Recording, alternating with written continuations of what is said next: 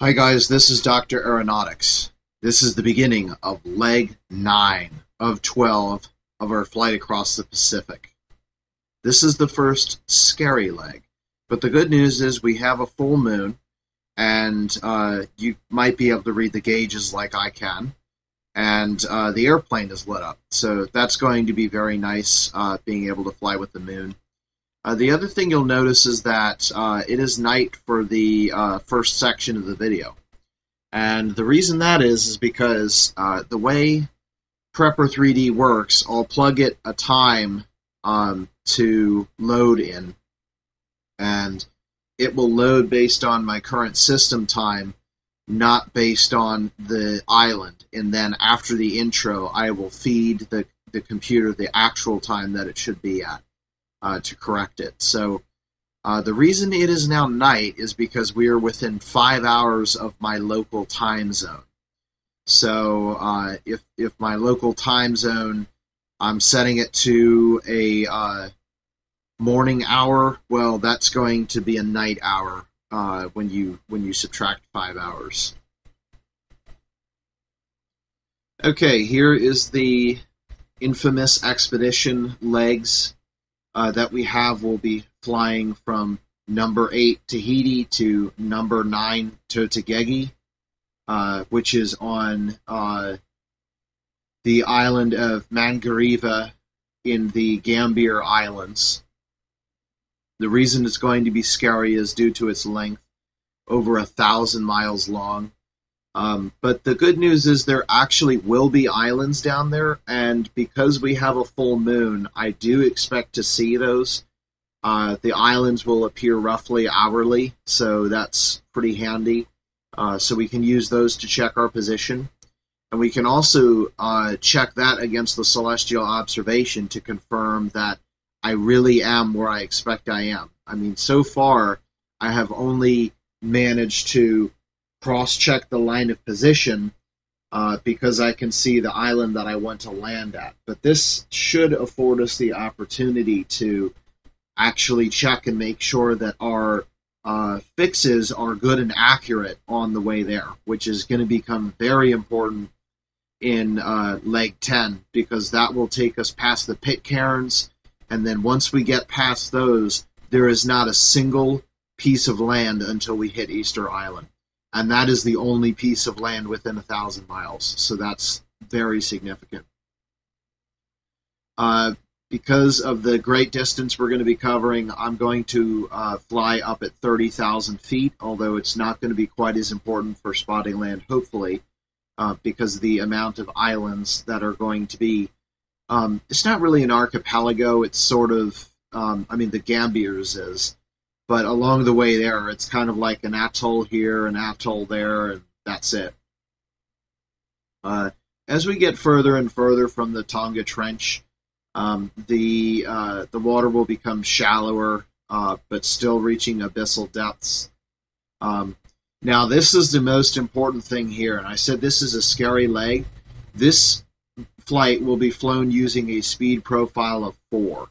Four is Make no mistake, the fuel situation takes center stage, but we can squeak out just a little bit extra speed above what I'm really concerned about going in all fuel concerns, um, which is five. So so we're not quite there, but we're almost there.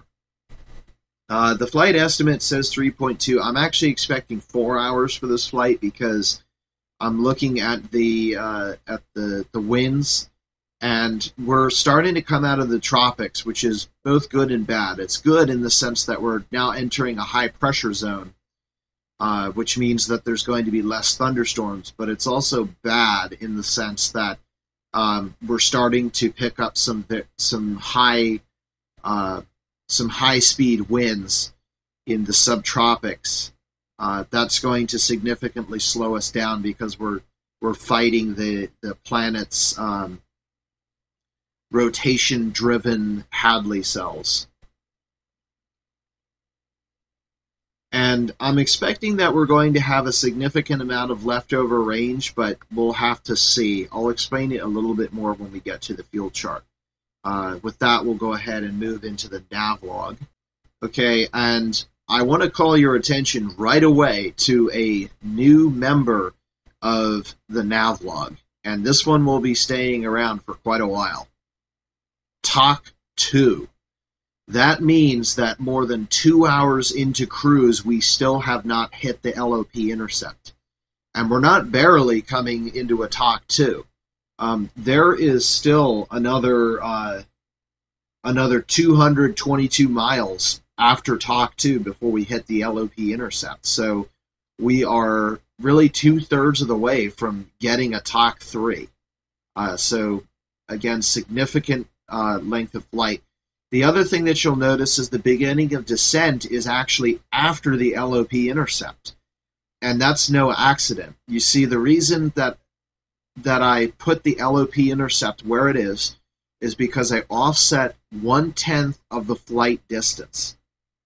It takes us 98 miles uh, to descend, and you'll notice that the um, well, actually, it's a little bit more like 92 miles. But you'll notice that our total length of flight is about 1,029 miles. So that means that our LOP intercept to destination distance is going to be about 103 miles.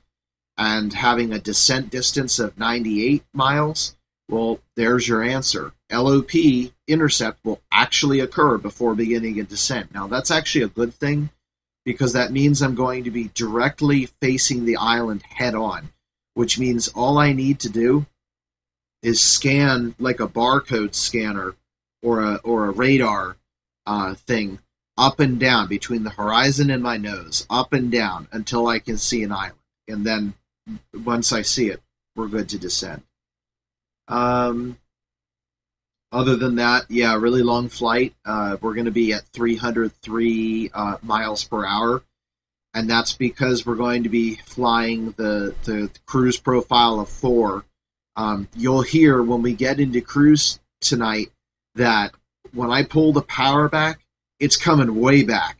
It's not like, you know, okay, we're going to lower the RPM by 100 RPM, we're going to lower the manifold pressure by um, one inch. No, we're coming all the way back to um, to about uh, 2,000 RPM and a manifold pressure of about 32 inches. So we're coming way back. You should hear the you should hear the engine sound spool back quite a bit when we do that. Um, oh yeah, and then the other really important thing here uh, up at the uh, top left the Totegi weather is yellow. And the reason it's yellow is because, well, we are so far out in the Pacific now that there are no METARs available. So basically, what I'm saying is hey, I don't know what the weather actually is, but here's what weather forecasters are predicting for the area you know that's the best I can do, and it's just going to be a toss up at that point for what actually happens. So, another reason why this leg is particularly scary. Okay, and lastly, uh, if you look at the liftoff uh, section, um, if you look at the top row where it says ATIS weather, and then you go down through the gray weather section, you'll see times. And you, you look at basically underneath where it says 1014, there's a 1054 low. Um, what that is getting towards is for some reason, when I loaded my simulation in previous flights, it did not load with the drop tanks being showed.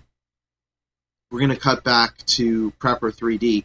If, if I want to actually get those tanks in, what I need to do is click a check mark that says um, external tanks. But if you'll notice, if I load up the um, if I load up the, the fuel level here in the upper left, you'll see it says 100%.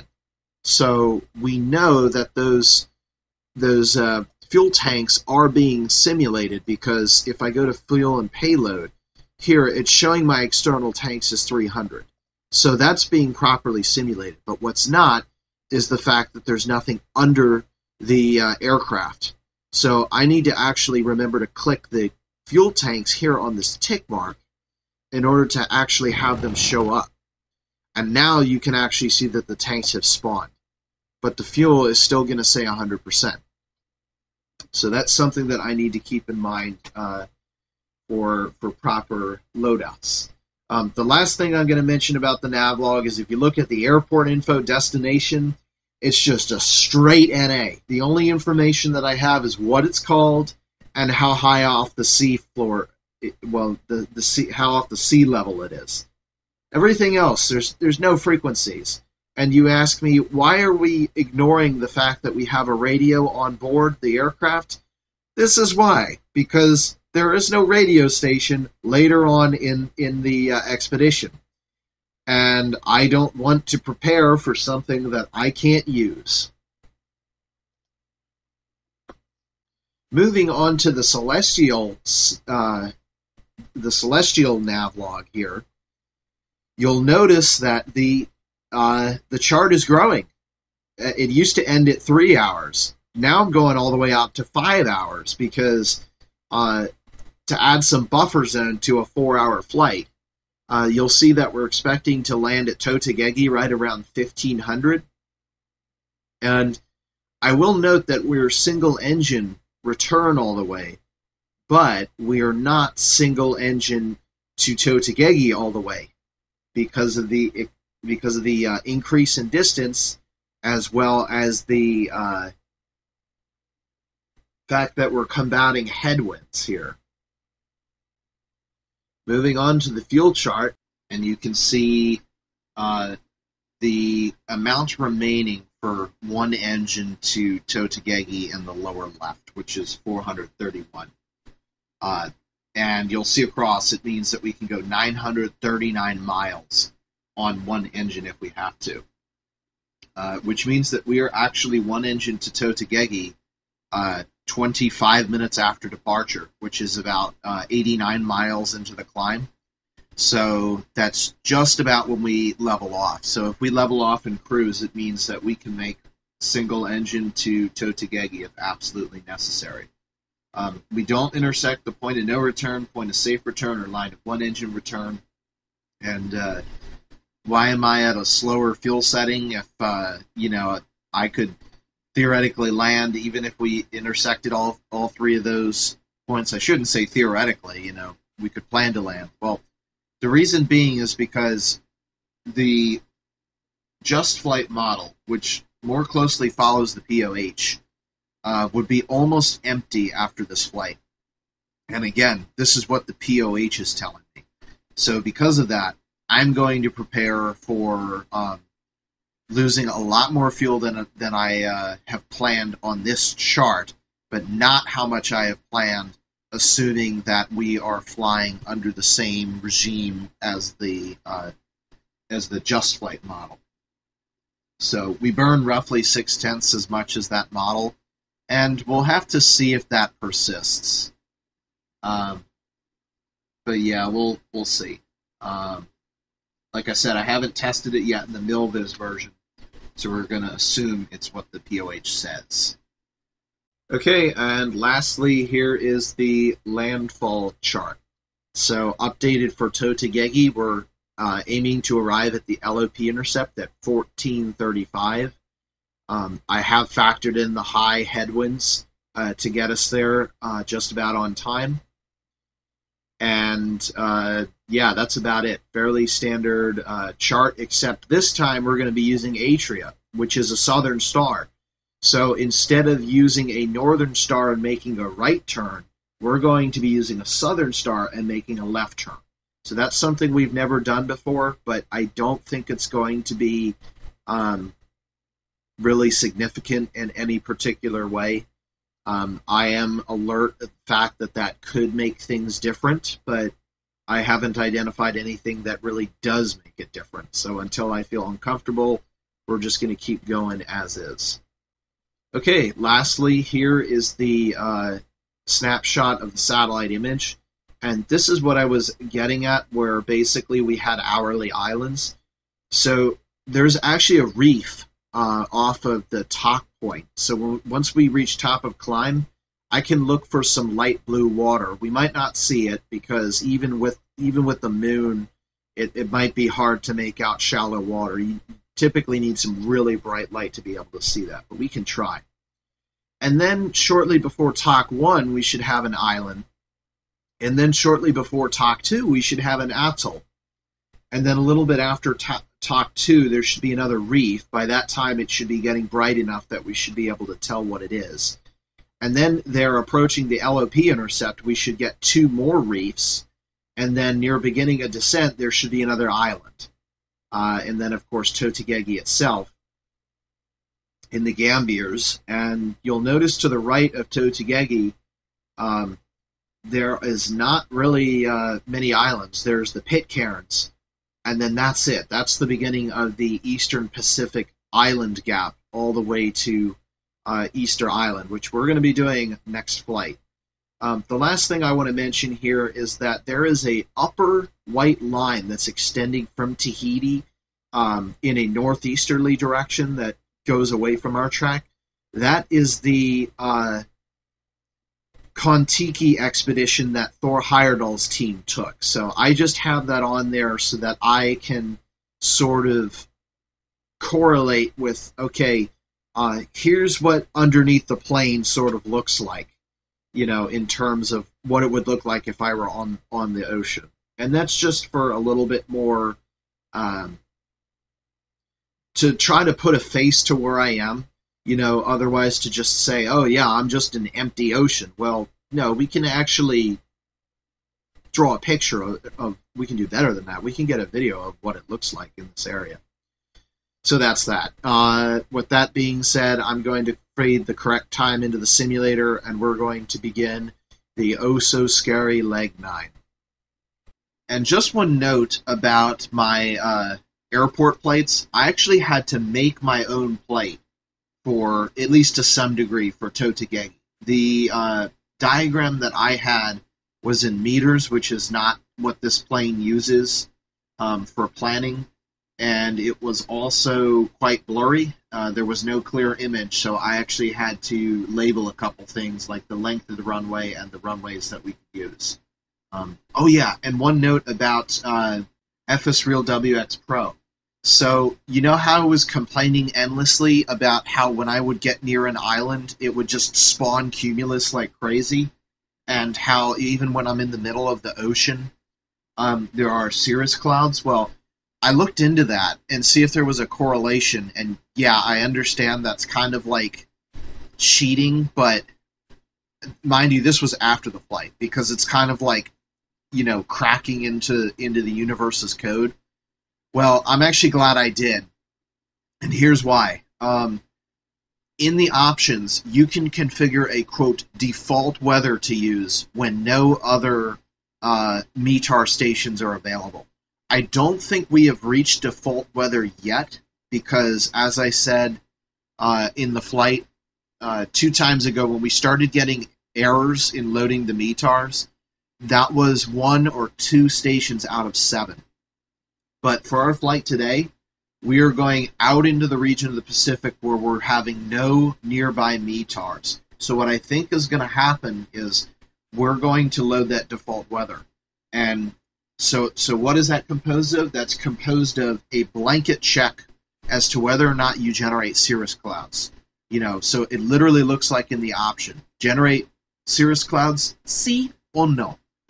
Um, and then there's the other um, the other check on uh, how many cumulus clouds to generate underneath the airplane, assuming that there's no METAR available.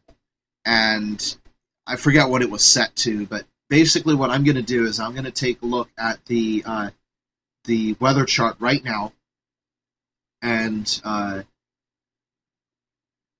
this is the absolute last time that I'm going to take a look at this thing. So I'm I'm taking a look at windy.com, and I'm going to satellite right now, and I'm looking at uh, Papeete, and I'm not seeing any cirrus clouds. I'm seeing some uh, maybe cloud streets of stratus clouds and the way I know there's stratus is because if I click it, it'll tell me minus 17C, minus 18C. That's the temperature of the cloud tops.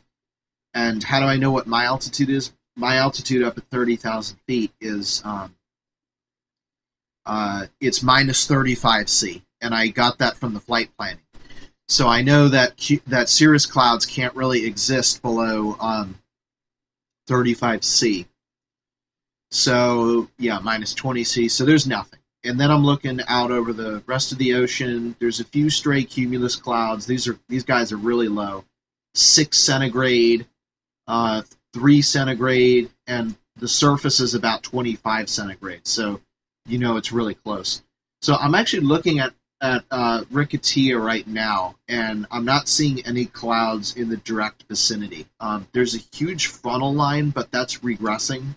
That's that's at minus 34 centigrade. So I can assume that guy is at 34,000. That is probably cirrostratus, but again, it's regressing. So I'm assuming by the time it's going to get there, it'll be gone.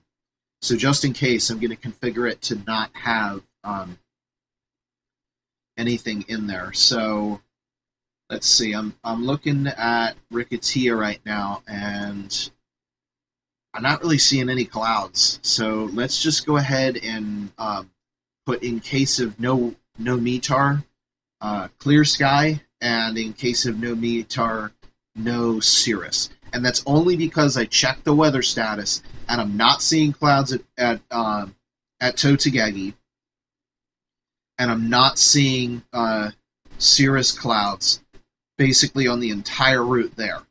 So, I mean, if if a METAR does happen to get into the mix and update our weather, well, then at, at that point, uh, that default will be overridden. But this is just if there's no other weather available, use what I observed on windy.com, which is no cirrus and no cumulus around uh, Rikitea.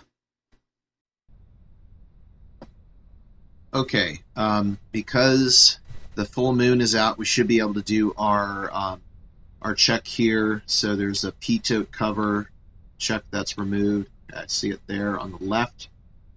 So yes, that is tires inflated. Best that I can see, yes. Uh, oleo struts are extended. Uh, check the nose wheel and make sure that that's straight. And then we're going to have to skip the uh, cowling fasteners. We can't really do those. And then uh, obstructions cleared.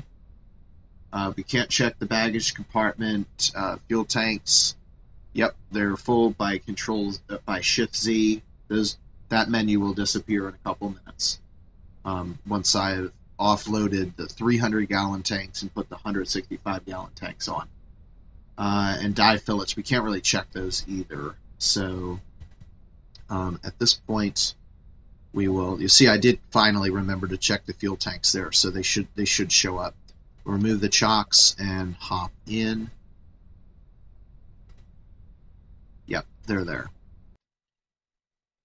Okay, and I'm actually gonna um, skip over the entire startup sequence because this flight is going to be like four hours the video is going to be long enough as it is. And yes, I realize that I made a very long pre-flight briefing. So um, without any other time wasting, uh, we'll come back right around for the engine check.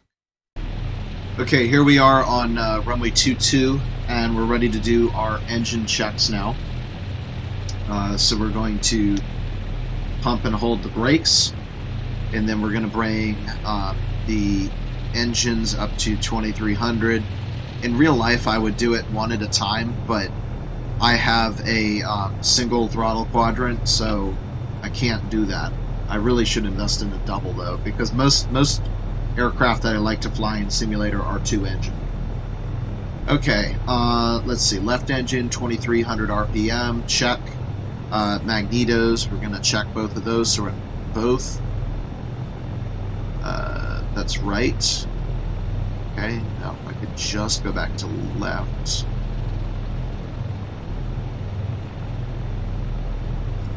Wow, oh my gosh, I actually did it right. There we go. Nice. Okay, so so magnetos we know are good. Those that's as good a check as we're ever to get here.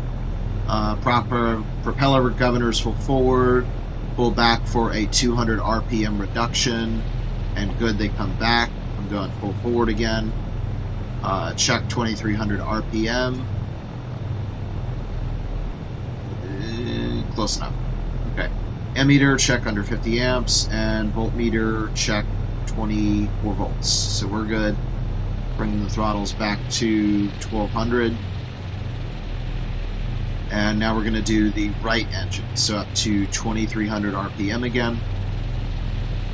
This time I'm concerned about the right engine. Alright, so we're at 2300 there. Uh, magnetos checked, so we're in both. Okay. Wow. Not bad. I don't want to say it because I'm going to jinx it. That's right. And then we'll try for left.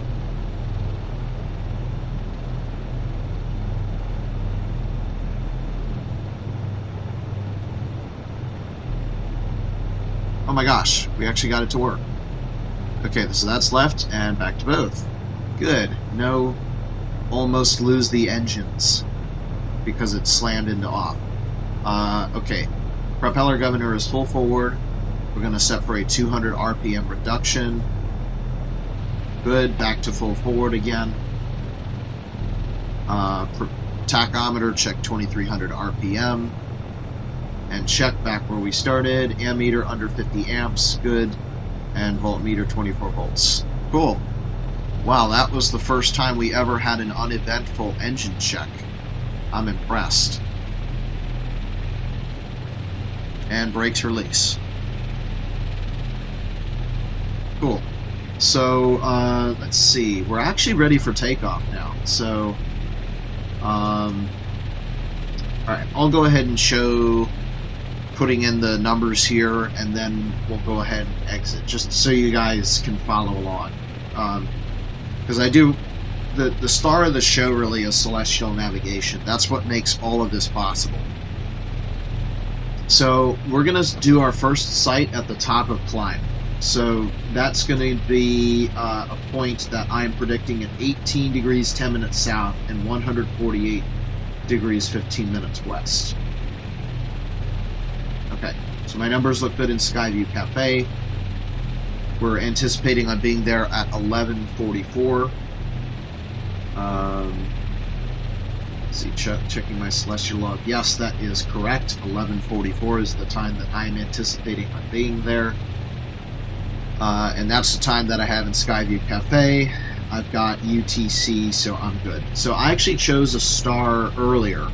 Um, believe it or not, we are so early in the night. It's 1100. Um, sunrise really won't occur until about uh, 1430. So we're we're a good three or four hours into night, and that's counting the fact that we're going to be sailing eastward at 300 miles an hour. So where I am right here, the sunrise is probably close to four hours away. Um, okay, so I'm going to take a look in the southeastern sky now and the star that I liked the most because it was very close to my track um, was uh, Media. Let's see if I can find Kaus Media. It's a smaller one, and it's a southern constellation, so it's a little bit more tricky for me.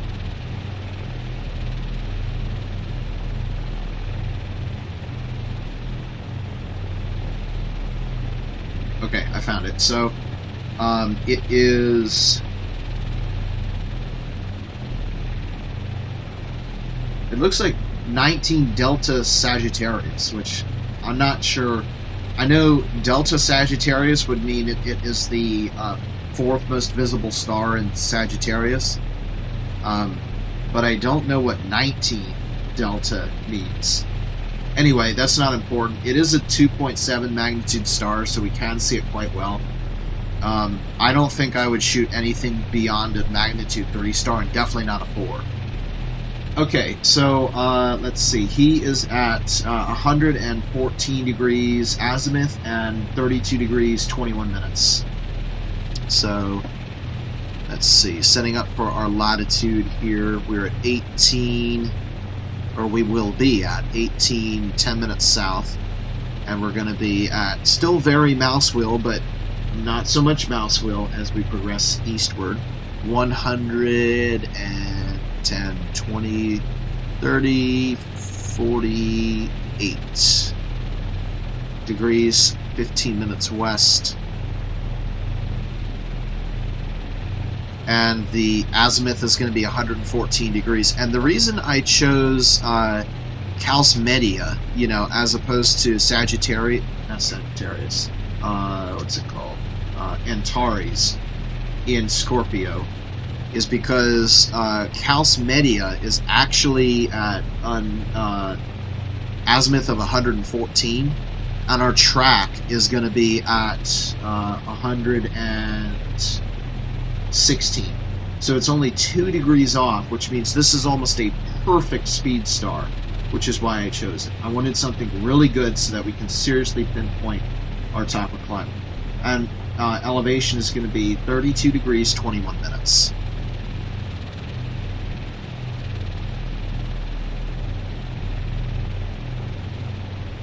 Okay, and we're going to check everything, uh, including the time. We're good. We're still good on time. Uh, Media is at 114 degrees good and 32 minutes 20 seconds good and this is for a location of 18 degrees 10 minutes south good and 148 degrees 15 minutes west good. Okay we are set up for the shot and let's see it's 11 oh, we'll round up to 8 and takeoff is at 11:16 so I've got 8 minutes to ponder my life's decisions and figure out if there's anything else that I want to do before taking off into an ocean uh, from the middle of the ocean and heading towards an island with no reliable weather reports, even in 2021. I'm going to bet that back in the day in the 1940s, it was probably like, um, okay, what's the weather report over in, uh, in, in the Gambiers? And then the guy the guy is going to say, "I talked to Johnny, and Johnny says that the sky is blue. Nothing else to report." And then I'd be like, "Great, that helps me out a lot." You know, so all right, uh, we'll pause until uh, until I realize something or it's time to go. When I say pause, I mean stop the video.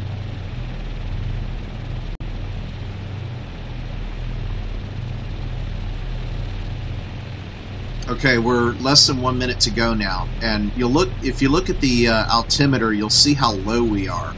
Um, the Tahiti airport is actually only five feet above sea level, which I seriously don't understand how they would allow something like that because that would get flooded in just about any storm beyond, you know, just your monsoon rain events. Okay, 15 seconds to go. Move into the checklist here. 10, 9, 8, 7, 6, 5, 4, 3, 2, 1, 0. Brake release.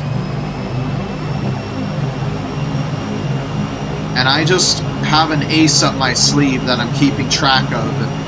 We have that really weird um, uh, wind issue on takeoff,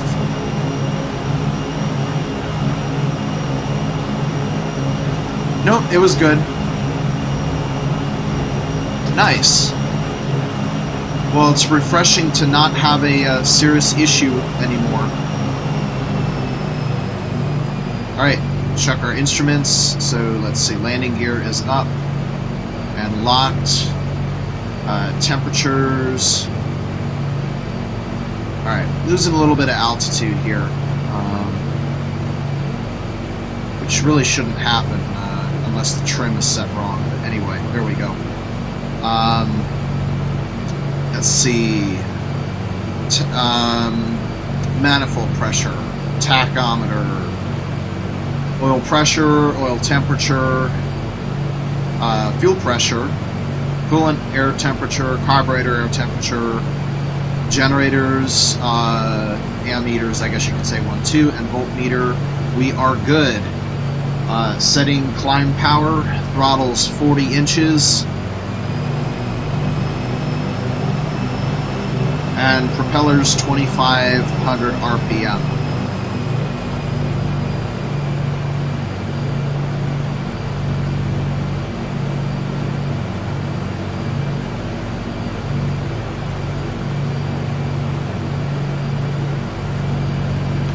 Takeoff time was uh,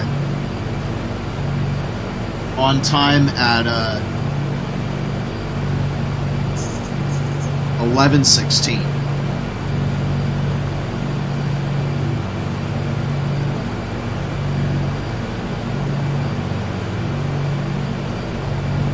That's correct. I keep thinking it's going to be 1416, uh, but it's because we're, we're on such a long flight that it's going to be like this. Alright, we're going up fast now, and I can actually use uh, the island of Tahiti to figure out where we are. We want to go, there's like a narrow strip of land that we want to pass over. So I think we just did an about face here. We turned around, we're going towards uh, Tahiti, um, not uh, um, Papeete. This is the city of Papeete, about 100,000 people in it, so quite a uh, metropolis down there. Okay, there's the airport we just took off from.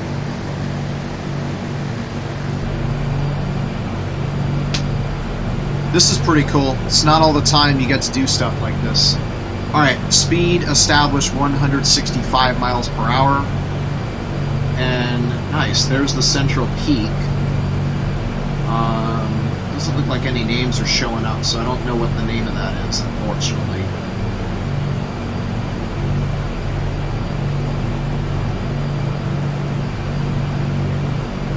Alright, so yeah, we're, we're passing right over Papeete.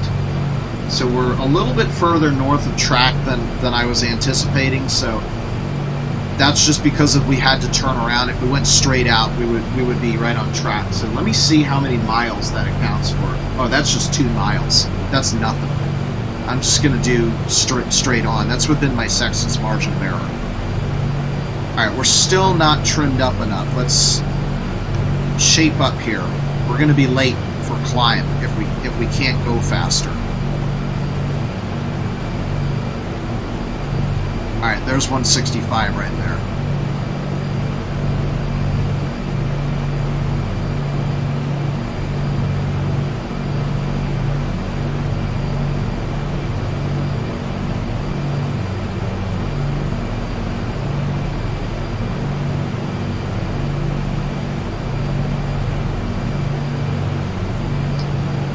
Climbing again, and just to check the altimeter, I can see uh, mountain out the window. And yeah, that mountain is just about 5,000 feet high. So, yep, that uh, that equates. Good. Yeah, it's a lot different when you when you fly with a full moon. If I flew with a new moon, we wouldn't be able to see anything at the, the instant we left the peak.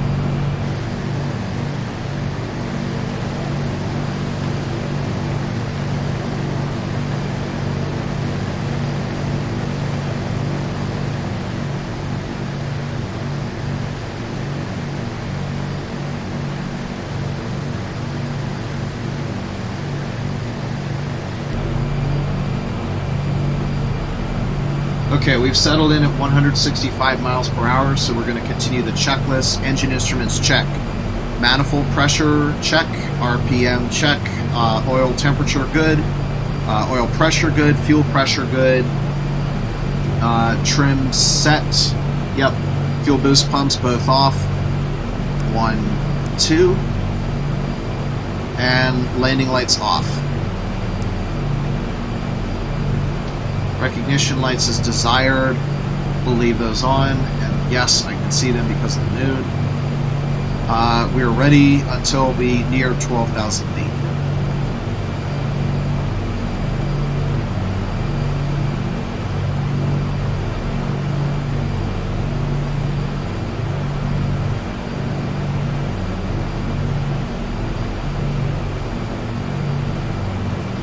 It's fun. I'm actually using the moon as like an artificial horizon right now. You know, its position on screen is telling me uh, what the plane is doing. Like it looks like we're pitching down a little bit, so I'm going to guess that we're going a little bit faster than 165 now. Nope. Okay. Well, just a little bit. So maybe it's air currents and whatnot.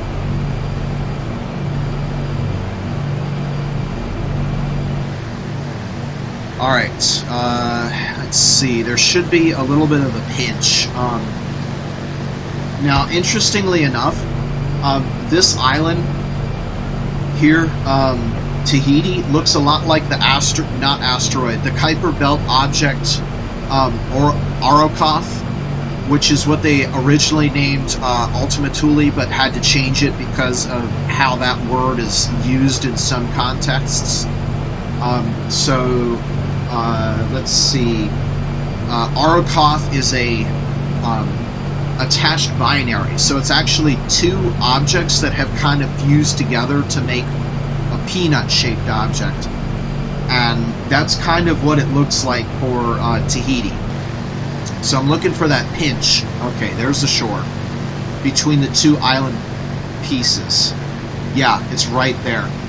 So you can see there's like a little bit of a V in the ocean right. That's the pinch between one between the main lobe of the island, which is in the west, and the um, auxiliary lobe, which is in the east.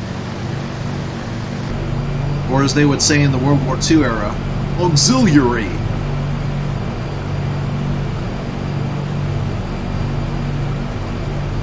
The cupola houses the pilot and auxiliary equipment. Okay, uh, we're at 10.5, so when we get up to 11.5, we'll continue with the checklist here.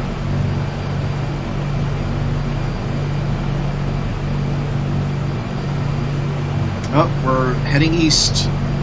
Uh, I think the air has, has calmed out a little bit too, so we should be able to uh, turn more here. And yeah, as the forecast said, complete blackness above us. Beautiful.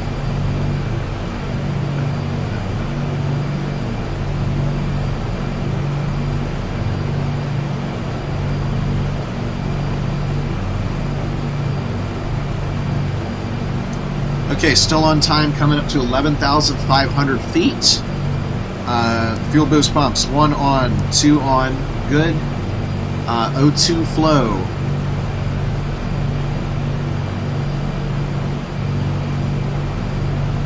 That was an O2 flow.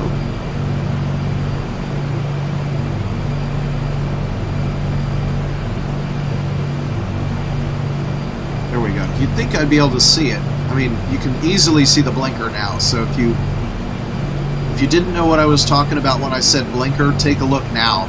You should be able to see it, regardless of what screen you're using here. Um, O2 pressure check. Good, and we just took a look at the blinker. It, it's working, yes. Alright, I see the moon moving, so we have got to be... Yeah, we just turned for some reason.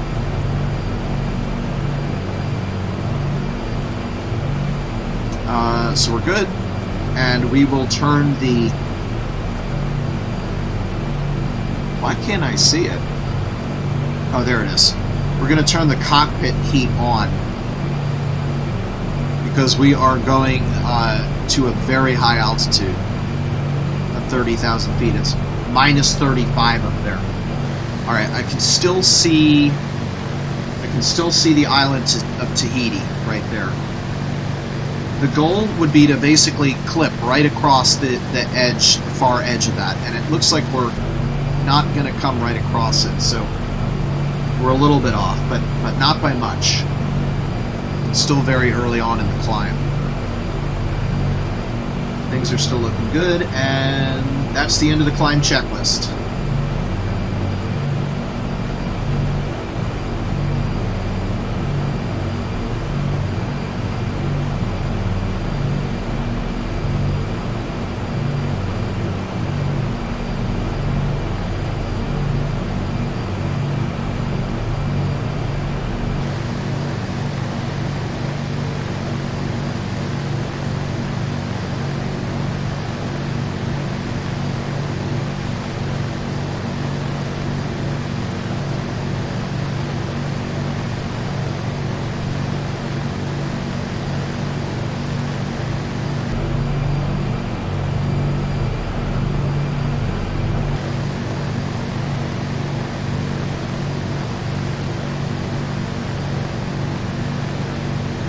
There's there's the edge of the island. There's a point there. Let's see if I can cross correlate. Oh yes, it is um, Tautira. We're supposed to go right over Tautira, and let's see. That's a 45 degree angle right there. So it, it looks like we're going to be coming across it maybe at like a 60 degree angle, and we're at 12,000 no 16,000 feet right now. So 12 degree angle at 16,000 feet, I think is a, uh, or no, 60 degree angle. Oh no, I, I know this trig identity. It's um, 0.866. So it's going to be like 1.2 times our altitude. So that, that means we're literally three miles off course right now. Uh, so let's fix that right now, right?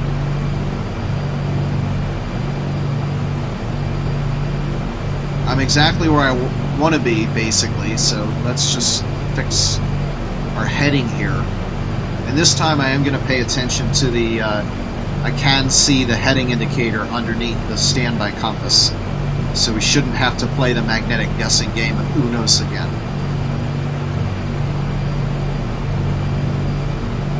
That's a really good name for it. I, I don't think anybody has ever, like, they're saying Unos in a magnetic dip, but I really like the idea of the magnetic guessing game called Unos.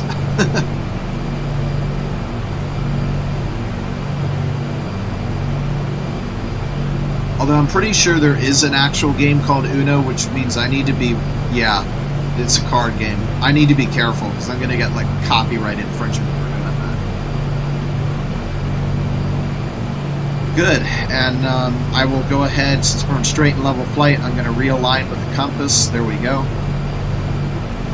Uh, perfect. So as long as we stay wings level, we're right on track.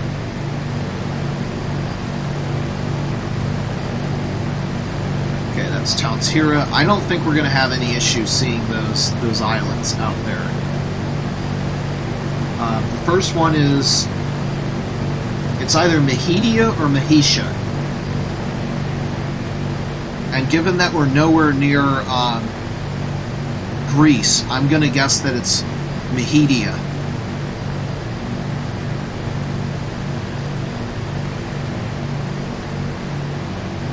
Okay, that's the end of uh, Tahiti.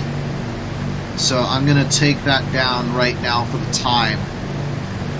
11:31.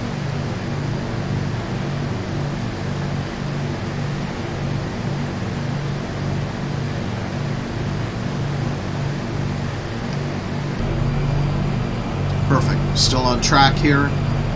Um, so Tahiti ended at 11:31. Um, 11:30. Uh, okay.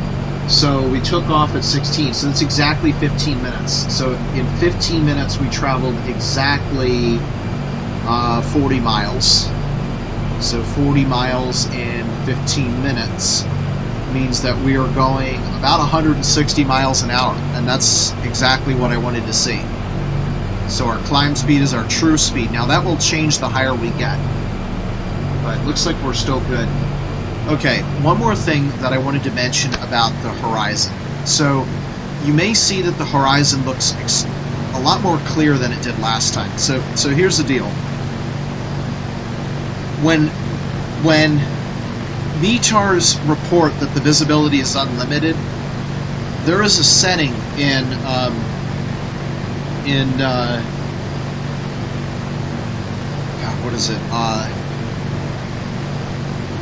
there is a setting in uh, FS Real WX that says if a weather station reports a sky as being the visibility is being unlimited. Don't really make it unlimited. Make it this generic value. You know, and it was something like 30 nautical miles. And I was like, no wonder why I couldn't see the islands from altitude so quickly. So so here's the deal, right?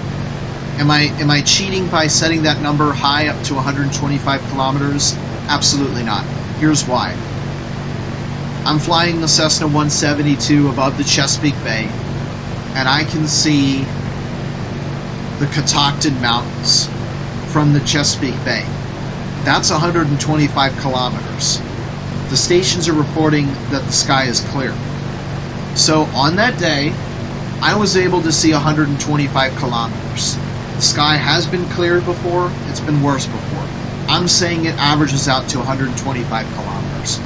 So that's my justification for why I'm I I bumped that number up from 30 kilometers to 125 kilometers.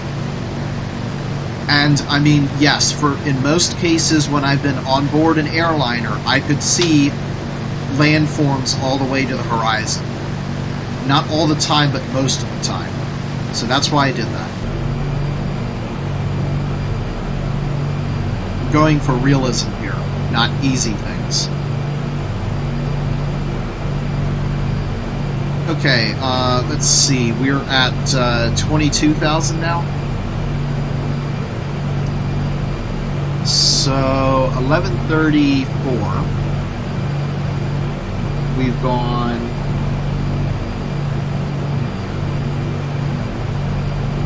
Let's see, 16 to 34. That's that's 18. Yeah, 18 minutes.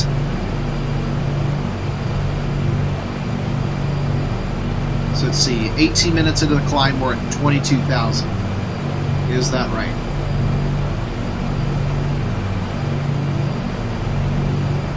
Let's see, this is saying 19 minutes in the climb, we should be at 22,000. So I'm, I'm right on time.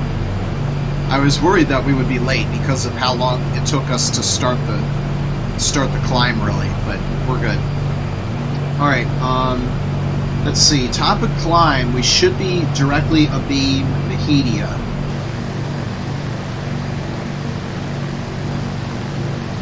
Mahidia will be 23 miles off and we're going to be at 8 miles high, so that's a 3 to 1. So that's going to be roughly 20-ish uh, degrees. So Mahidia should be somewhere out here.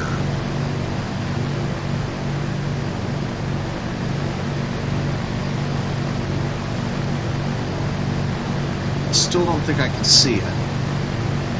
Let's see, it is shaped... Wow, Mahidia is shaped like a pentagon. That's crazy. I, I've seen a hexagon island, now I'm seeing a pentagon island. And Tahiti's as close to a circle island as you're ever going to get. And Easter Island is a triangle island. That's crazy, getting all the shapes here. And we just need a square island.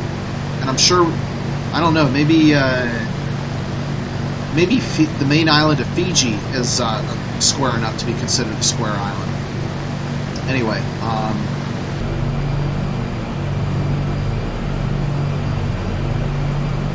let's see, still going up on, at the right speed, coming up on 25,000 now. Oh yeah, I, I wanted to um, look back and see, can we still see Tahiti? Um, wow, that was quick.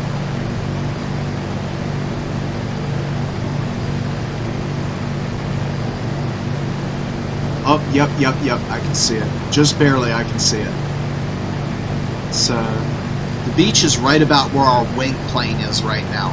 And you can see above the, uh, the cupola just to the left, you can see one arm of the beach, and directly, directly above the left tail is the uh, northern beach.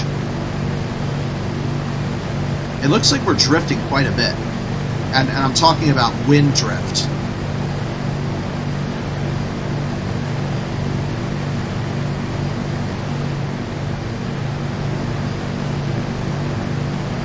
Not heading drift. Okay, coming up on 26,000, so I'm going to start getting really ready to execute my cruise checklist here.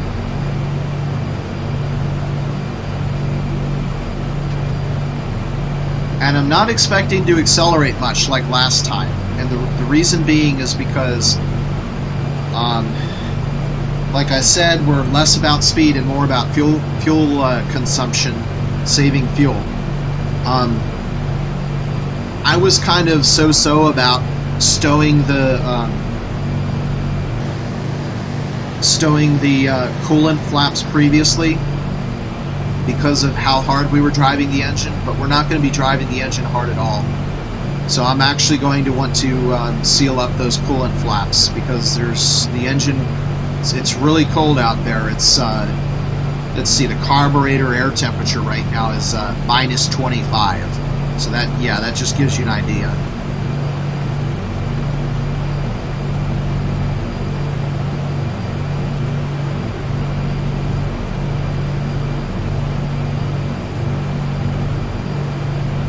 So I think it's generally about a 5C drop for carburetor air temperature, so it that means it's probably about minus 20 outside.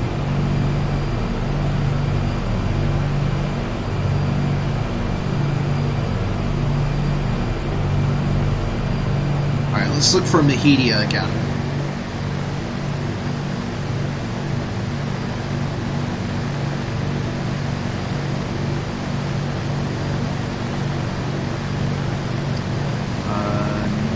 Luck yet.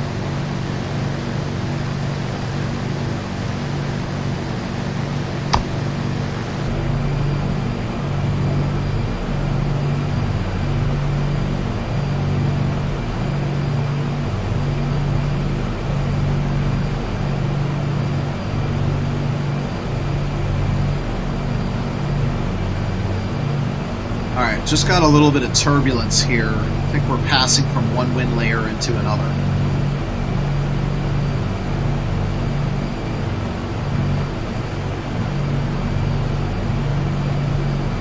Alright, just hit critical altitude, so the engine's spooling down now.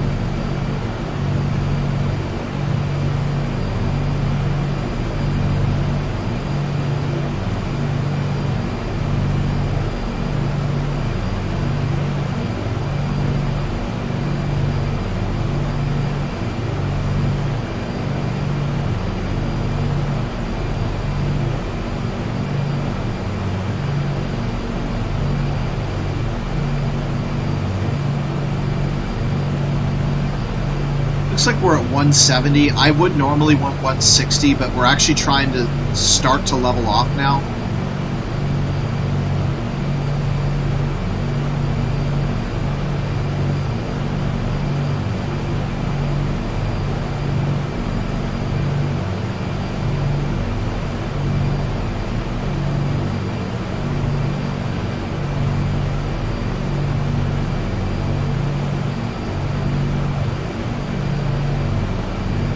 Alright, so at 29.5, I'm going to uh, start pitching down, and then uh, once we pick up a little bit of speed and get to about 200 indicated, I'm going to pull the power back.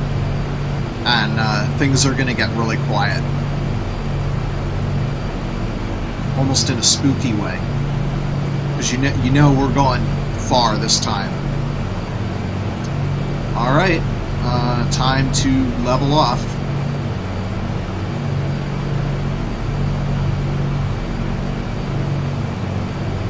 not descend. Come on, level off.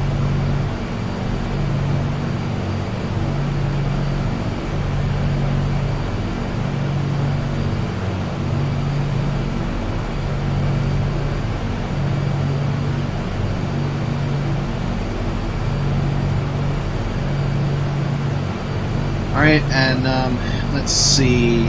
Our indicated that I'm expecting to follow is um, 100 oh my god 162 so it's time to pull the power back now. All right manifold pressure 32 inches.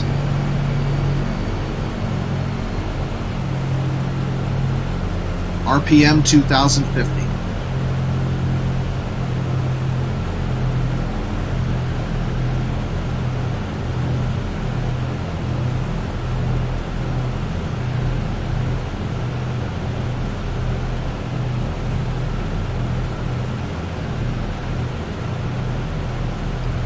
Okay, uh, that is good.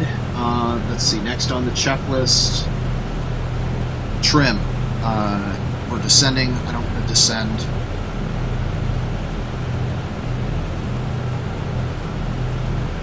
Uh, instruments, check. Uh, let's see, manifold pressure, RPM. Let's see,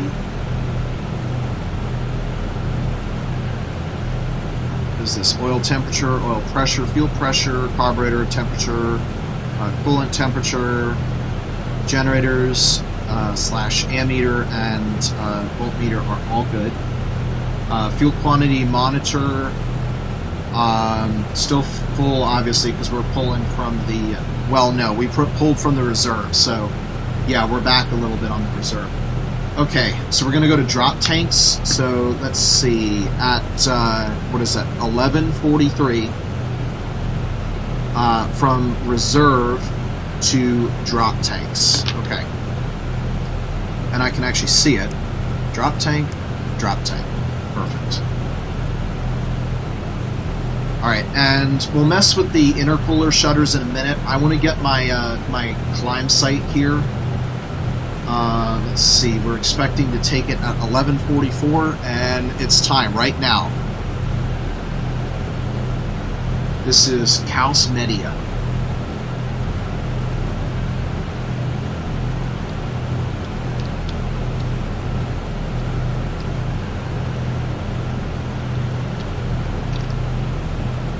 actual time of the shot was 11:44. Let's see. The other one we're going to use is um,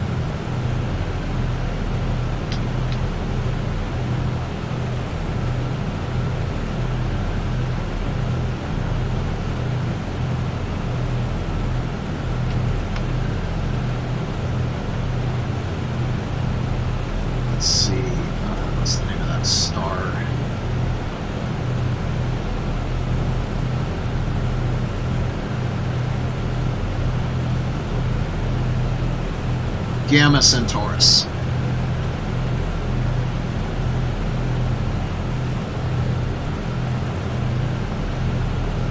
You know what? I totally forgot to pay attention to where that star was. But I think we still have a zero offset.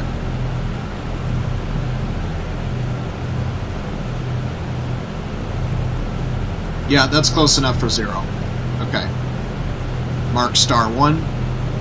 Uh, and then star two's name is Gamma Centaurus. Uh, azimuth is going to be at 205 degrees, and the altitude is going to be um, 54 degrees 14 minutes. Okay, so 205.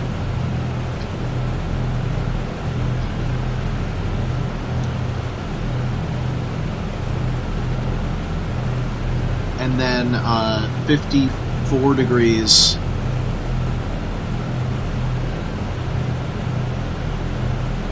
Fifteen minutes, and real quick, just we should be directly abeam, uh, abeam Mehetia right now. So, per per what it said, uh, I think we got it. That looks like land.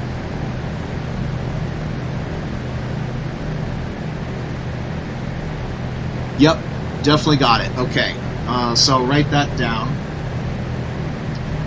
Uh, 1146 saw Mehetia, and we're going to say that was uh, maybe 30 degrees. So we'll say um, minus 30 degrees and on time because that's this basically due north, so that's on time. Alright, I need to get my second star set up here. Oh, that's so beautiful. I can see all the stars now. No, no dang cirrus clouds. Okay, um, so that's that's what it was then, is there's just no METAR available. Okay, 205 degrees and 54 degrees 14 minutes. I have, yes, offset 0 nautical miles, clear the shot, and do the shot. Okay, we might be a little bit off here.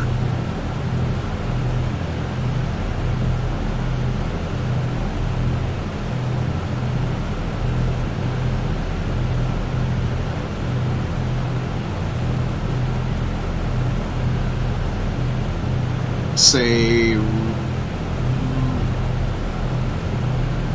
maybe right there. Yeah, right there.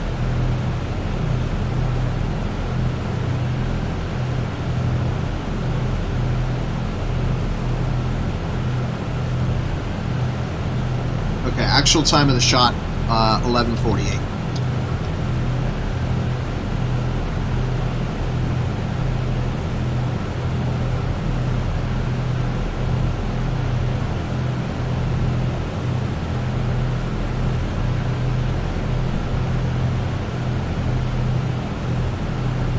Got an offset of negative five. Uh, so we are, let's see, five miles north-south on course. That's almost within the margin of error, so I'm not going to do any corrections at this point. Alright, save my shots and plot start two. Okay, so we are slightly further north than we expected.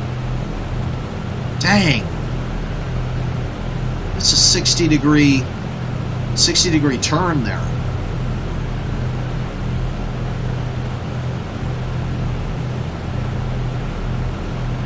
Also, it looks like we descended again. Tell us to climb back up again.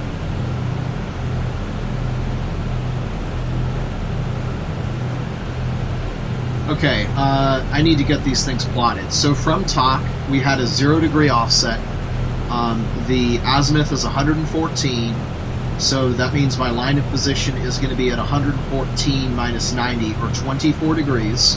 Yep, and that just about goes right through Mehetia, so that's expected. Um, yep, 24 degrees. And we're going to save this is TOC speed LOP.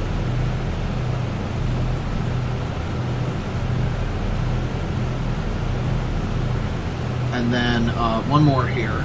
And this guy is at 205 degrees, but it's negative, so 25 degrees. The offset is going to be uh, 5 nautical miles. And 25 degrees. 5 and 25, there we go.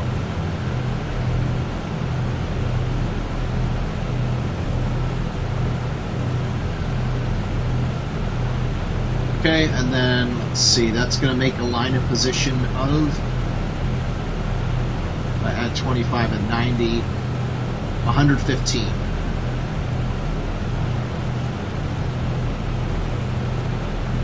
And save TOC course LOP. Perfect. And move that out of my temporary places of Google Earth. And yeah, so so my um, my celestial navigation confirms my, my sighting of the island of Mehetia. Perfect.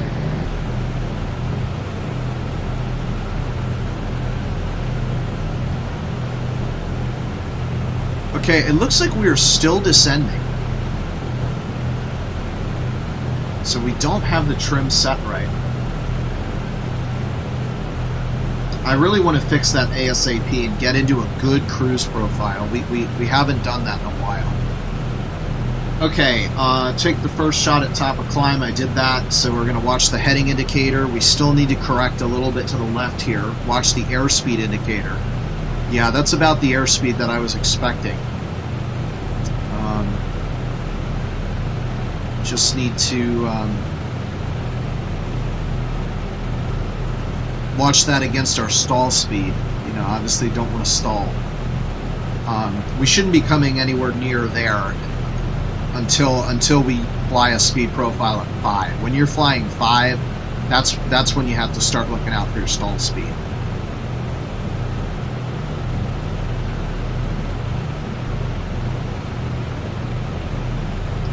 Uh, watch for islands. I just did that. Let's see. The next island isn't coming until top 1 that's going to be Hereheretue.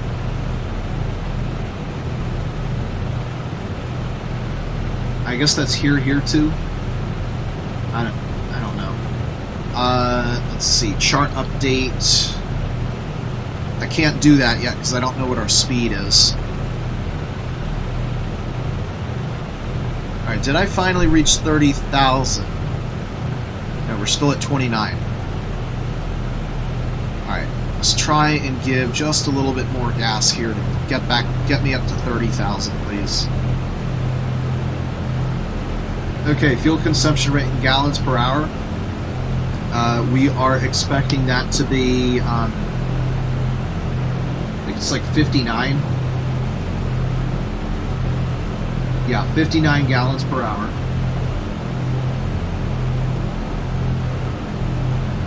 Total usable uh, non-reserve fuel. So we so we took 12 for the climb, and we've been in cruise for nine minutes. So let's see, nine minutes at 50 some gallons per hour.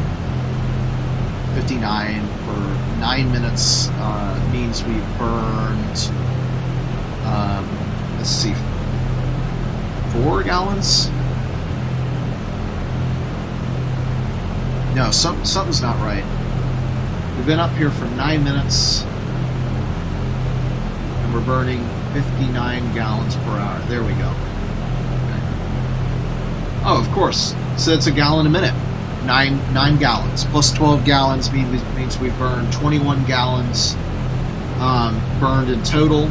So that's how much is consumed. We started with 629 gallons, so that means we have 608 um, gallons remaining uh, with reserve, and then less reserve, it's going to be uh, 558 gallons. Uh, the distance flown is going to be, let's see, 10 minutes beyond top of climb, 10 minutes at what I'm assuming is uh, 300 miles per hour. Uh, is going to be 50 miles, so we've flown 50 miles plus 92. So we've flown 142 miles has been flown. Uh, 1,029 was the distance of, of the entire flight, uh, which means if I subtract out um, it gives us 887 miles left. Uh, interpolated position. Let's see, we're 10 minutes beyond. What did I say? 50 miles or something beyond. So that means our interpolated position is roughly 18 degrees 24 minutes south and 147 degrees 32 minutes west. Is it possible to return home to base? Uh, yes, it is at all times. Okay. So now, very quickly, I'm going to get set up for um, my TOC plus 30 minute fix. So I'm assuming that we're going to go at 300 miles per hour. So let's see, um, TOC plus 30. Uh, assumed latitude is going to be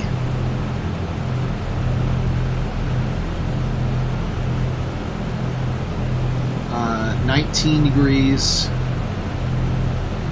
5 minutes south, and 100 and 146 degrees, 9 minutes west.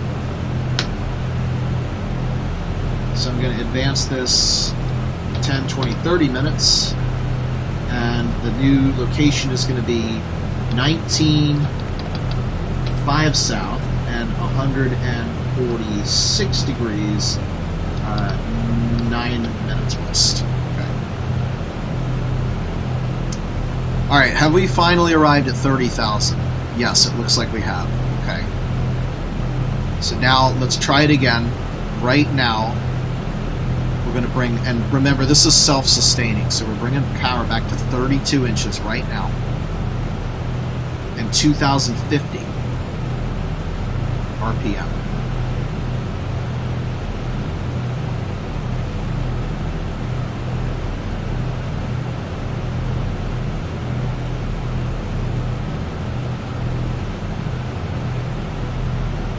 And now all I got to do is just mess with that trim wheel until we stop going up and down.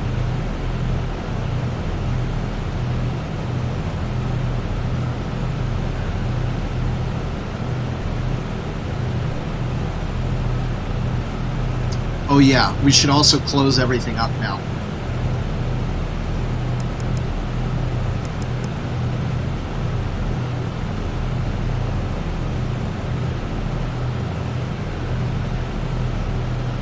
And of course, that's the one part that I can't see. Alright, going down again, pitching up even more.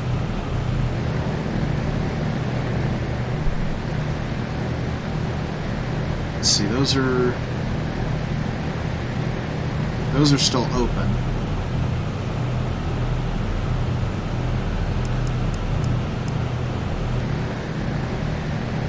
Okay, those are closed. Alright, these guys close them, and the uh, oil coolers.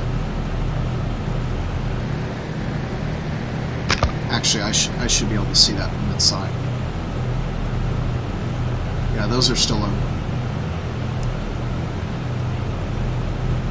Still open. Still open.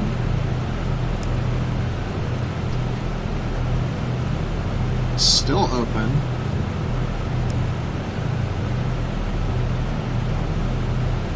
Now I think it's closed. So it's one, two, three, four, five clicks, I think.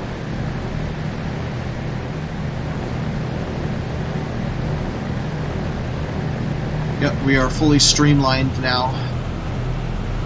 And it looks like we have finally leveled off. Still keeping an eye on it though, but at least I can do other stuff now, like prepare my next sight. So, let's see. I want something that's pretty much straight in front of me. I'm going to be following a um, azimuth of about 100 and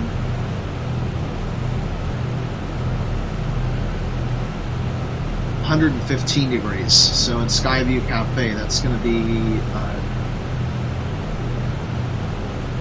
200, no, 300, 115 plus 180.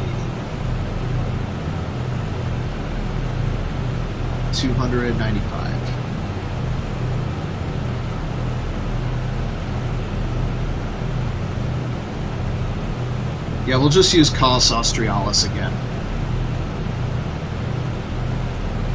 Oh, wait a minute. No, I use Kaus Media. Yeah, Media is even even better. We'll, we'll stick with Media. Um, azimuth is going to be 113 and it's going to be an elevation of 41 degrees 3 minutes and then uh, let's see we want something that's 90 degrees from that so 2 9 or 3 so that's like 13 in Skyview Cafe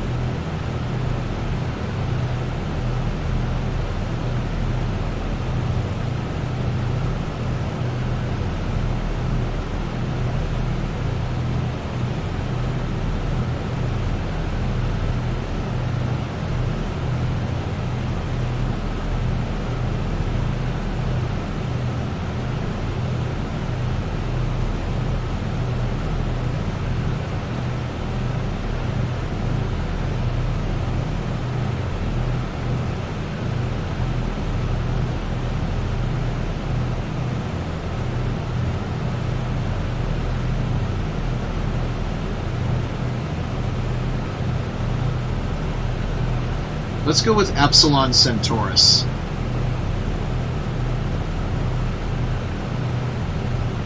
That's going to be at um, 197.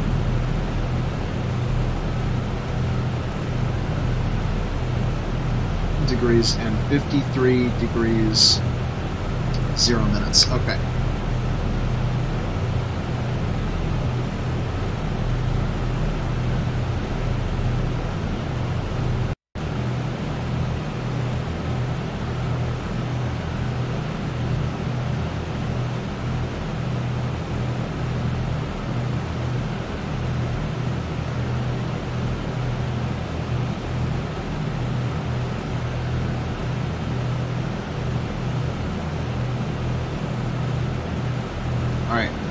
Copying all this information in now. So the first one is uh, Media, and the second one, uh, let's see, Epsilon Centaurus.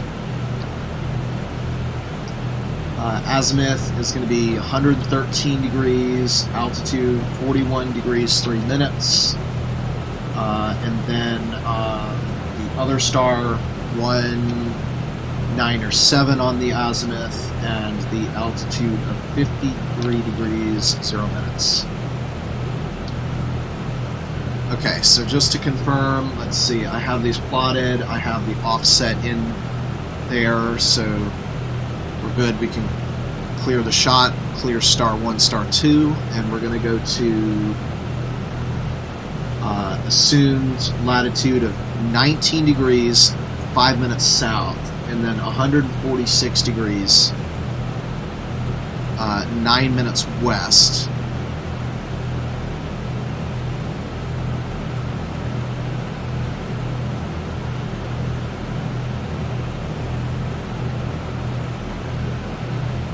And then a uh, azimuth of 113 degrees.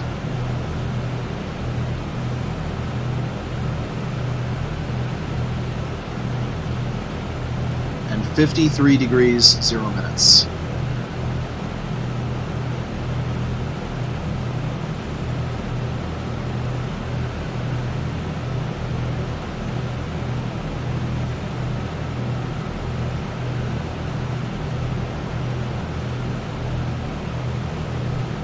53 to, no, no, nope, I crossed it again. It keeps happening. 41 degrees, 3 minutes. Crossed it with the second star. 41 degrees, 3 minutes, and 113 degrees. 19 degrees, 5 minutes south. 146 degrees, 10 minutes west. We're good.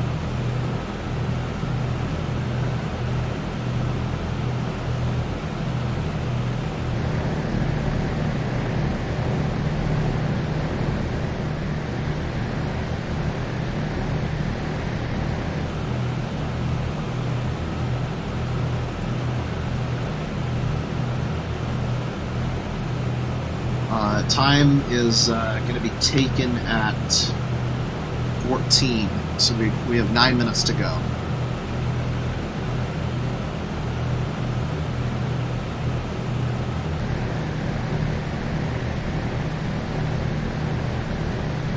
And just in case, I'm going to start looking out for our first island. Right, or it's not the first island; it's the top top one. Oh, oh yeah, there should there should be like a little reef or something down here too. I think. Um, so we can try looking for that.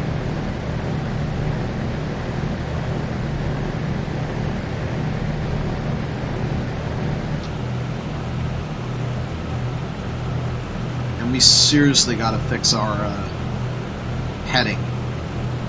I've, I've seen it hap- I've seen it go so far south that to be honest, I want to go all the way to east now. And then if I see it drift south again, we're going to start using uh, rudder trim.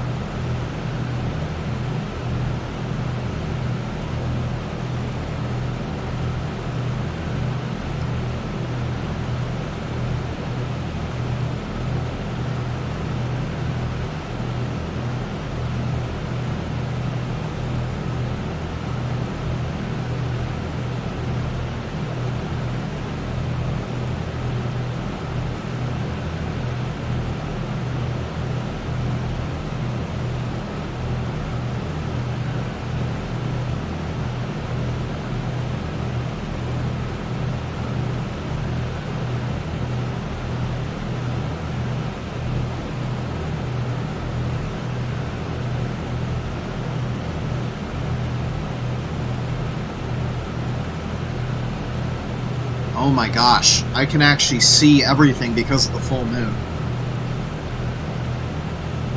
Oh yeah, I'm gonna get hyper vision now. This is this is the best way to do it is to turn all lights off. Your eyes will become so powerful.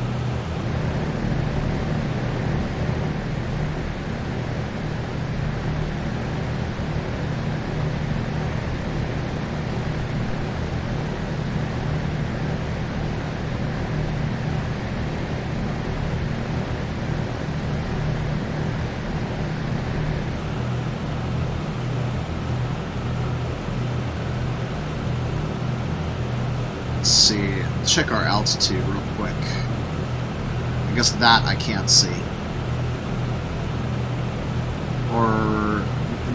No, I can see it. I just got mixed up on which gauge it was.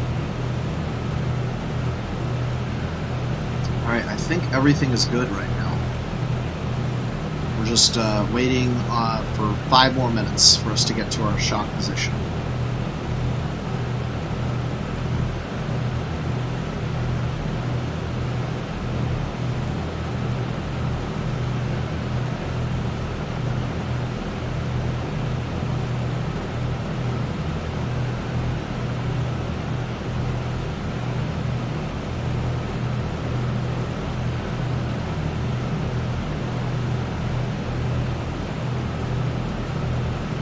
We'll do some stargazing in a couple minutes.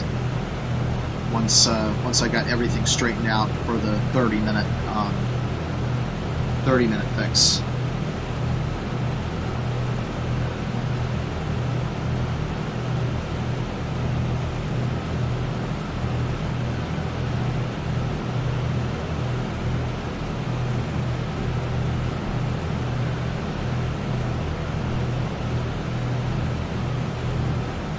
So the other thing that we're going to have to do this flight, I think, is uh, figure out how long it's going to be until we uh, we switch over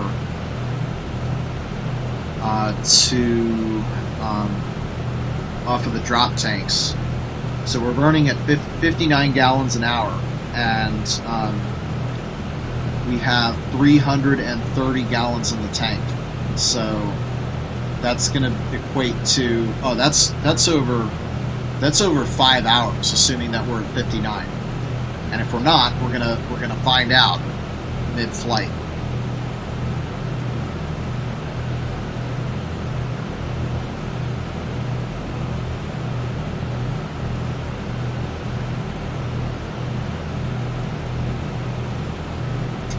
All right, yeah, I, I think I I think I want to do some rudder trim.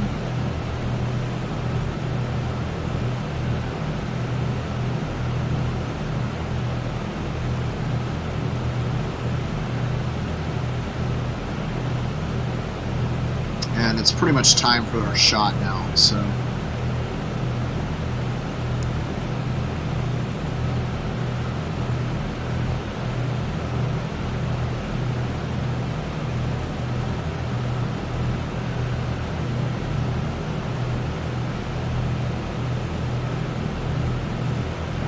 see what that does.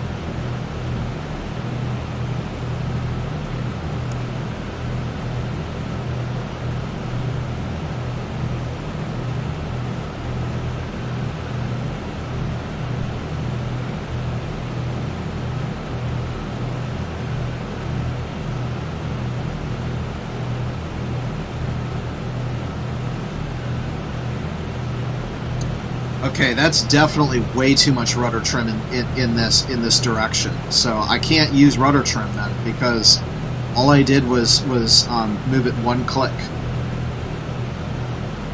and and that was enough to start that crazy turn.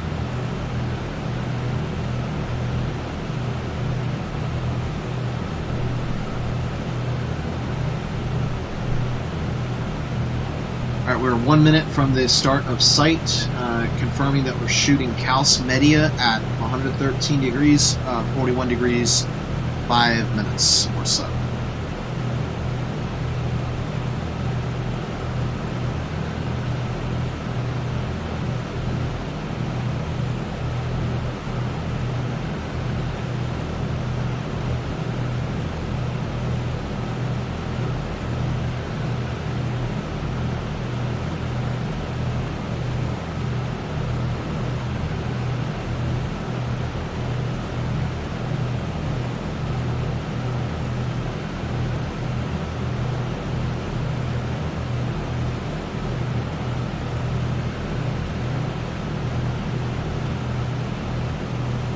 Five, four, three, two, one. Starting the shot. This is Kaus Media. Whoa.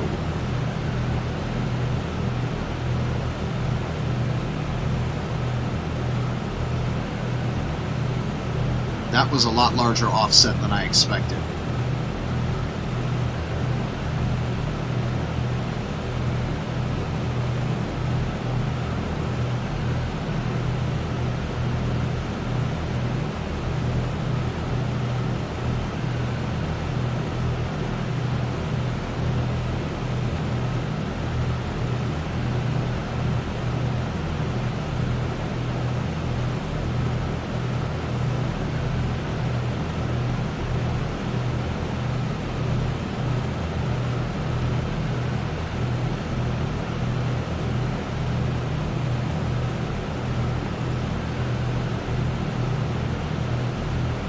and I'm gonna have to figure out how to get really comfortable on on my cruise here because this is a lot like what it's gonna feel like when we're on legs 10 and 11, the super long ones. Okay, we're 40 miles off. Jeez. Okay, so 19, 5, 146.10. Uh, and that was, let's see, that was negative 40. Let's see, actual time of the shot was at uh, 12:14. All right, so from from that position, we're gonna go in the opposite direction. So, oh man, we're going we're going really, really slow. 113 plus 180 is 213. So 293 back 40 miles.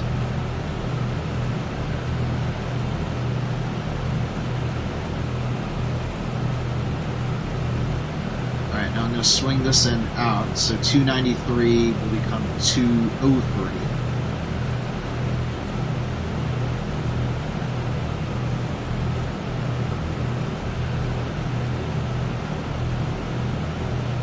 Uh, 30 minute fix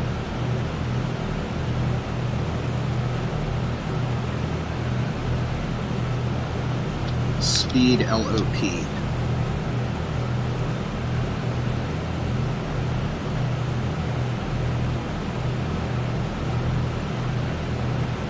Okay, I've got that plotted. We'll click star one. You can see we're way back here. We're expecting to be here, we're there. So uh, the next thing I'm going to do, man, this this is so tough without autopilot, man. It's, it's like the slightest the slightest yoink of the trim wheel will send will send the craft going high speed in the other direction. That that's not a good trim system. Uh, let's confirm that I have that offset recorded. I do. So we're going to clear and we're going to set up for the second star, which is at 197.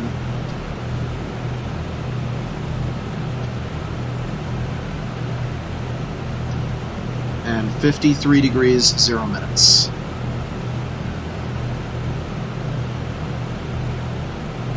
And starting the shot, this time it's going to be at uh, 1218. Okay, well, at least we're on track. That's what I was mainly concerned about. You know, with all this flip flopping around in the heading indicator.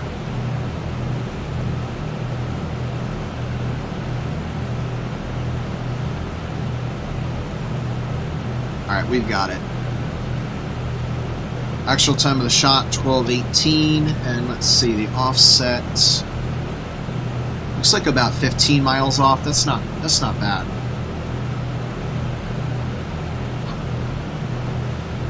So this is 19 degrees, 5 minutes south, and 146 degrees, uh, 9 minutes east.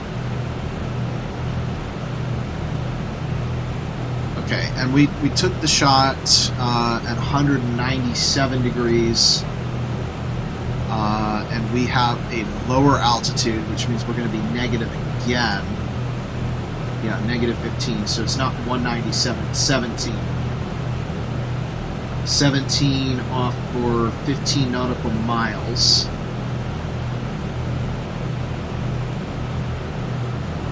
Uh, and turning this will become 106 degrees. Wait a minute. 17 should be 107. Okay, yeah, I probably could have picked a better star this time. 30 minute fix uh, course LOP. Now here's the question. Let's see, it's to be like six minutes. Do I need to advance? Uh, no, that, that's that's not gonna that's not gonna cause much offset. All right, plot star two. So we're way back here, and we're north of course. So that means one of two things. One, the simulation is not behaving as it should. Or two, uh, we're not following. The, or two, we've got serious winds. Serious, serious winds. So it, it took half an hour to go from top to where we are now, which is 107 miles. That was 30 minutes, which means we're going 214 miles an hour, not 300 miles per hour. At this rate, geez, that's way off of what the POH said. At this rate, I have to assume it's winds. Okay, we are supposedly one engine out now because we've we've hit TOC. I forgot to mention that. So we're, we're one engine out to to Totegegie. Jeez. Um, I'm gonna have to re- rework the, the timing here. Uh, let's see.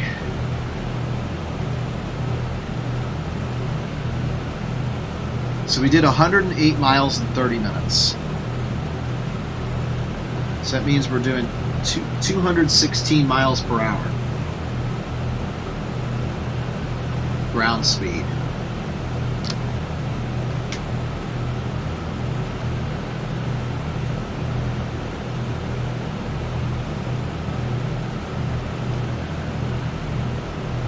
Um, we've got right around 830 miles left in the, the thing. So, grabbing my slide rule here. Let's see, we've got 830 miles remaining.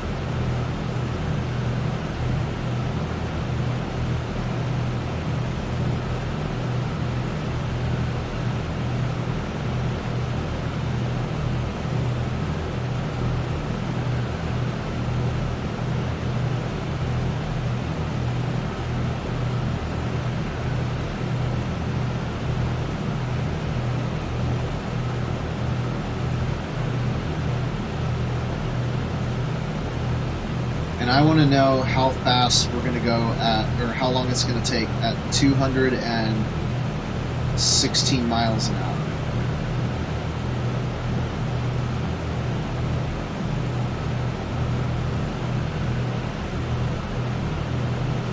Definitely less than four hours. So let's let's start with four as a uh, reasonable approximation. Uh, so let's say it does take four hours from this point. We're burning what I believe to be 59 gallons an hour. So in four hours, we will have burned 240 gallons. Um,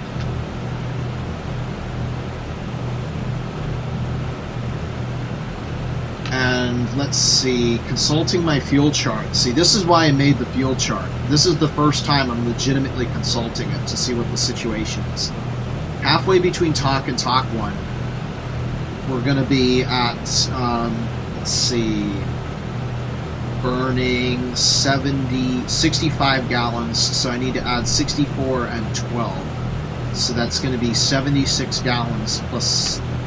So 240 plus 76 gallons means that my new anticipated burn is um, 316. So that's that's half a tank. That's not concerning. Uh, what is concerning is my wind estimates are hugely wrong.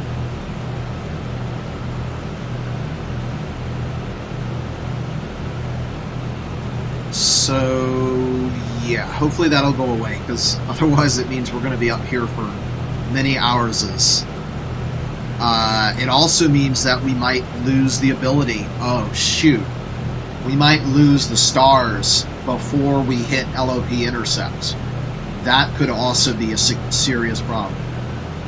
Uh, we'll need to monitor the wind speed and see if it quits, because uh, that's important.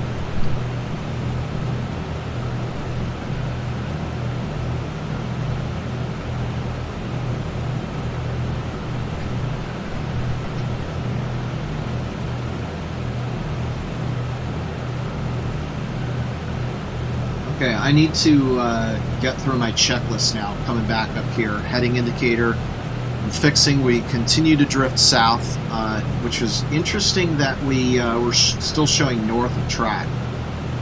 Um, that's pretty strange.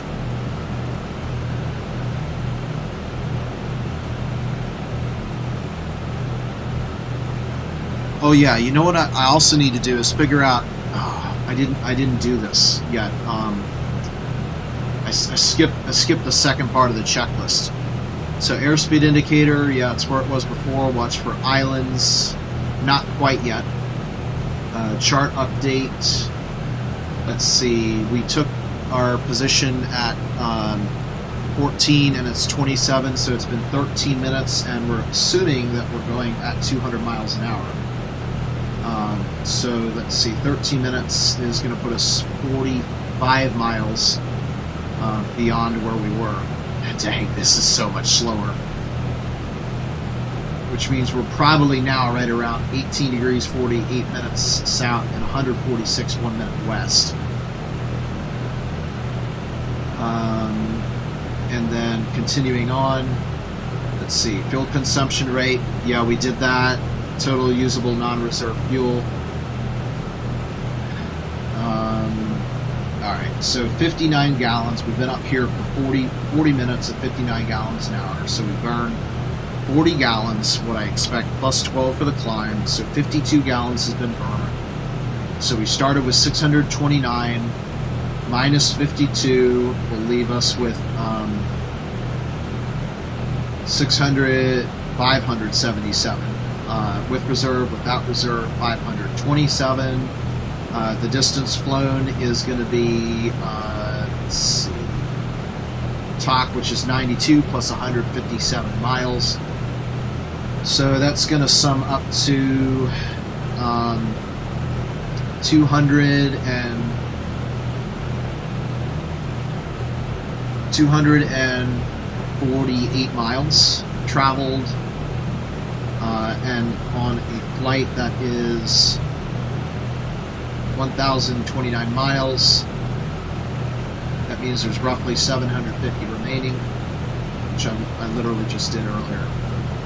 Um, let's see, distance remaining. Interpolated position, I just called that off.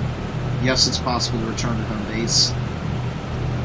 Do every celestial checkpoint. Take your shots at absolute times. Update the field chart. Um,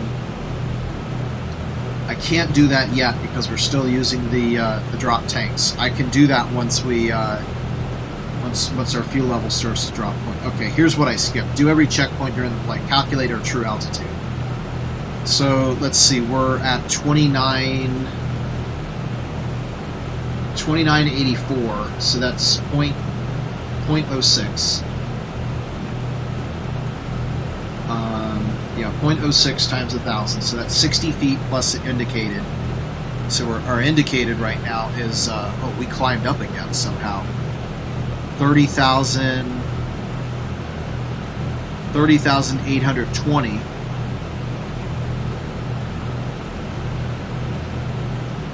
So we're at 30,880. Uh, find true altitude by setting E6B. Oh, that's another way of doing it. Calculate actual ground speed. I did that. It's like 200. Uh, now I want to actually calculate the wind direction speed. So let's let's say uh, let's see. Going back to the um, nav log, our temperature in this leg is minus 35. So if I go to 30,000 feet line up minus 10, minus 20, minus 30, minus 35, now I can convert between indicated and true airspeed. So we're going 155 indicated, which means our true airspeed is actually 260 miles per hour.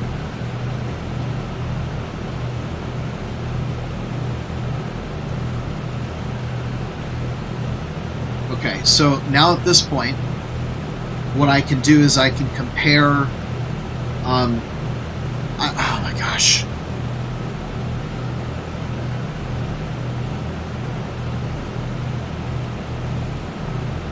My uh, orientations has been so bad the whole time watching this gauge that uh, I can't really. Um, I can't. I don't have a reliable enough number to really estimate what what the track of the wind is, but I can estimate what how we're affected by. So we're doing 216 across the ground, and we're doing 260 in the air, which means we have a headwind of 44 miles per hour. And that's a headwind component.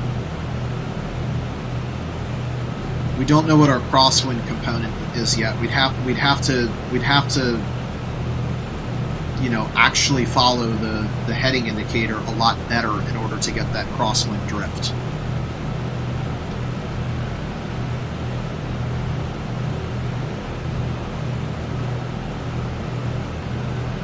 Alright, I think now we can probably start to look for, uh, let's see, what's the name of that island? Oh yeah, here, here too. Let me just make sure everything is closed. So the coolant flaps are closed.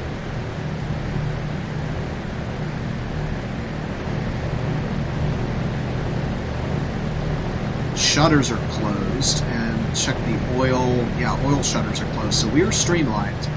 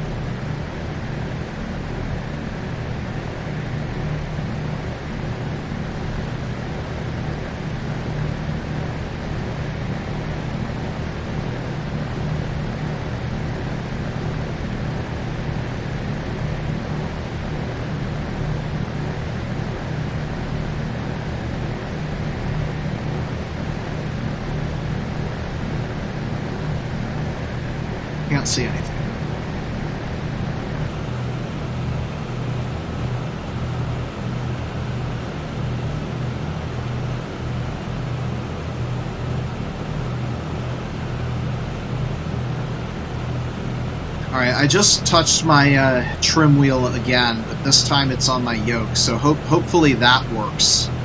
I'm not seeing us tilt over to the side very quickly anymore. In fact, we're still we're still going back the wrong way, so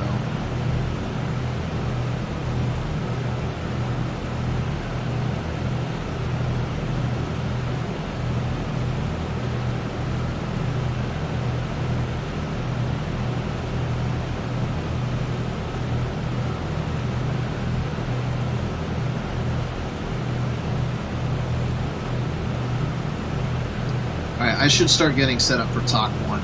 So it's going to be at 1244. Uh, TOC 1 is going to be at uh, 1959 and 14402. 1959 and 14402.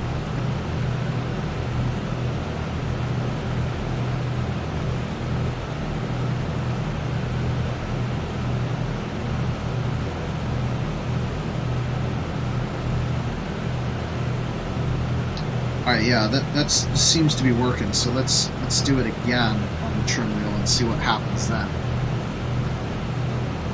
Just keep doing that until I start heading back the other way. And I mean way the other way, like beyond 60 degrees, because I haven't seen that yet.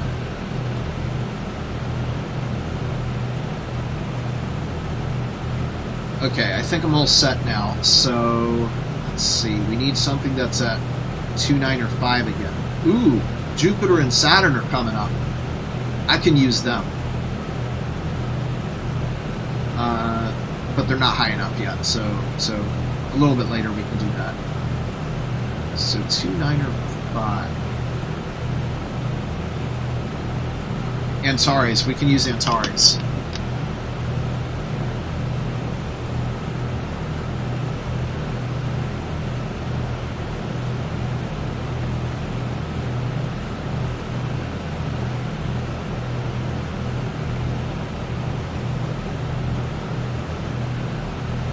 Uh, that's going to be at 117 and altitude of 74 degrees 26 minutes. Possibly the highest star that i've shot yet. All right we're still going over so i'm going to tick it up. Now we're up to three three ticks of the trim wheel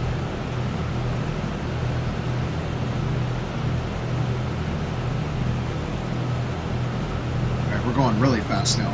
Four, five, six ticks of the trim wheel.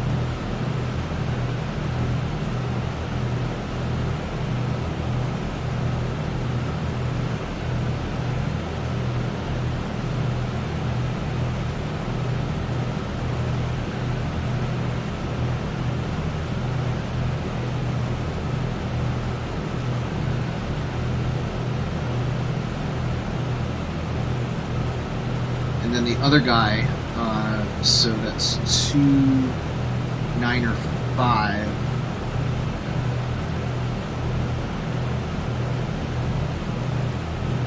No, one nine or five, which is going to show up as 15 on here. And that would be a Gina.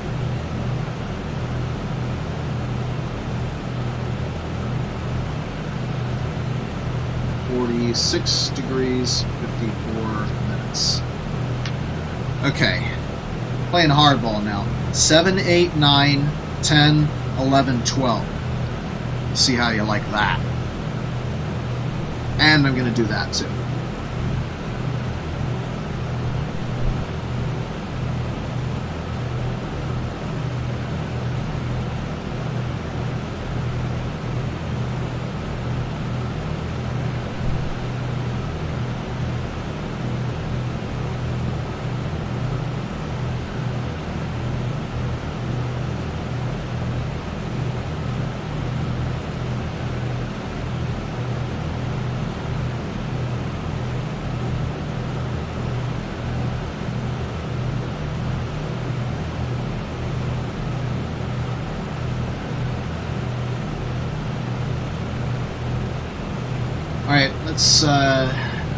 That we've got the sight here. Oh, I did. I did not copy it down. Negative 15 off course is 15 miles. Okay. And now we've got all the other information here. So we're going to clear the shot. Clear star 1, star 2. Alright, now we're going to really ramp it up. 13, 14, 15, 16, 17, 18, 19, 20, 21, 22, 23, 24. If we still go to the right, then I'm going to go all in. Just swipe, swipe, swipe, swipe, swipe uh, endlessly until I realize that literally nothing is happening.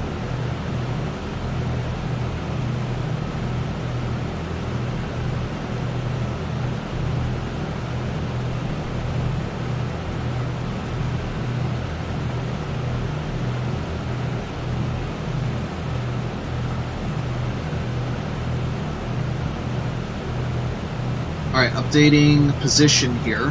19 degrees, 59 minutes south, and 144 degrees, uh, 0 minutes west. Azimuth, 195 degrees, and the altitude, 46 degrees, 54 minutes.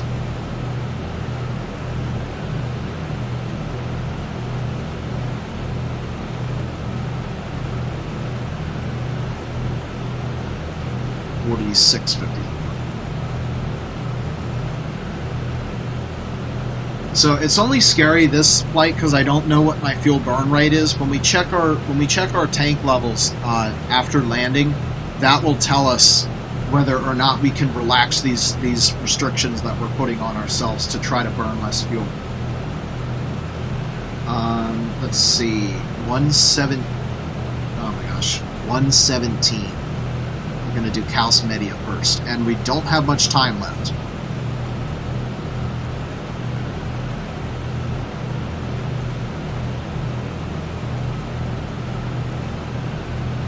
All right, 117 and 7426. Kaus Media and Taris.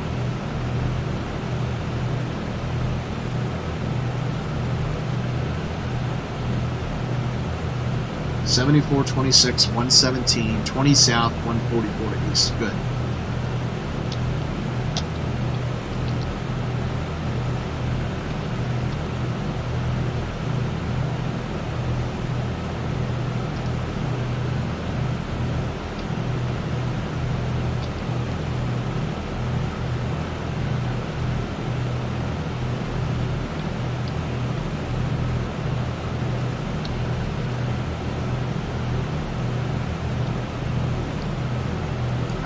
4330 is going to be the time of shot. Alright, here we go. Swiping endlessly.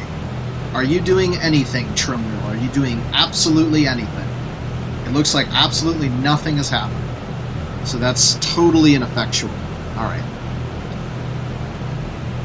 Going back to this game.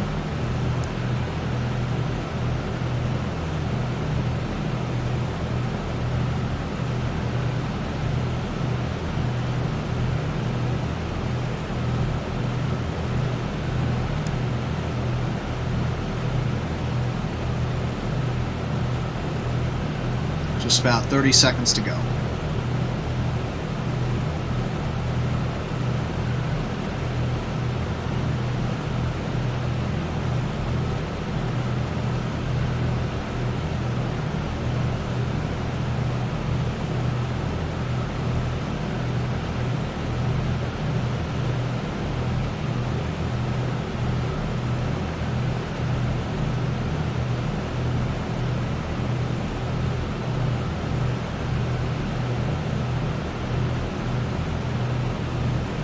Yeah, we should have an island. Hereheretue should be uh, down here.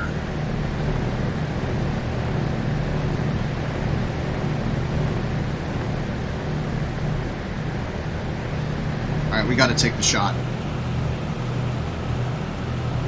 And we're behind. That's not the only thing that's behind.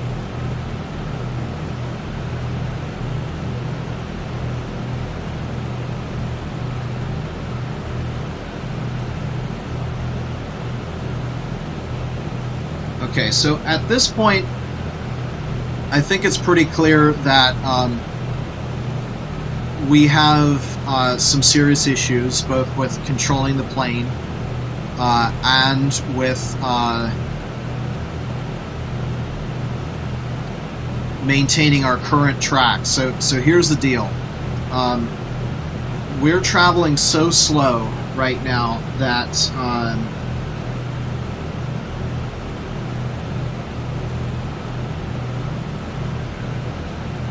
we're traveling so slow that it's going to be sunup by the time we get to Totegegie. Now, there's lots of islands surrounding Totegegie because it's the Gambiers. So, minus 75. That's the highest offset we have ever seen.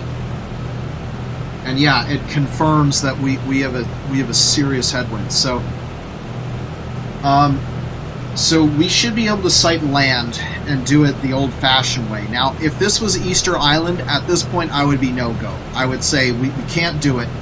The sun the sun will rise so far back from our LOP intercept that we won't be able to get an LOP intercept off of Easter Island. So at this point I would say it's over, turn around, you're going back to Tahiti. But like I said, because we have lots of islands, we're going to press it. Dang, that's far back.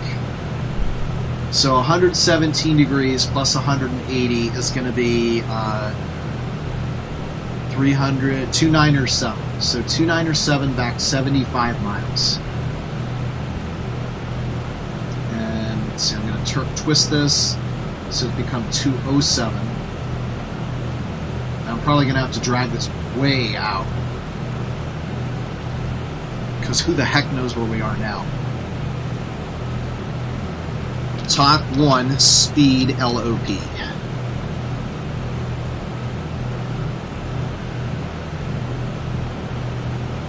Okay, well, the trim hasn't seemed to have busted now, so let's continue giving it inputs and we'll just see what happens.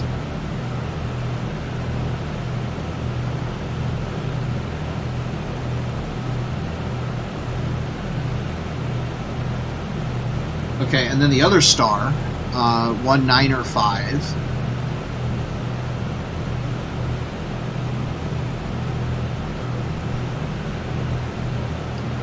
Elevation 46 degrees 54 minutes.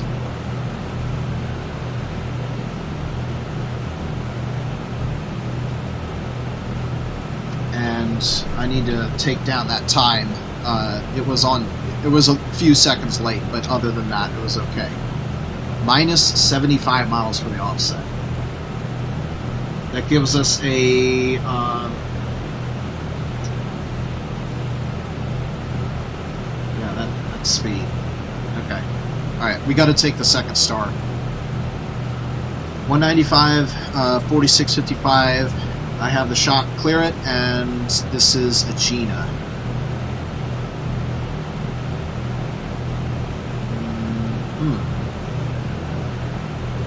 Okay.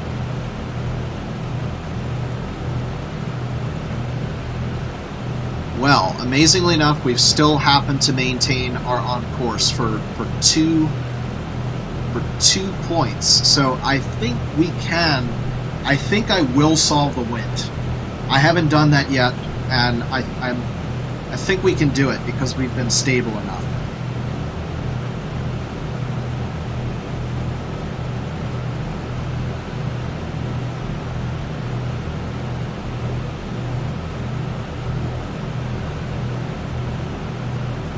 Alright, so we are lower, which again means that we're going to be north of course.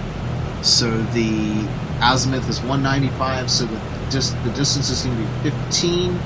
I think it's 15 degrees for 15 miles. Yep. Okay, 15 degrees for 15 miles off. And then that's going to be 105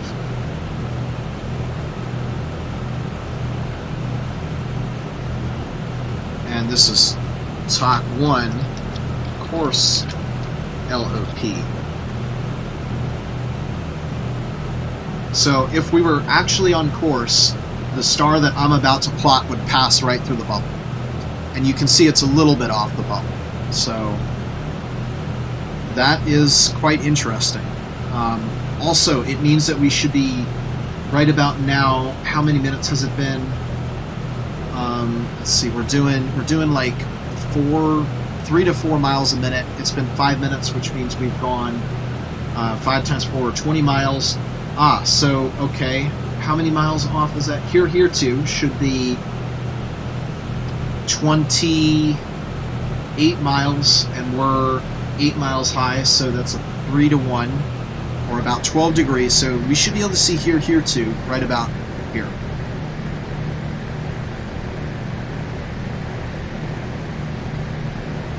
Assuming that our uh, celestial navigation is correct.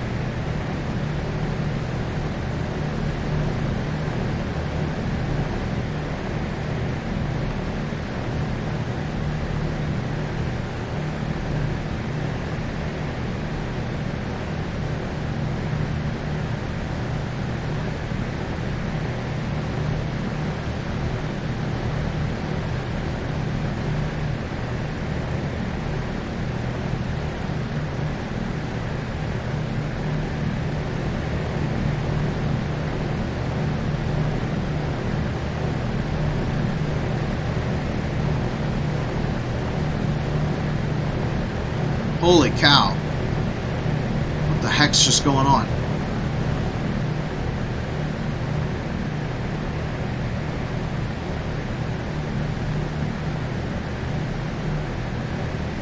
Still make sure we're facing the right direction. Yeah, we are. As correct as it's been.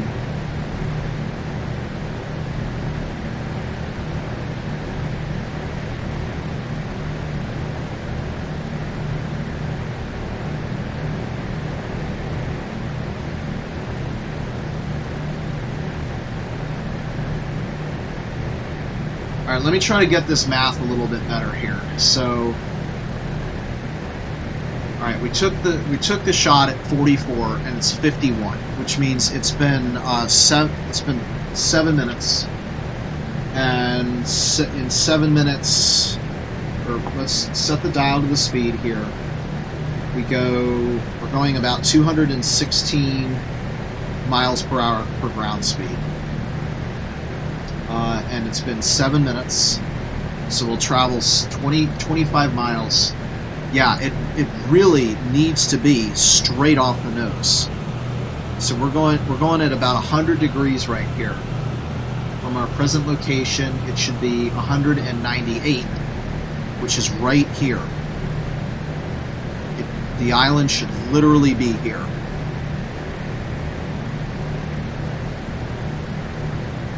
Is the moon still up? Yeah, it is. Because otherwise I wouldn't be able to see my, my plane here.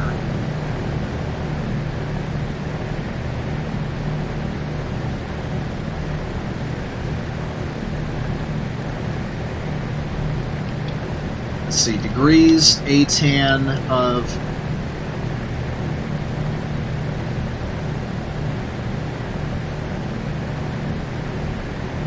uh, 1 over 5.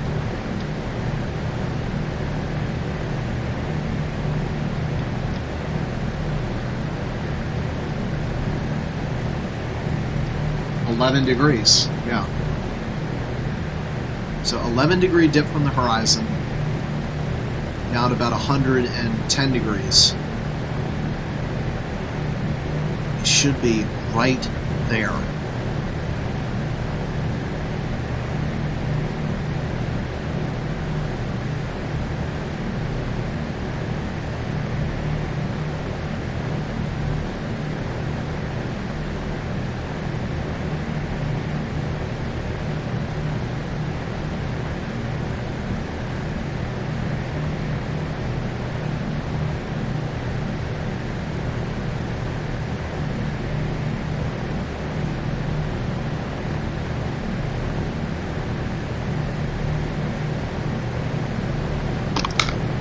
I give up. Time to start preparing for the next waypoint. And we're still going off to the right.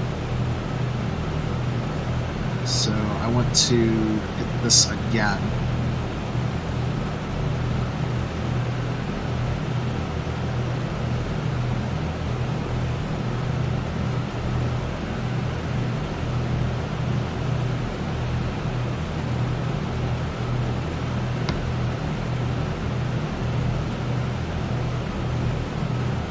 All right, uh, let's go on back here to our direction.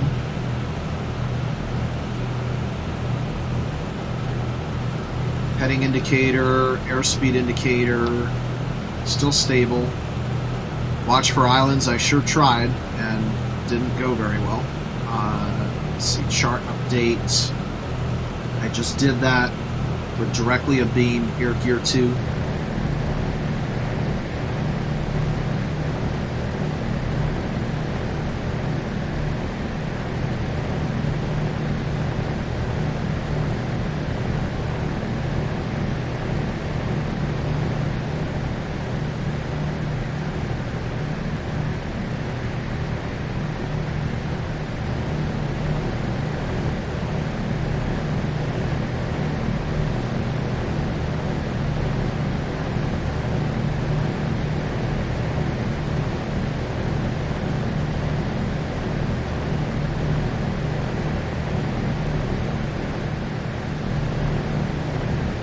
Nothing.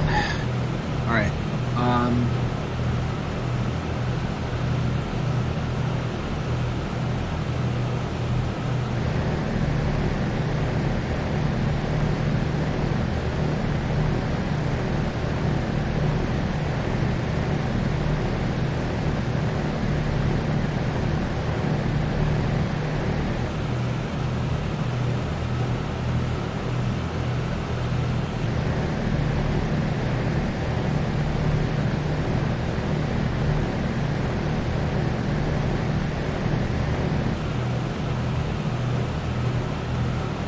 all right, going back one the other way because it seems like now we're we're biasing to the left. Okay, uh, fuel consumption rate is going to be um, 59 gallons per hour. Total usable non-reserve fuel. How long have we been up here? Uh, we've been up here for one hour plus TOC, so that's that means we burned 72 gallons. Uh, so that's 629 minus 72 gallons. Uh, so that's going to be 557 with reserve, 507 less reserve. Ah, come on. I just can't win. It's like I, I want to go one way or the other way. Will you just fly straight?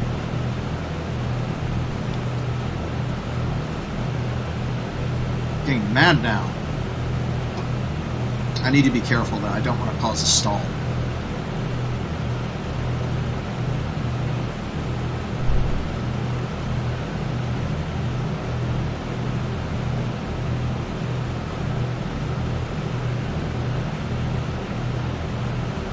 Okay, uh, amount of fuel rem- Oh, God.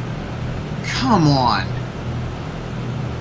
For God's sakes, can, can we just can we just get an autopilot in this thing? God. Seriously?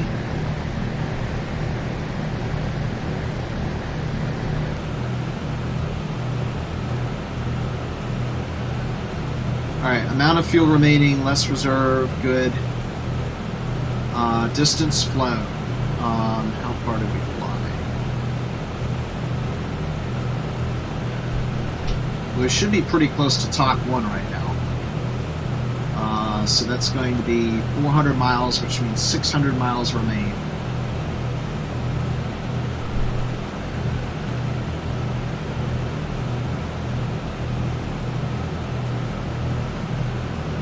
Oh yeah, I need to get this time. Shoot, I didn't get the shot time written down. I think it's probably about four minutes after.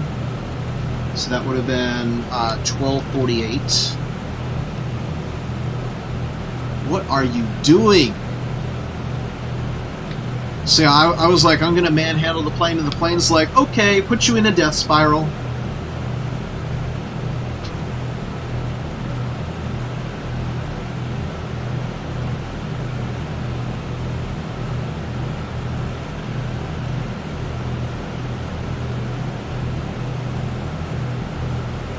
Let's see, offset negative 15. Off course 15 miles. So the one thing that's good, apparently, is our ability to maintain track, which is very strange. Everything else is is to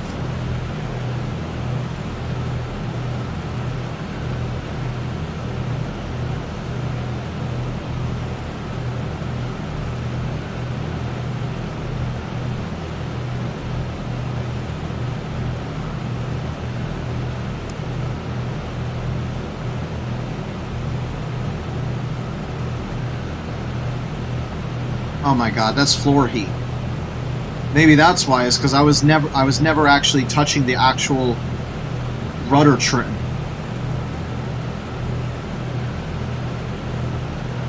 There's the rudder trim.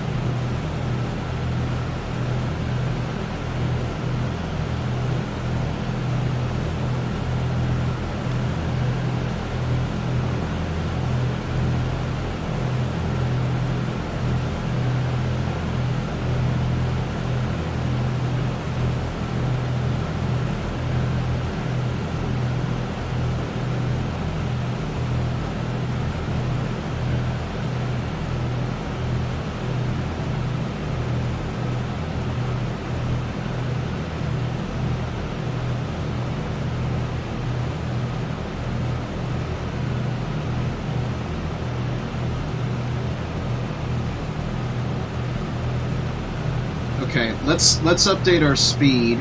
Um, distance remaining, interpolated position. Yep, it's possible to return to home base. Uh, can't update the field chart. Uh, true altitude wouldn't have changed, other than the fact that I'm going up and down like crazy.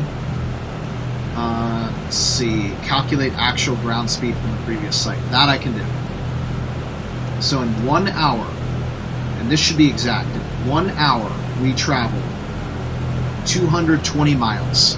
So we are going 220 miles an hour. Which means I expect the flight to take slightly over three hours now.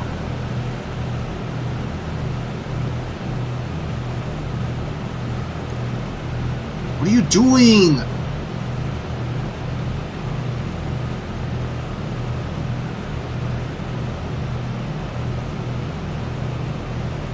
Can't see my trim wheel.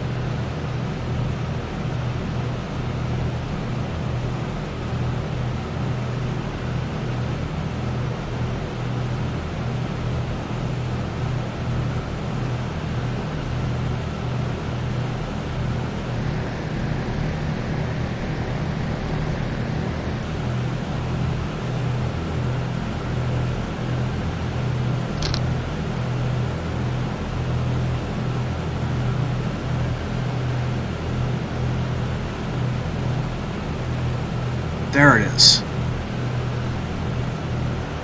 Let's try that.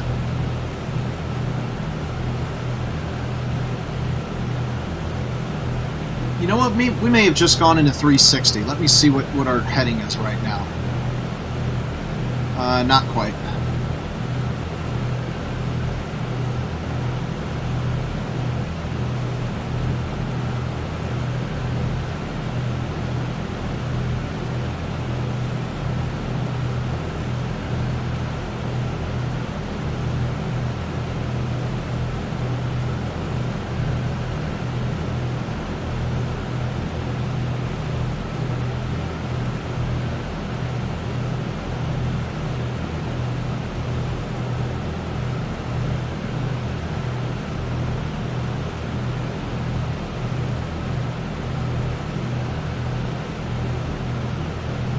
Okay, for some reason the trim is, is as strong as a primary control surface. That that shouldn't happen, but it apparently is.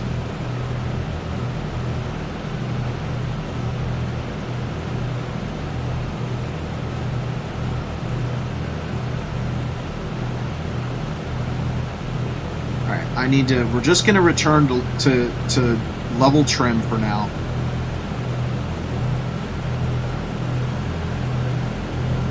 Right there. That's dead center.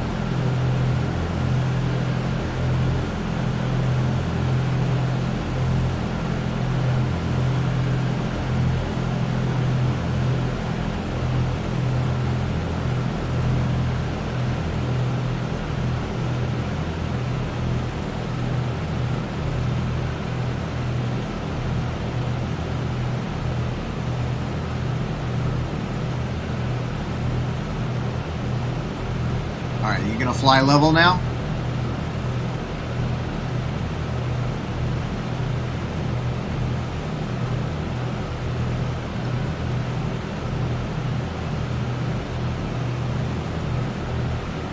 Still want to go off to the left.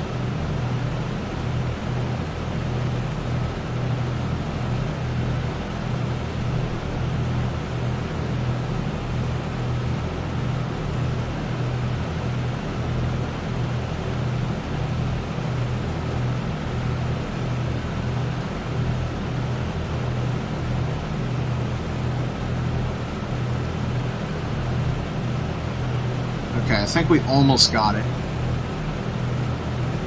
Try one or two more clicks here.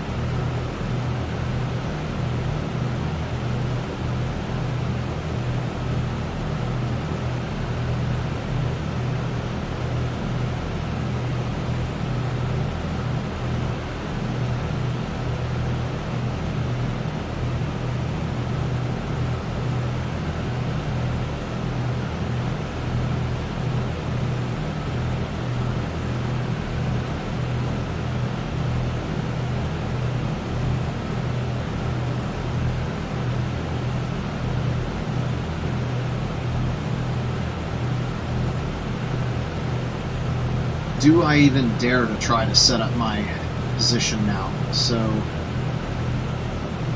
115 at 298, so 115 miles from now is 1 120.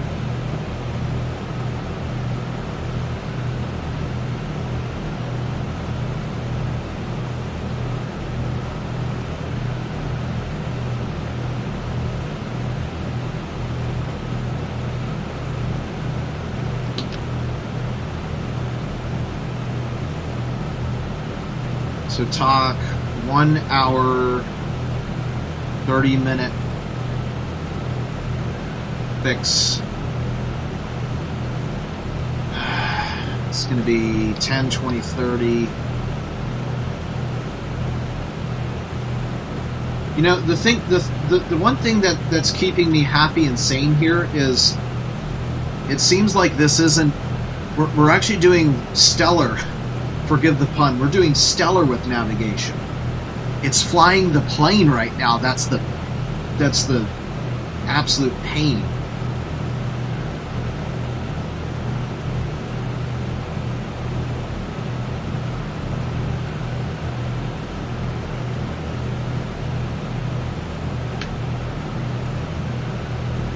And it seems like we've almost got it.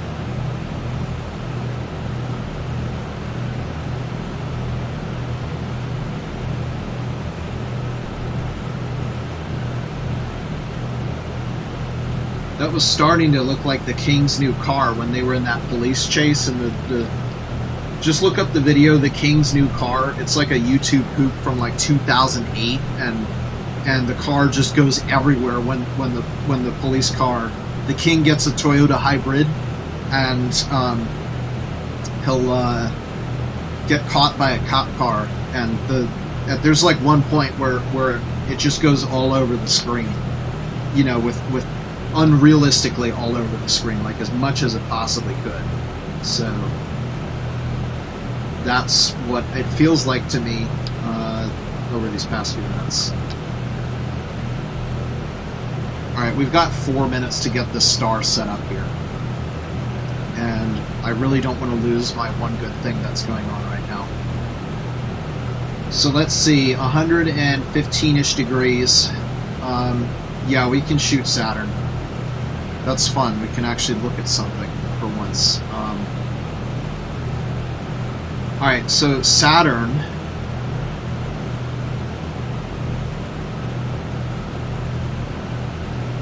is going to be at uh, what is that 112 degrees and 21 degrees 14 minutes and then let's see add 90 so that's what is that 1905 again. So it's 15 degrees. Rigel Kentaurus is, is very well set up for this. Rigel Kent is at uh, 204 degrees and uh, 46 degrees 48 minutes.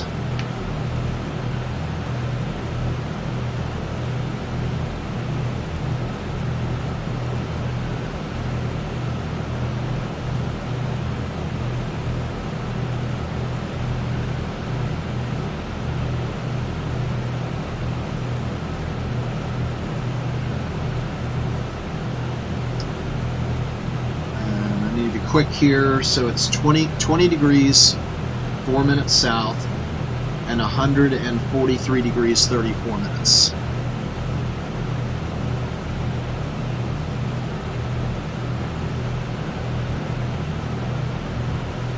Uh, azimuth is going to be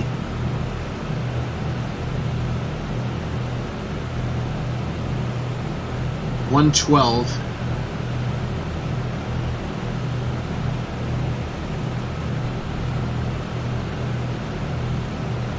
twenty-one fourteen for the elevation.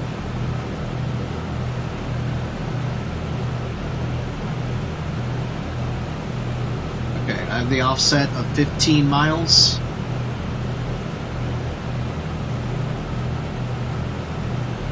Yes, I do. Okay. Clear the shot and clear. Make sure I have the. Yes, I do.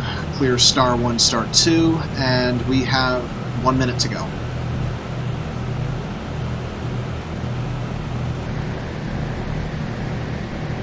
Ooh.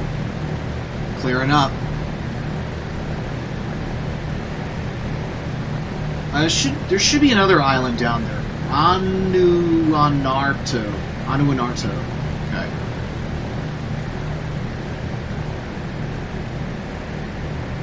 Stop it! Freaking wind! Oh my gosh. Just never, never relents. It's just like, oh, let's let's push them 30 degrees this way and see what happens. Ridiculous. It's not how turbulence works up here. I'm a little concerned that I can't see the island because it's really thinning out cloud-wise. Okay, just about time for the shot. Two, one, now. Okay, so this shot I'm expecting to be bang on, and that basically means we're where I think we are, not where we should be. But the good news is, at least I know where I where I at least I think I know where we are. Yeah, we're we're right on. We're we're we're maintaining speed. We we should be. That means we should be directly abeam onto an Arto. The question is, are we north or south of it?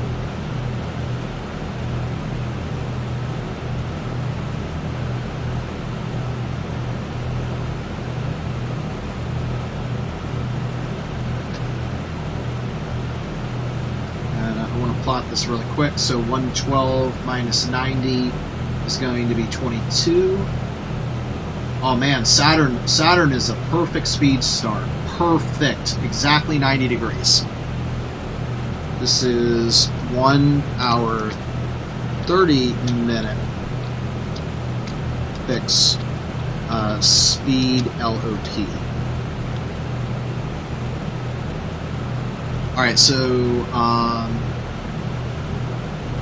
plot Saturn, and then to get the I haven't copied any of this down. Offset zero, uh, star one is Saturn. Uh, 112 and 21 degrees 14 minutes. Actual time of the shot was at 13 14. Uh, star 2 name is uh, Rigil Kentaurus, and the azimuth is 204, 46 degrees, 48 minutes. Alright, quick. 204.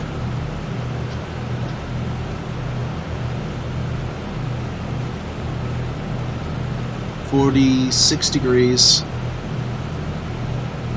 forty-eight minutes. All right, clear the shot and take the sight. All right, so we're, we're just a little bit off here, but not again, not not bad at all.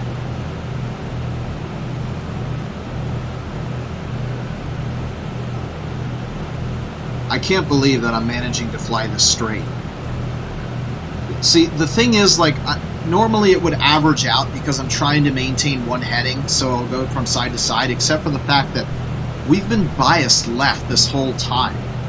So I'm going to bet when I turn down, we're going to be at like 30 degrees towards north. But that's that's where it is. So let me get the shot time written down. We'll call it 1316. That's at least when, when I had um, given up and assumed that we had it dead on. Um, so let's see. We are shooting a Southern Star, and we have a yeah negative 30. So so we're further north. So we need to look further south for this thing. Uh, negative 30, which means we have an offset of 30 miles, and we're now 20% missed. Okay, now now we are starting to build up.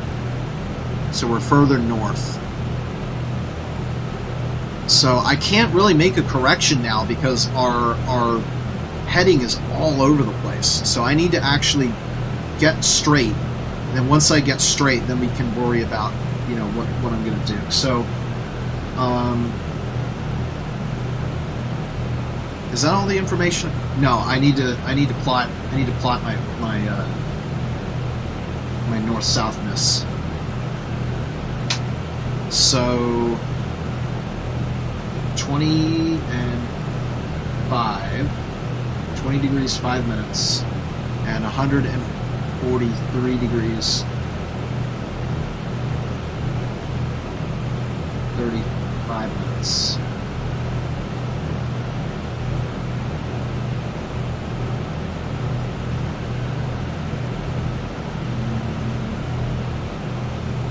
Twenty-five,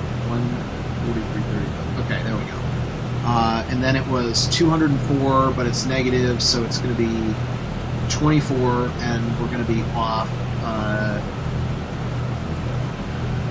30 miles. So 20, 24 plus 90 is 114.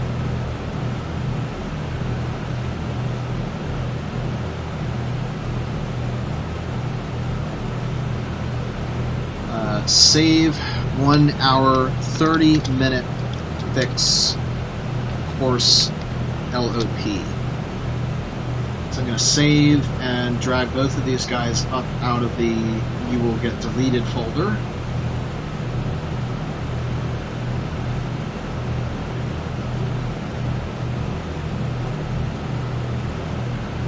And because I was so far off, now I have to extend my speed LOP so that it actually crosses my course LOP. And yeah, we really, really, really, really should should see um, what is this thing called? Anuanarto. Seriously, for goodness sake, there's three islands out there too. There's also Anu, anu Anuanuruga, Anuanuruga, and Mukutapipi. Mukutapipi. All right, where the heck? are you guys? Oh yeah, let me make sure I'm heading the right direction. Because I haven't even taken a look at... Oh, yeah. We're heading straight for them, I think. And looks like we're going south now. Yeah, we're going south. Well, that's actually good, because that gets us closer to being on course. So let's see, where we are, 150... Yeah, 150. That's why we couldn't see them. It's because we were we were dead ahead of them. So they should they should be right about here.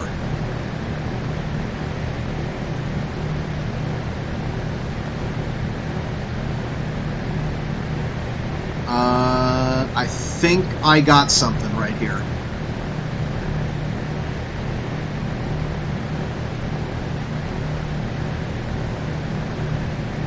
That's a small one, but I think I got something.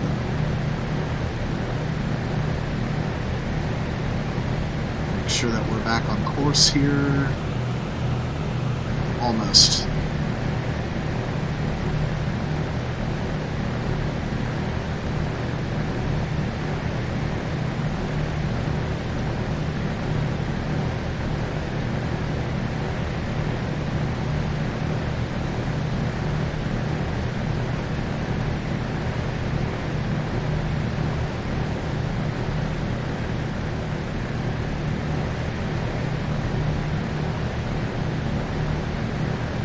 Dang, did I really spot that thing?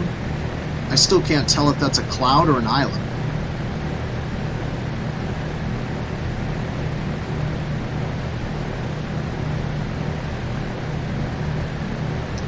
I think, it might be a piece of cloud.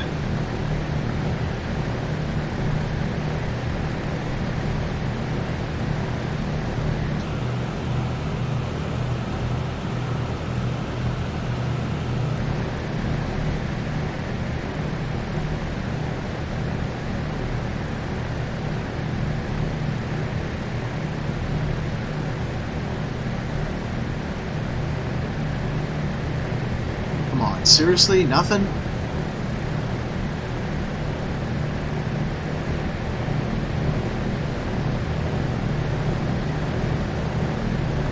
Alright, how far are we from these guys?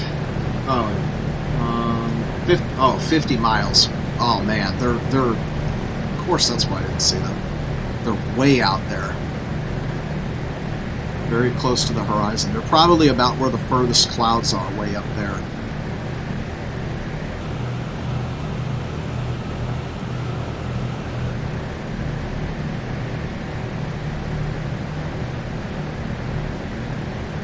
Alright, let me average speed between the last shot and the current shot. So we did 120 miles in one hour.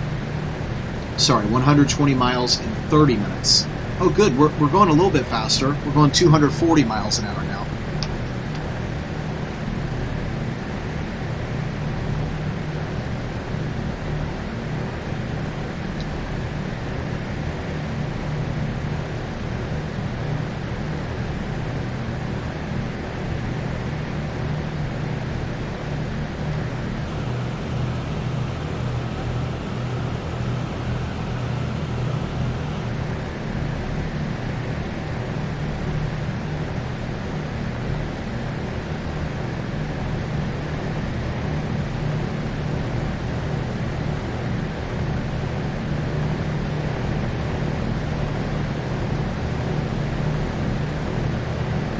Yeah, they might be just too distant for us to see right now. I think if it were daytime, we could see them, but nighttime it's really tough. Because color, color vision is the first thing to go, and that's that's what I'm relying to spot them. The islands are either yellow or green, and the clouds are white. But because of the moon, at night everything looks white.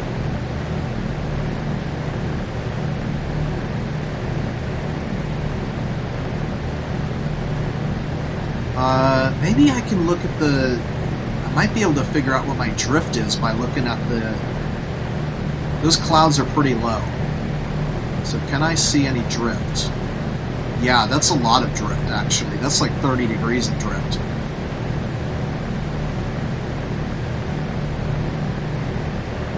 So the direction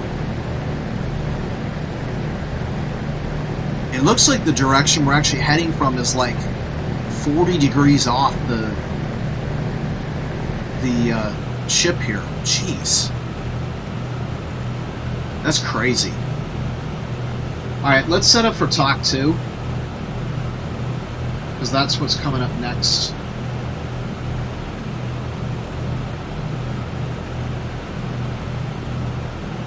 And I'm going to have to make another chart because I'm running out of room here because my, my scratch pad is in the way of what I'm doing here. So TOC 2 is going to be at 24, 34, 44. Um, we still want to be at a course of about 115. Yeah, we're going too far to the south now. So that's going to be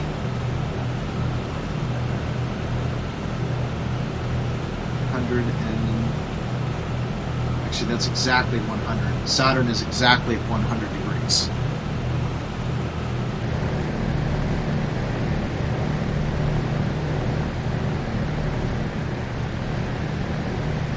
Whoa. Guys, this might be the end of the METARs right here. This this might be where where things get really sketchy for weather.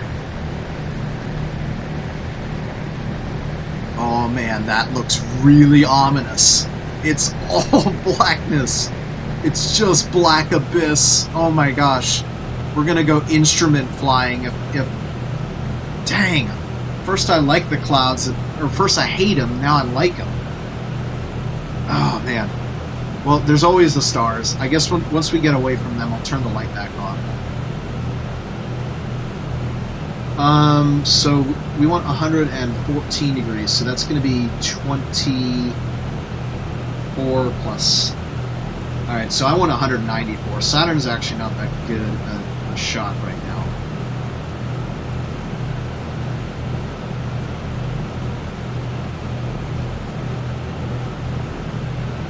Actually, wait.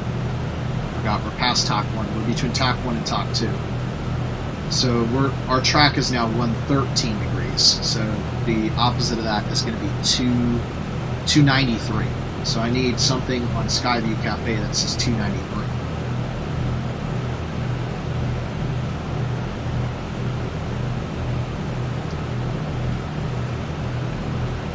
All right, this is a bright one. 38 Zeta Sagittarius. It's actually a magnitude two and a half star, if you can believe that or not. Uh, assumed latitude. Oh shoot. Um, I didn't update it. I only updated the time. 21 degrees 42 minutes south. 21 42 minutes south.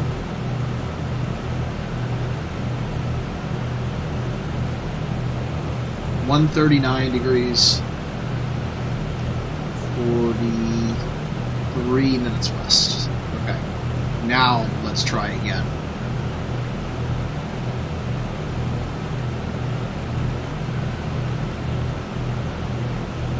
Uh, you know what? We'll do Saturn again. That makes a difference. So we're going to do Saturn.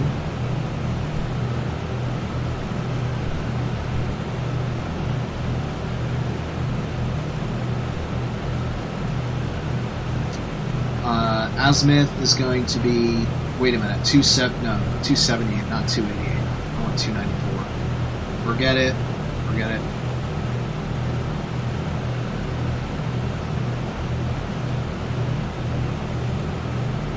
Kaus Media again.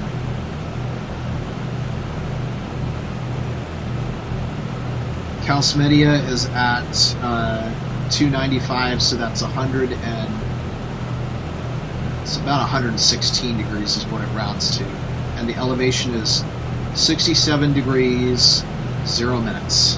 Okay, and then uh, let's see, that was 116. So now I want something at about 206. Which is going to subtract out to 26 degrees. Agena. Gina is going to be at uh, 205 degrees and 40 42 minutes, 42 degrees, 10 minutes. How much time do I have? Oh, I got loads of time. It's because I stopped doing my checklist. Okay, I've got the shot clear and star 1, star 2. 21 degrees, 42 minutes south, and 139 degrees, 43 minutes east, west, and 116 degrees,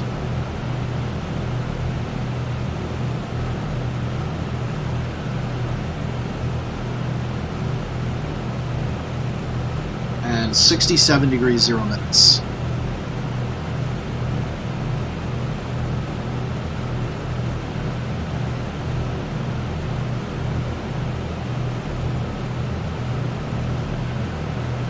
Alright, check everything 2142, 139.43, and 116 degrees, 67 degrees. Okay, we got it. But what we don't got is our heading which is again way off. Yeah, it seems like it's it's going to be you know we're we're going out of control to the north, or we'll just keep slowly slipping south. That really sucks.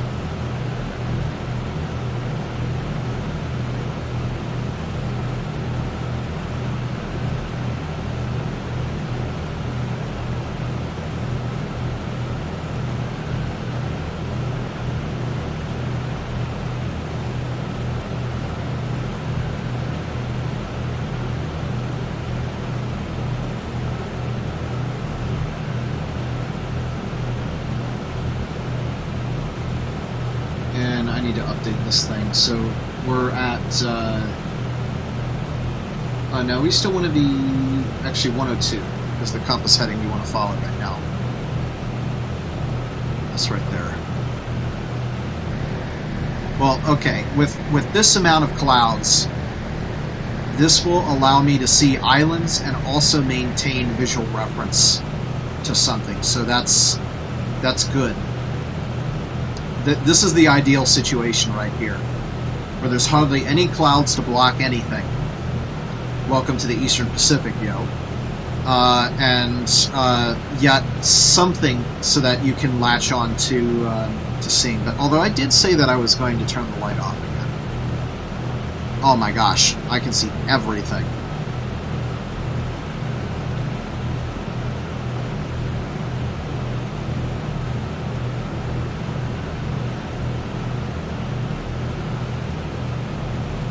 Alright, how much time do I have left? Uh, nine minutes. Let's crush the checklist.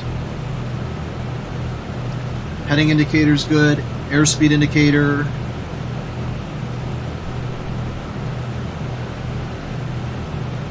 Figures I'm turning it back on again. Airspeed indicator's good. Uh, no islands to watch for at this time. Uh, chart update. We are let's see, at 240 miles an hour. It has been 20, 25 minutes, which means we would have traveled 100 miles from uh, Mach one and a half, if you will. So that probably means we're right around 20 degrees, 6 minutes south, and 141 degrees, 56 minutes west. And I think. I was gonna say, I think we're stable enough that I might be able to introduce a correction now. And of course, what happens? Wind kick. Unrealistic simulator. I will protest.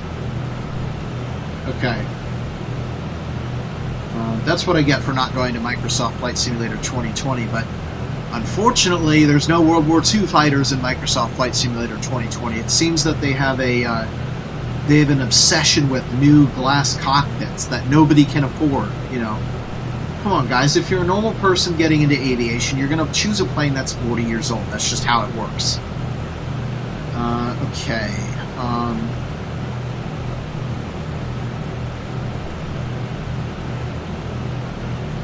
and our longitude about 141 degrees 55 minutes. Consumption rate 59 gallons per hour. Total usable non reserve fuel is going to be, let's see, 1335. So we are, um, let's just round up, right? So 1435 is, this is TOC 2. So we're, we're two hours from liftoff, which means we would have burned 120 gallons, which is going to go up to 132 gallons um, yeah, 132 gallons is what's burned. So with 629 to start, 497 remain. 447 remain less, less reserve. Uh, total distance flown, I'm anticipating on being um, 530 miles, which means uh, just about 500 miles remains. So we're just now about halfway there. Um, what else here? Let's get that up so I don't lose track of time.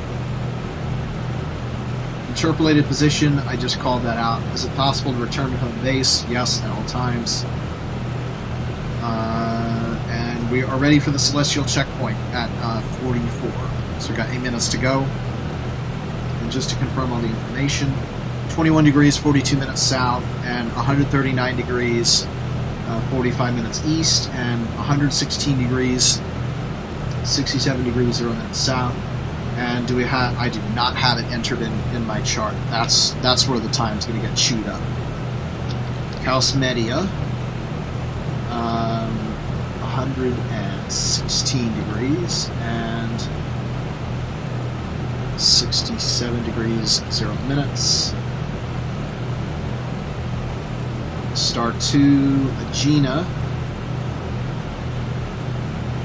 205 degrees for the azimuth 42 degrees 10 minutes for the altitude. Okay, now we're ready. So we've got just about five minutes to go now.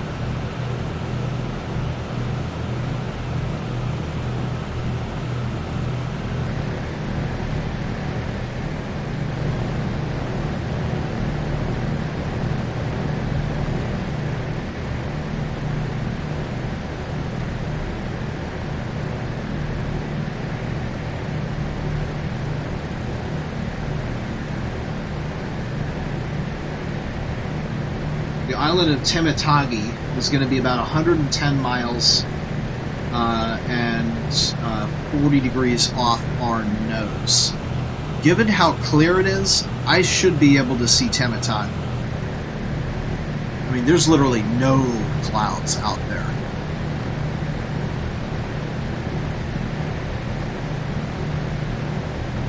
I figure I would be able to see it. You know, with the moon and everything.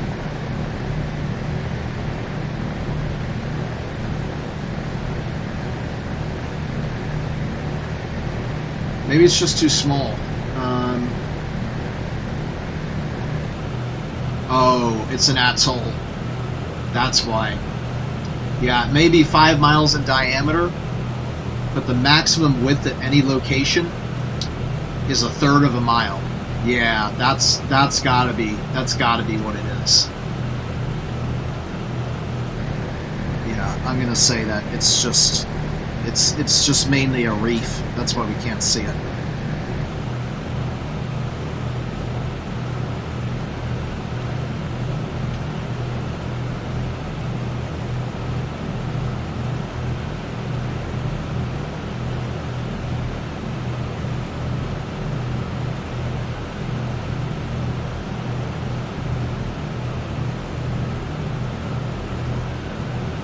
Just about three minutes to go.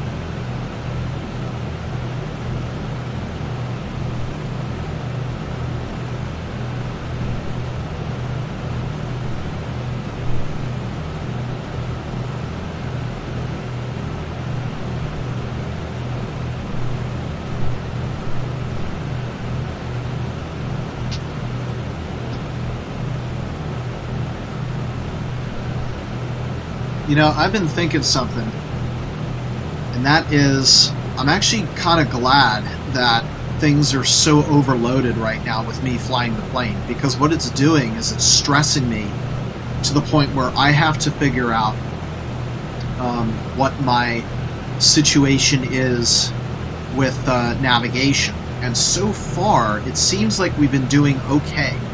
So I'm, I'm pretty happy about that. The only thing is, you know, we need to figure out better how to trim the plane at this speed. I might take the plane up and just try to get into this configuration stay in it for a long time and um, during the day and, and see what the options are for, for, you know, as far as trim is concerned with keeping the airplane stable because what we've been doing hasn't been working at all. Alright, looks like we're about 45 minutes from the start of sight, and holy cow, it is empty! It is completely empty. It's literally us and the moon and stars. That's that's literally it. Oh, I can just wow, it is so dark now that I can actually start to see the sun um not the sun, the uh oh, what do you call it? Twilight. No, astronomical twilight. The very beginnings of it are starting now. All right, 10 seconds to go. And this one we're expecting to be way off. Five, four, three, two, one, starting the shot. Yeah, see, this is how far behind we are. We almost can't see the star.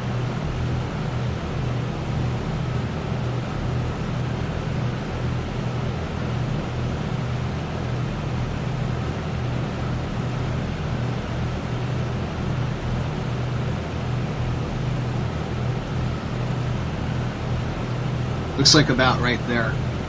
This is going to be a huge offset.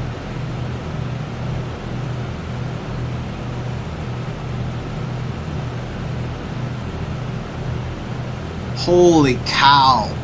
That's more than two degrees offset. Dang.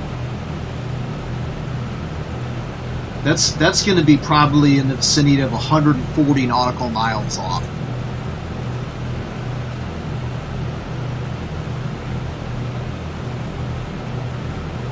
Wow, I actually got that right.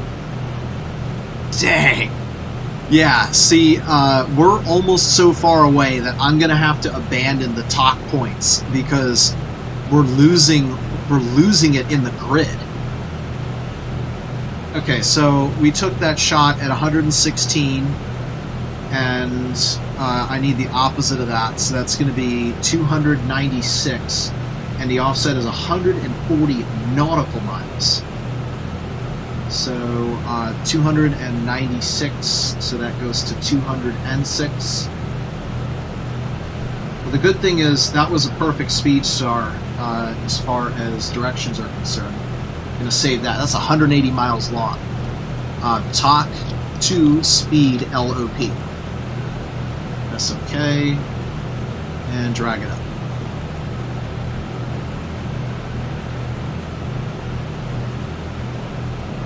Okay, so now the second star, Agena, is going to be at 205.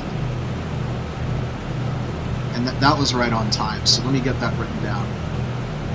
205 and 42 degrees 10 minutes.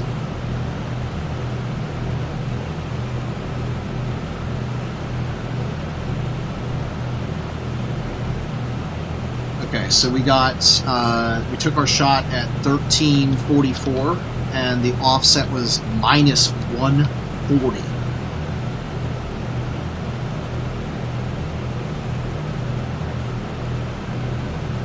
Uh, clear the shot and begin. This is Agena. And how are we still on track? That is so weird.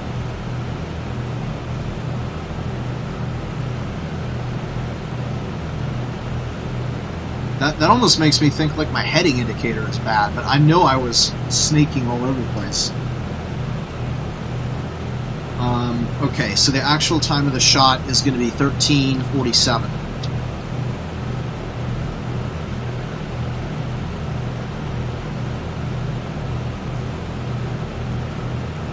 Zero offset. That's what I like to see.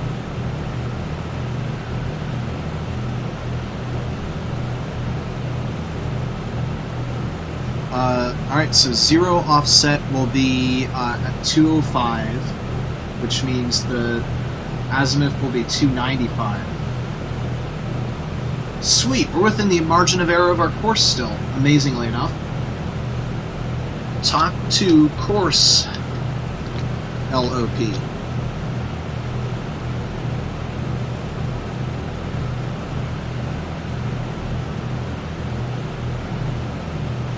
So now I want to look between.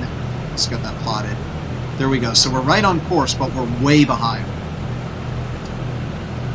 So what I want to do now is. Oh, jeez. Come on. Come on. Seriously? Well, while we're here, we might as well get a nice picture.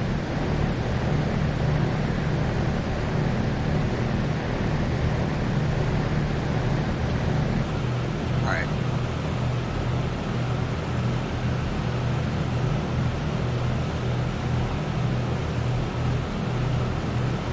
Um, so I need the TOC two to TOC three. Well, no, we're still we still haven't reached TOC two, so that means we're still following TOC one, TOC two, 102 degrees. So I need to get back to 102 degrees lickety split, so that we don't get even further, so that we don't go off to the south now.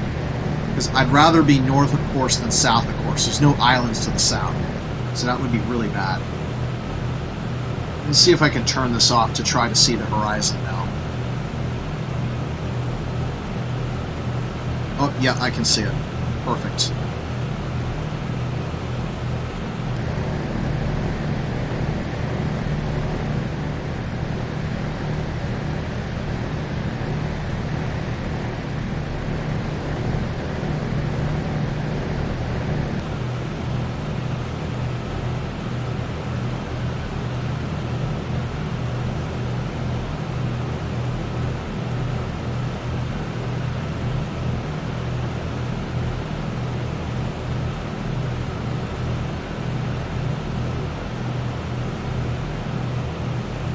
Shoot, the thing right in shadow.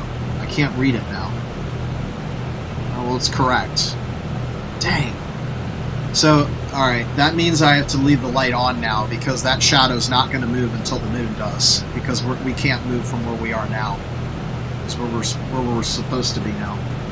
Alright, did I get all that written down? Um, I did, amazingly enough. Okay. And I got that plotted. Yes, plotted. Okay. Alright, so we're back to square one. Just just hold the heading as well as I can.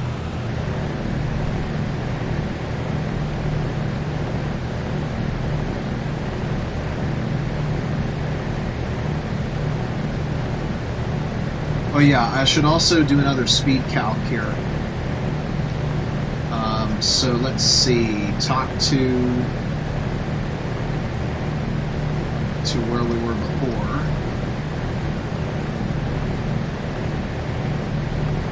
We did 118 miles in one in in half an hour.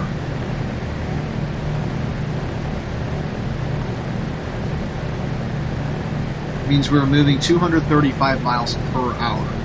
So what I want to know when we get to, to that that island, it's going to be 102 miles from our position, which is going to take 25 minutes. Jeez, we're moving so slow. So I'm going to write expecting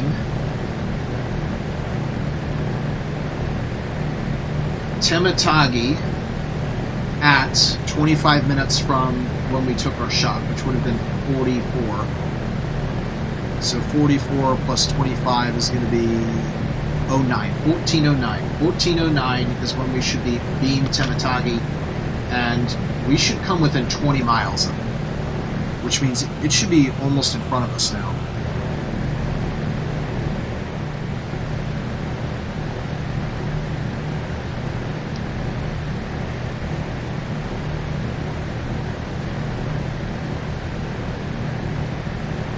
flipping dark.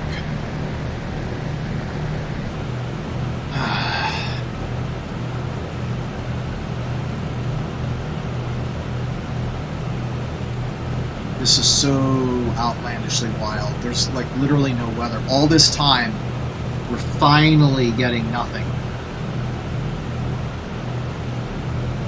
Alright, so how much time do I have left until my LRB intercepts? Or how much distance, I should say. Dang, 392 miles from 44, so 392 miles. means it's going to take an hour and 40 minutes from, from 44, so um, what do we say? Uh, 1344. So an hour and 40 minutes will take you to 1524. What's going on at 1524? Consulting my landfall chart, 1524. Ah, oh, the sun is up. So we're, we're probably, well, we're at 30,000 feet. If we pick a bright star, what star are we using? Atria? Yeah, we should we should we should be able to see Atria's Atria's a big Atria's a big girl. Uh, 1.9. Yeah, I, I think I, I think we can see it just just barely. We'll get there just in time for the sun rising. Now, if it's clear, we might be able to see Totegegie from LOP intercepts if it stays this clear. We'll have to see. Alright, we're turning again. Uh, yep. So we keep the moon on the uh, right side, so we want to enter left bank here to correct.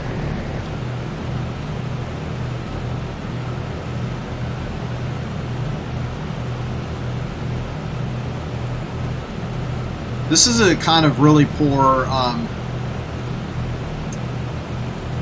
uh, roll and pitch indicator. There's not like a center bubble, so it's kind of hard to tell how how banked you are. Although I guess the turn the turn and slip indicator theoretically could do it as well.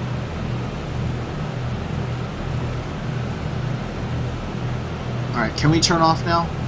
Yeah.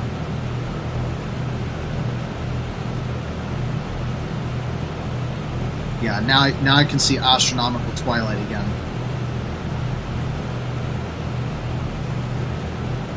And there's my horizon reference too. Ah, dang. Yeah, I should have known. This is going to go back into shadow again.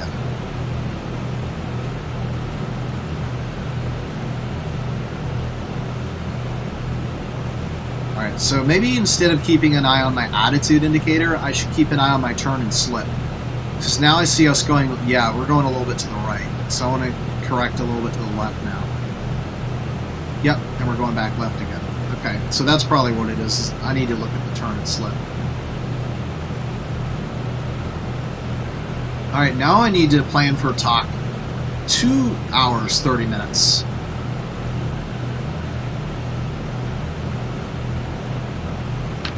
So advancing to 1414.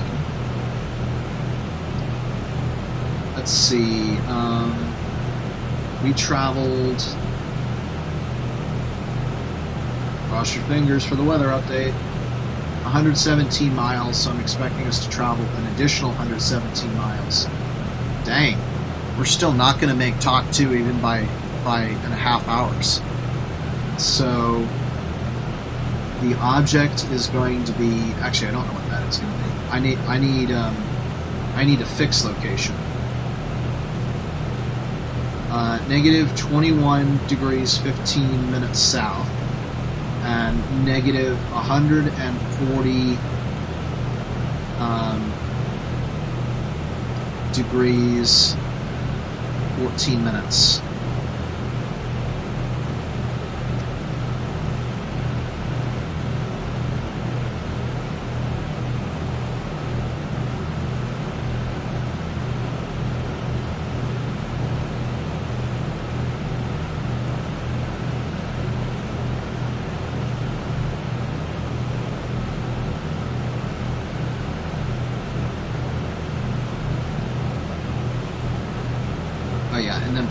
Into uh, Skyview Cafe. So 2115 south and 140 degrees, 14 minutes. Oh my gosh, we're coming out of the 140s and going to the 130s. If we were in the northern hemisphere, we'd be getting close to California now. That's how far east we are.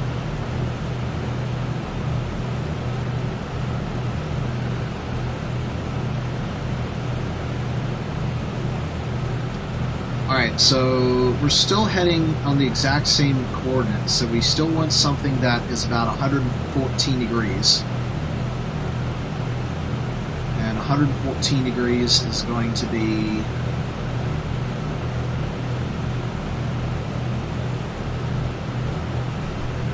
like two 294.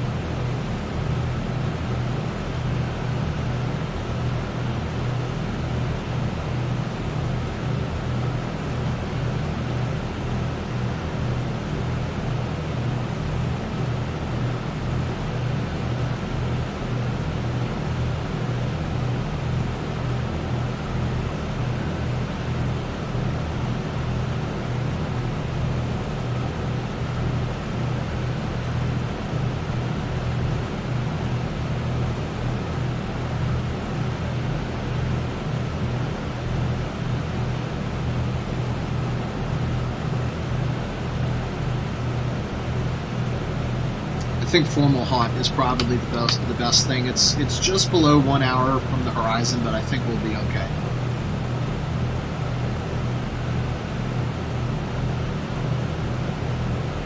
And it is at uh, 296 degrees. Whoops, minus. So it's one one eight uh, 116. Wait, 296. Yeah, 116. And then the altitude is going to be 13 degrees, 36 minutes. It's a magnitude 1 star, so I think we'll be okay. Um, although I think the brighter it is, the worse that effect gets, so maybe not. I don't, I don't think it'll... Yeah, it shouldn't matter, because that's our speed star. We know speed is going to be way off anyway. Uh, and then, let's see, I need to add 90 degrees, so 296 uh, would take us to 386 for uh, 20, 26 degrees. Uh, Agena again. So we're going to do Agena uh, 27, so that's 208 degrees and 38 degrees 51 minutes.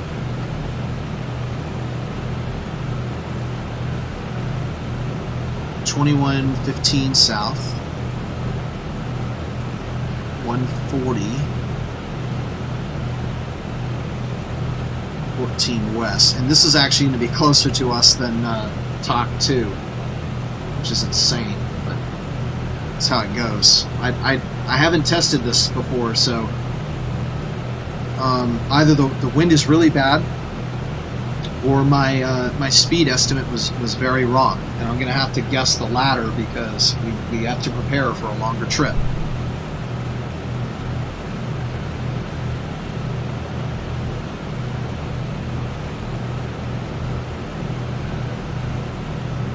116 uh, there we go 116 degrees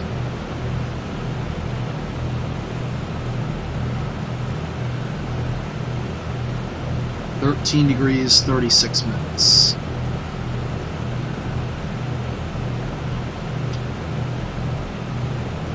Alright, so thirteen degrees, thirty-six minutes, uh, one hundred and sixteen degrees. 21 degrees, 15 minutes south, 140 degrees, 15 minutes west. We're good. 1401, so we have 13 minutes to go, and me just confirmed that I have stars down here. Um, let's see, zero for the offset. Yep, and I've got them plotted in Google Earth, so we're good. Okay, clear the shot, clear star one, star two and from now on I just need to figure out how to keep myself facing the right direction. one solitary. Okay, there's there's a couple clouds. Jeez, it is so flipping clear out here.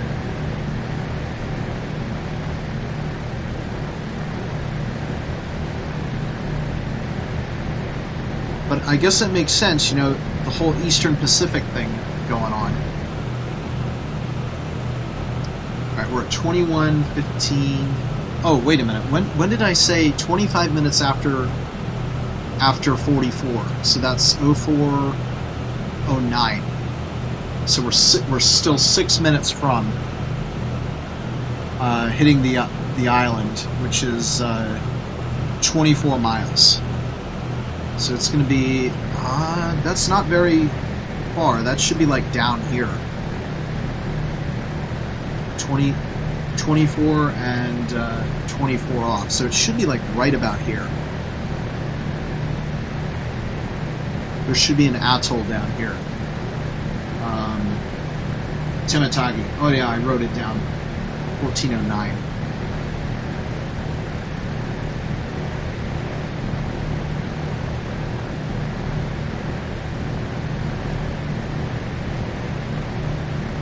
Yeah, it's been a long time since I've had a positive fix, so it would be really nice to see Tematangi. Because that, that really tells me that my celestial navigation is not bonkers.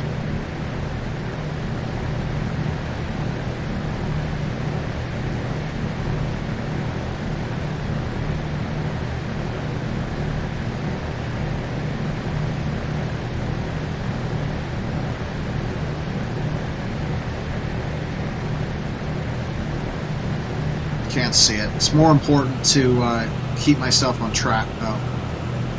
Yeah. Well, at least that makes up for being off so so so long now. But um, let's see.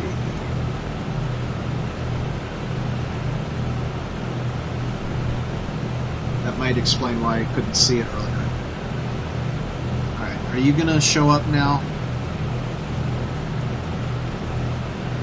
Actually, I need to see my heading indicator. Oh yeah, it looks like um,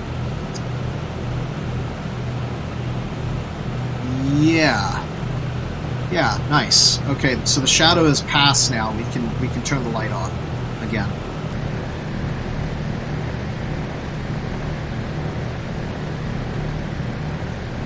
I'm gonna guess Tematangi is probably around those clouds. Usually, clouds like to cluster around um, islands because they're a disruption in the uh, in the temperature and and laminar airflow. So I'm going to guess that that clustering of clouds probably marks where Tematangi is. When when the sky is this empty, um, I I think that's a safe assumption. But we are, of course, assuming it's not it's not a guaranteed fix.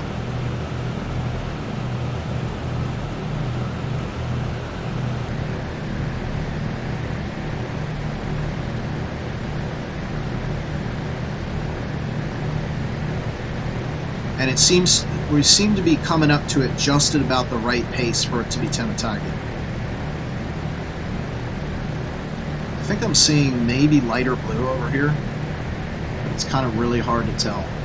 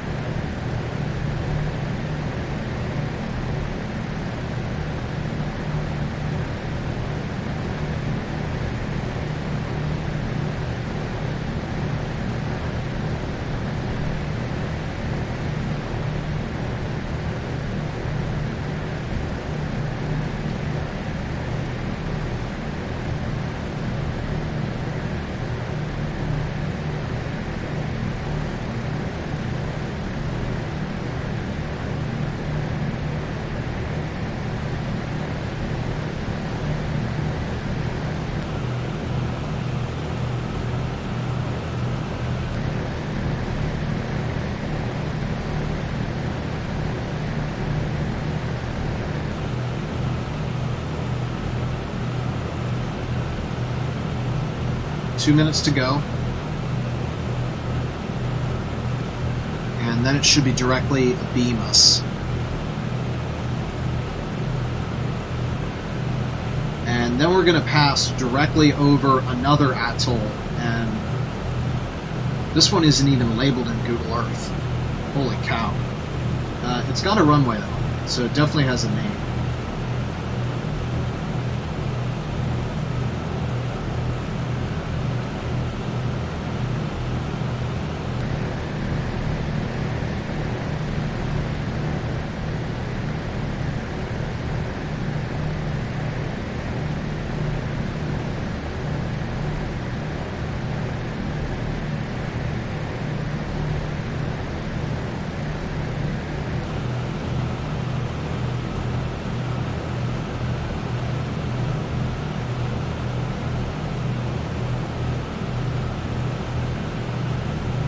Alright, one minute to go, and I really want to get my heading correct so that I can. Uh...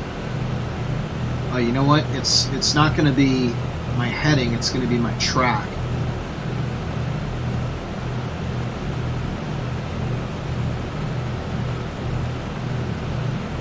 I don't think it should make that much of a difference, though.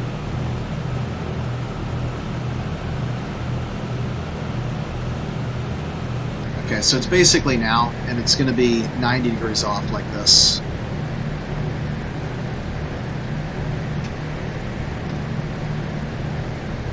Oh, oh, that's, uh, I thought those were stars, but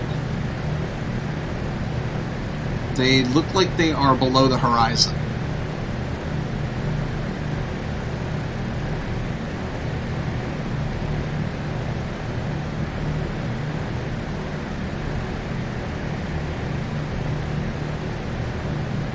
What is that? It's vanishing as I zoom in.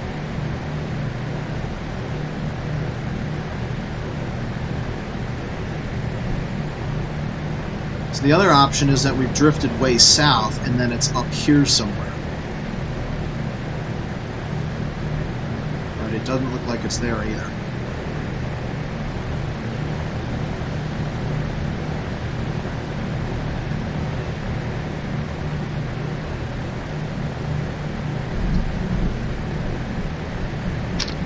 Yeah, it's just ridiculously dark.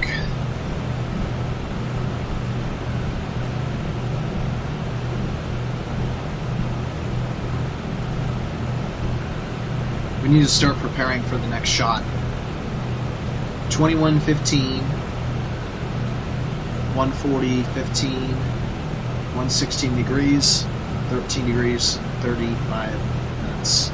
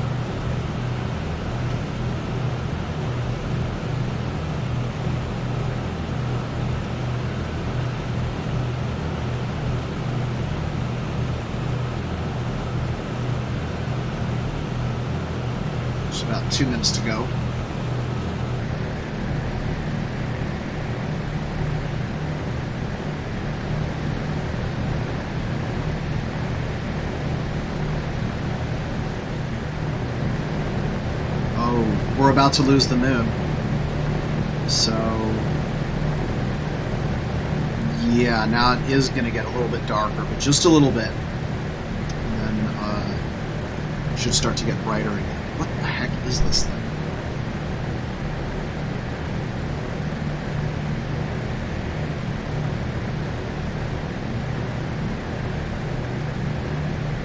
It's weird. It's like when I zoom in, it disappears.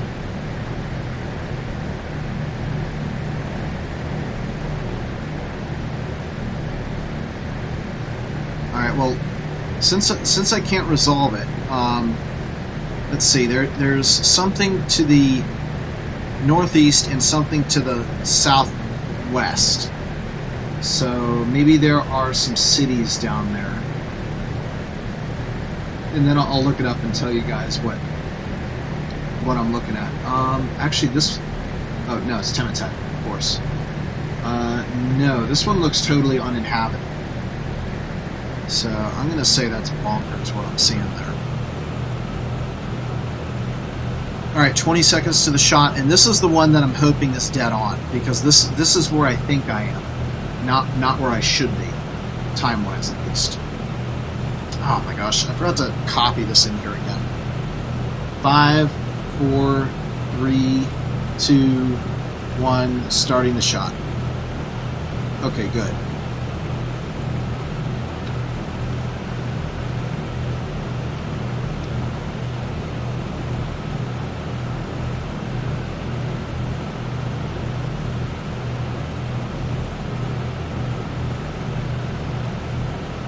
Off just a bit maybe. Um,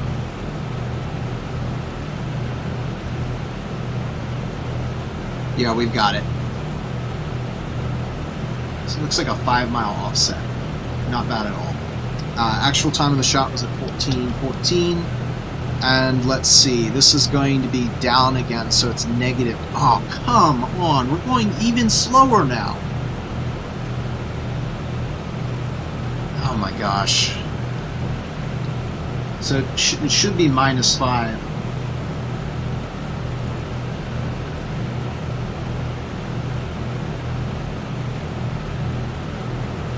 Yeah, minus 5. Okay. So not 116, 2, 9, or 6. Back 5 nautical miles.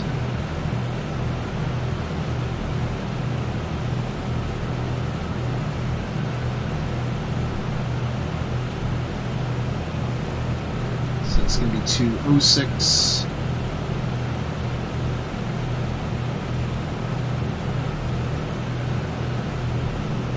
Save 2 hour 30 minute fix speed LOP.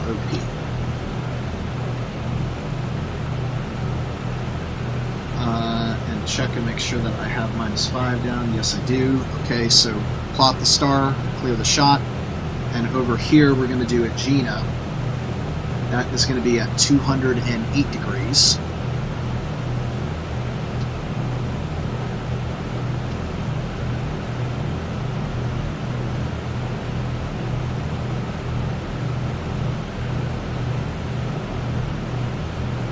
Thirty-eight degrees, fifty-one minutes.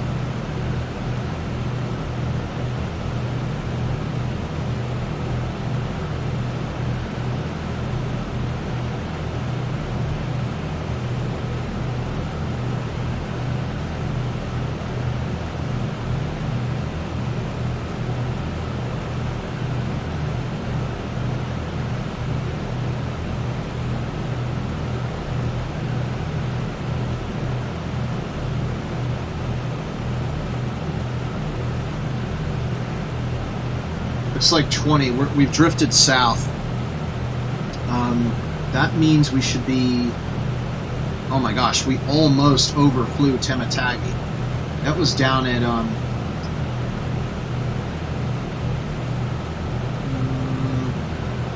mm, yeah. Yeah, I think that means we basically overflew Tematangi. Well, the moon should be directly behind us now, so that means that it should be lit up pretty well. So as soon as I finish this thing, I'm going to turn around. Uh, actual time of the shot is going to be 14 by 2 seconds 16. and it's positive 20. So that means we've drifted south. Uh, real quick, star name Agena, 208 degrees, 38 degrees, 50 minutes. Okay, and yeah, that's plotted. And then on Google Earth, I went to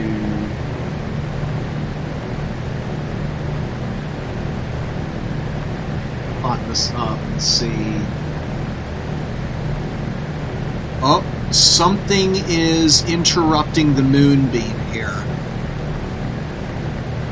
Oh no, wait a minute. That's no, that's not my boom.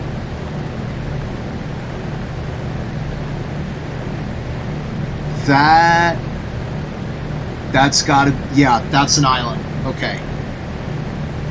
Um screw plotting this right now. Actually, no, I need to plot it. Um so real quick. In the direction of travel 208 208 or 30, 20 miles. 208 or 8, uh, 208 20 miles Okay, and then I'm going to turn it so it's going to go to 298.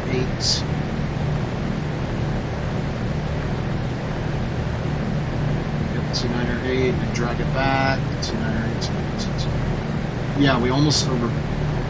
Practically directly overflew. Two hour, 30 minute fix course LOP. So that means there is a wild um, turn going on here, and it's gone. So, wow, I can't I can't believe we caught that. It went right through the moonbeam. If it if it weren't for that moonbeam, we would have missed it. I am so happy that I saw that because that is clever, clever, clever. I cannot see it anymore, not in the slightest. Wow, that, that's that's cool.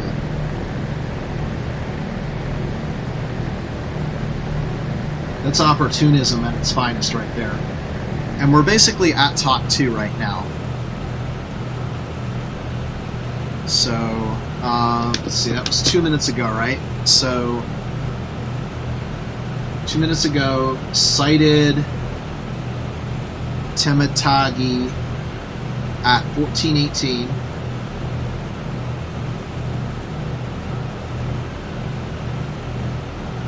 Um, rear right. So that's uh, say five o'clock. It's about five o'clock that we saw it.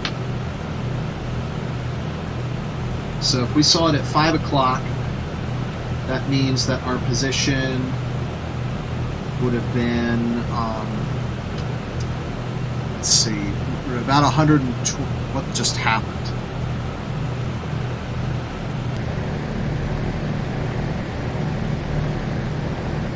I guess whatever the moon, the moon must illumination must have just abruptly turned off, which is kind of dumb, but I guess it's a sim limitation. Okay, so uh, we're at 120 degrees. So if we saw it at 5 o'clock, we would have to be due east, and that is exactly where the celestial site. Wait. No. No, I'm confusing. Oh my gosh. I'm confusing that with my previous celestial site because they're now dragged out. They're crisscrossing each other in multiple locations.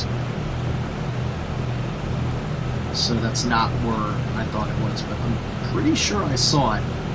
Uh, next up, there will be another. Oh yeah, let's let's get the name of that island.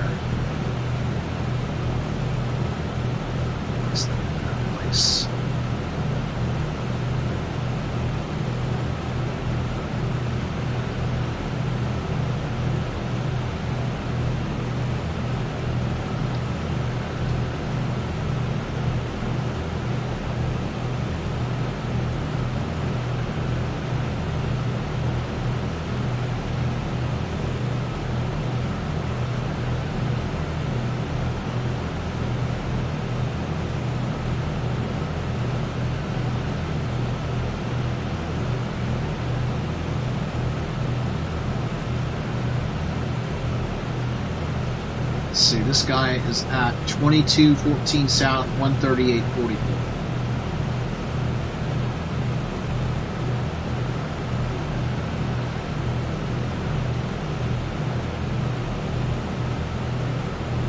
There it is. Uh, you are. Oh, there's there is a runway there. Are you kidding me? No, no label in Open Street Uh, ESRI World Topo. Again, no label.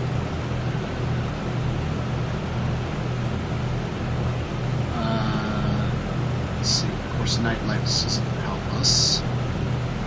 USGS Topo doesn't show up. WOC Street Map doesn't work either. Is this legitimately unnamed? There's no way that this thing isn't named. I'll go to SkyVector and see what SkyVector says.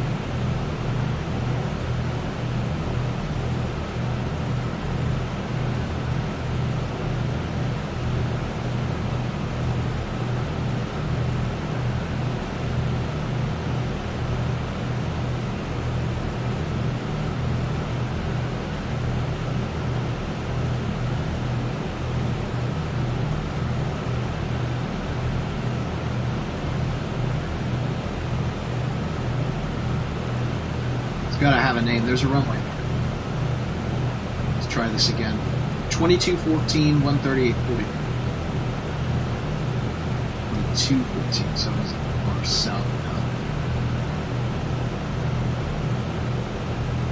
now. Okay, here we go. Zooming in on this object. What? No name. Are you kidding me? Alright, I'm going to turn all the places on in Google now. This island has a name, we're going to figure it out. Okay, what is this? Fangatu... Fangataufa. Fangataufa is its name. A small, low, narrow coral atoll in the eastern side of the Tuamotu archipelago, along with its neighboring atoll uh. It has been the site of approximately 200 nuclear bomb tests. Okay, so whatever I do, don't land there. Well, there we go. Um, let's see, how many minutes after were we expecting it? So, eight, it's 80 miles later, and we'll cover 80 miles in 20 minutes. We took the site at 14, so 34 is when we're going to pass it, and we should be passing literally directly over. But unless it gets brighter, we're not going to see it. I knew where um,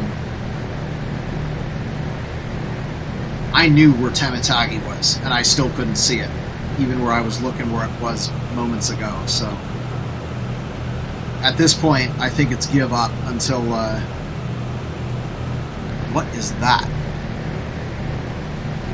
Oh man, it's, it's the sun doing this dumb thing again.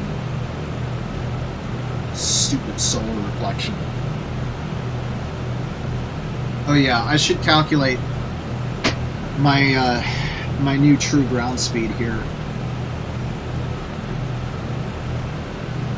Also, I'm drifting south, so I, I seriously need to arrest that right now.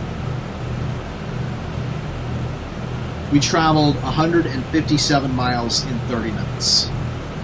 What? Is that right?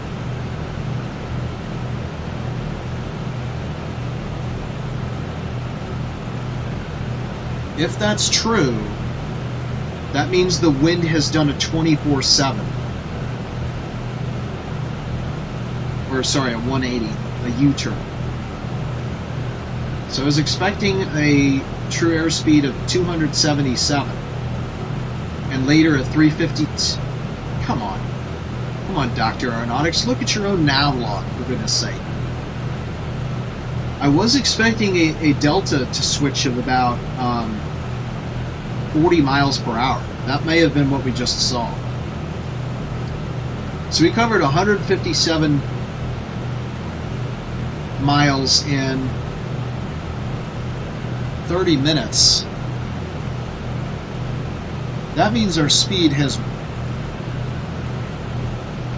Um,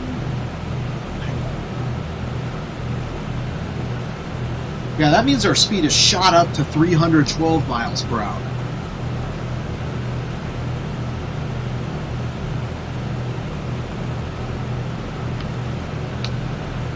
I, I better not be wrong about that because that that's important. Uh, why did I expect us to go this far?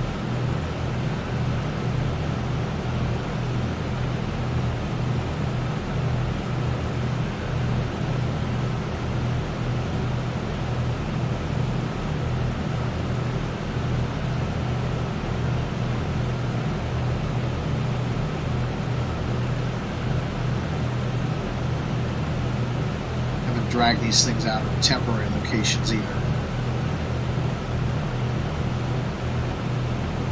So I guess what I should do is look speed line to speed line. That will that will tell me what it is, and confirm in my chart here. So this is this is why I do a celestial log. So TOC two is done at 44, and TOC two and a half hours was done at 14. So it's exactly half an hour apart. So we know our time. Now we just need our distance.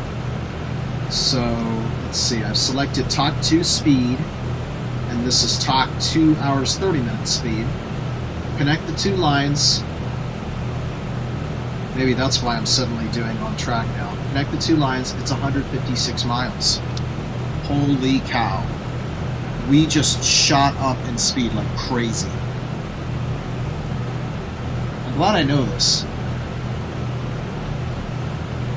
So let's see. We went from we went from 260 to 312. That's a that's a wind magnitude change of, of um, 52 knots. That's that's not too crazy, but it's the speed at which it happened is crazy. Although I guess we're loading things in. 313 miles per hour is what I think we're doing right now.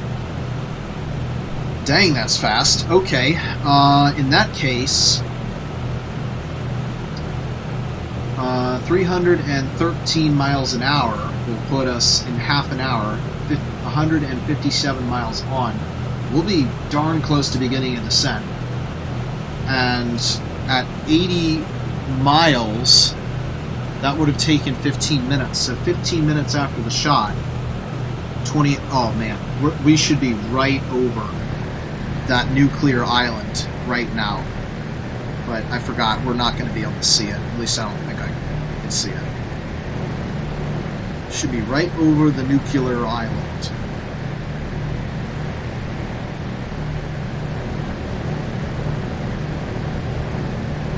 That's so cool, the moon is setting.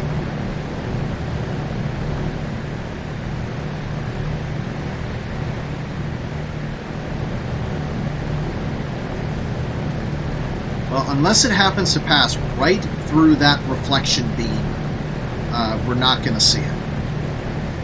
Unless, what is that? Uh, probably just clouds.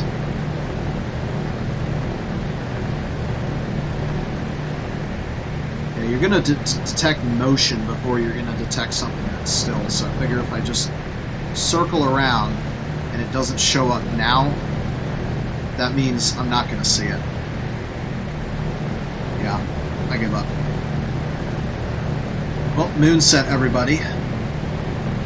It's going to get really dark. But that's okay, because the sun's going to be coming out soon.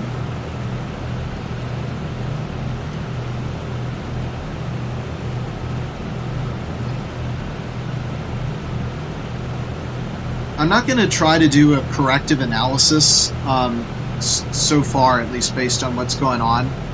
But I do want to try to investigate what I can do to kind of avoid this situation because it's really frustrating to, uh, you know, not be able to control the plane properly. Like, I feel like we're good now, but it took forever to get to this point.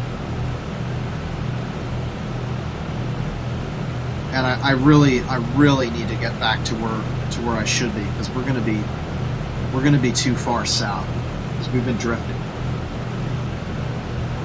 Okay, so I said we're going to be about 157 miles further along.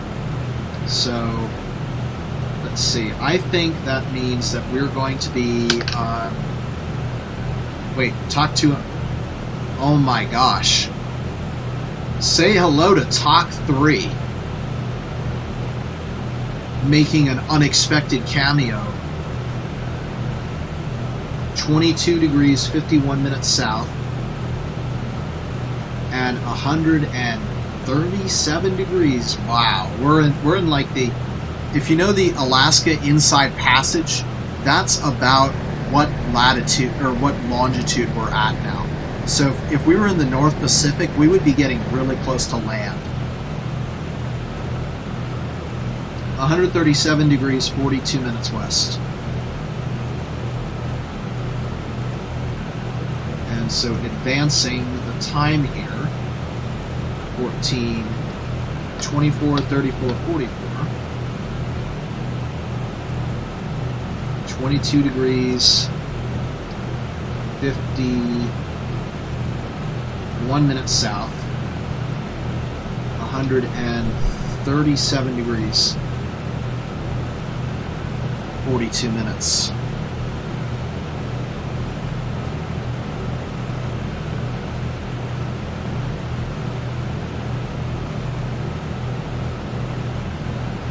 So let's see, we're definitely past TOC 2 now, so in distance. So going back to the flight plan, that means we should be at about, yeah, the wind shift caused that, 105 degrees.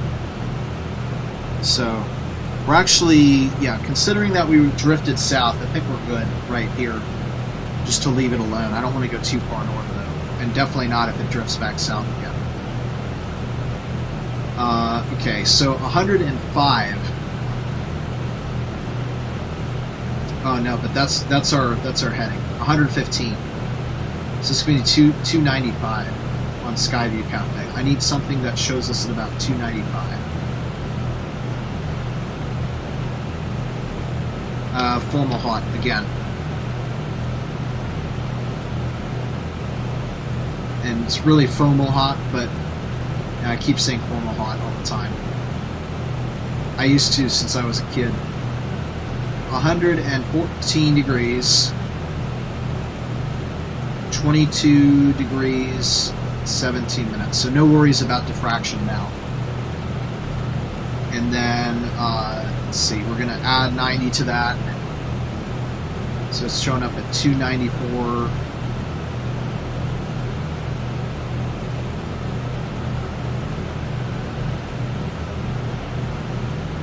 114, so I need something that is at 194 degrees or 14 degrees for Skyview. We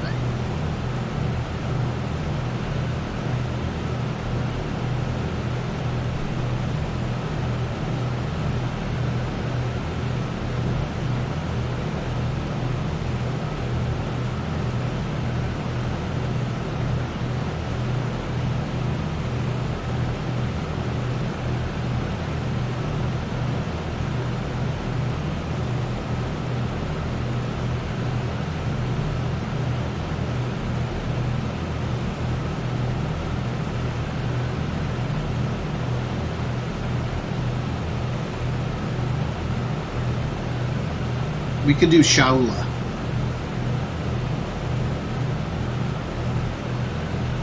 hundred and ninety-four degrees, seventy-four degrees, uh, nine minutes.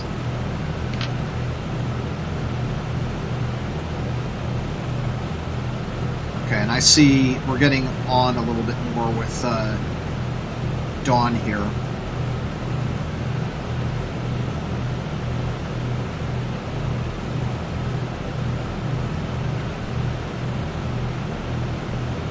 So, let's see. Um, I need to copy this information in my secondary chart here.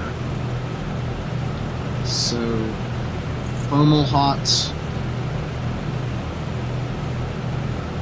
azimuth of 114 degrees, 22 degrees, 17 minutes, and then Shaula. 194 degrees.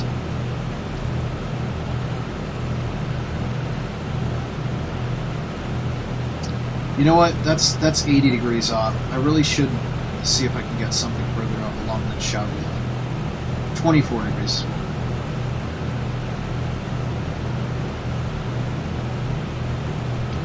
Let's do Rigil Kentaurus.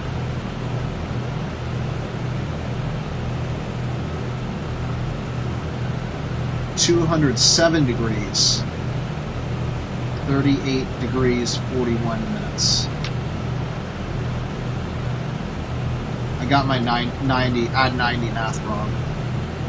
Rigil Kentaurus, uh, 194 degrees, 38 degrees, 41 minutes.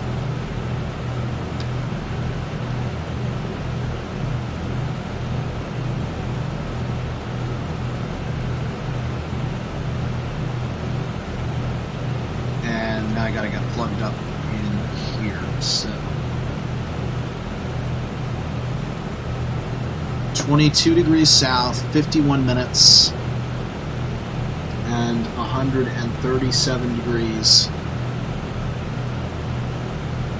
42 minutes. Azimuth, 114 degrees.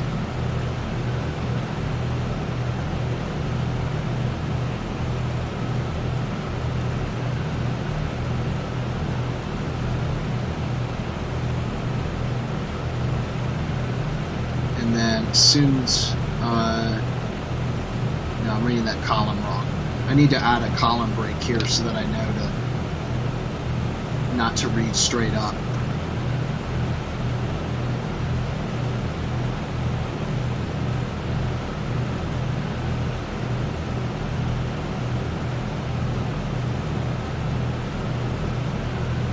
Twenty-two degrees, seventeen minutes.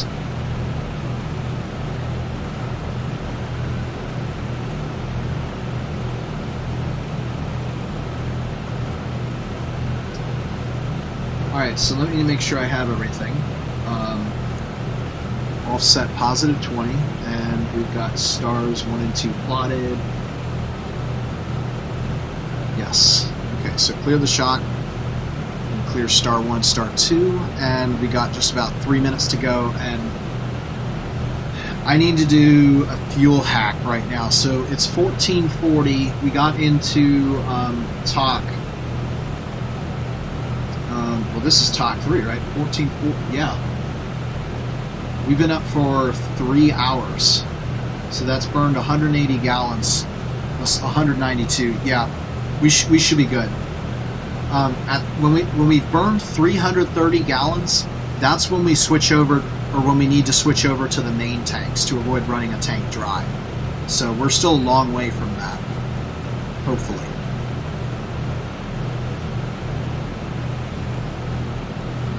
It's, it's going to be really hard to read the fuel gauges initially. Alright, uh, let's see how long we got to go.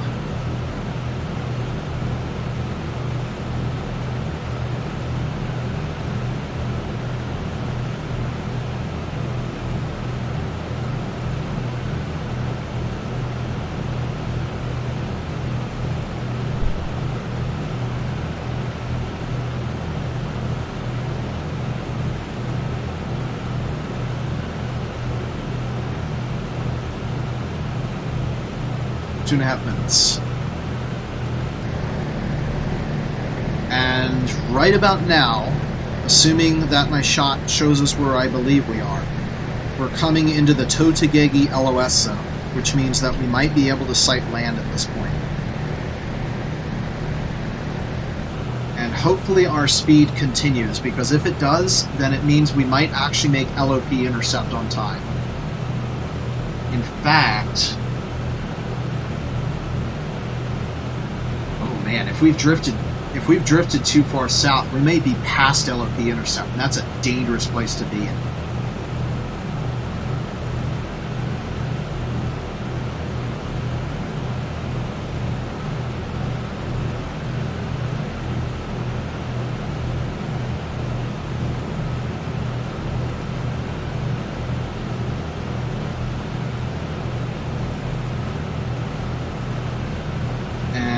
Afterwards, we should also be over some sort of loopy, another atoll. I don't know its name, but I uh, I don't think I have enough time to look it up right now.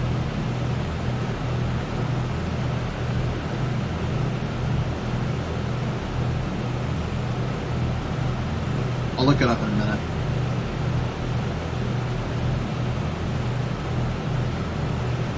Uh, shoot, yeah. As soon as I did my two two hours thirty minutes, I should have switched over to LOP intercept. Crap. May have just shot myself in the foot, which I was hoping I didn't do this time around.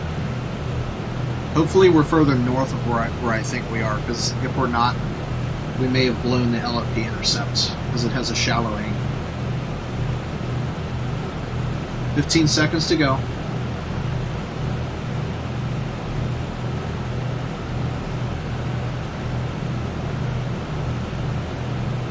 Five, four, three, two, one, starting the shot.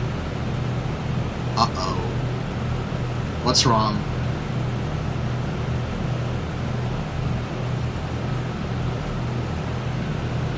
Taking at 1444, 21 51 south, 2251. Oh my gosh, that's the problem. I got my longitude or my latitude wrong. Let's try that again.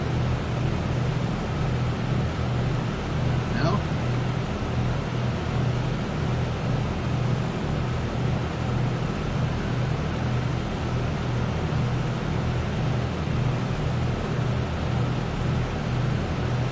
Twenty-one fifty, right?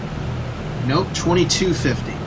So my times are all right. My times are, are wrong. So this this shot this shot is completely screwed up. Uh, we need to get LOP intercept in now. So Totegegie is at 2305 and uh, 134 degrees and what is this 50 53 minutes. So we're not gonna we're not gonna do the shot that I was talking about. Going to my landfall chart, it's 1444. So I need to pick something that's halfway between here. Um, it's going to be 40, 43 degrees is what we believe the azimuth to be. Um, 43 degrees, and the elevation is going to 43 degrees is the elevation. 43.625. 43. 0.625 is going to be uh, 0.62. So that's 35. And then the azimuth is going to be 100, 189 degrees. So we're actually shooting a southern star, which is the first first time I'm doing that, and we're not in a good position right now. Well, look at that.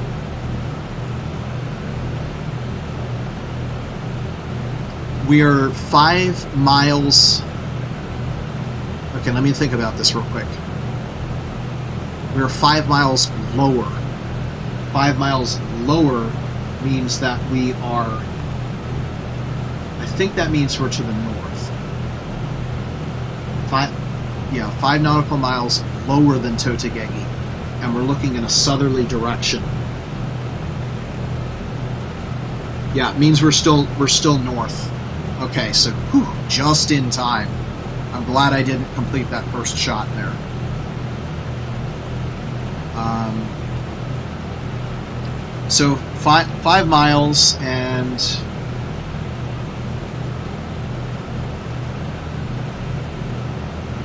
I wish I knew what what went wrong. I guess I'll have to watch and, and see what I what I messed up on that last shot. But this one makes sense, minus five. So that that's where we are relative to uh, the intercept. Wait a minute, minus five. It's a southern star. Minus five should be on should be on. Wait, no, that's where the base is. The blue line is where we are. The blue line is us.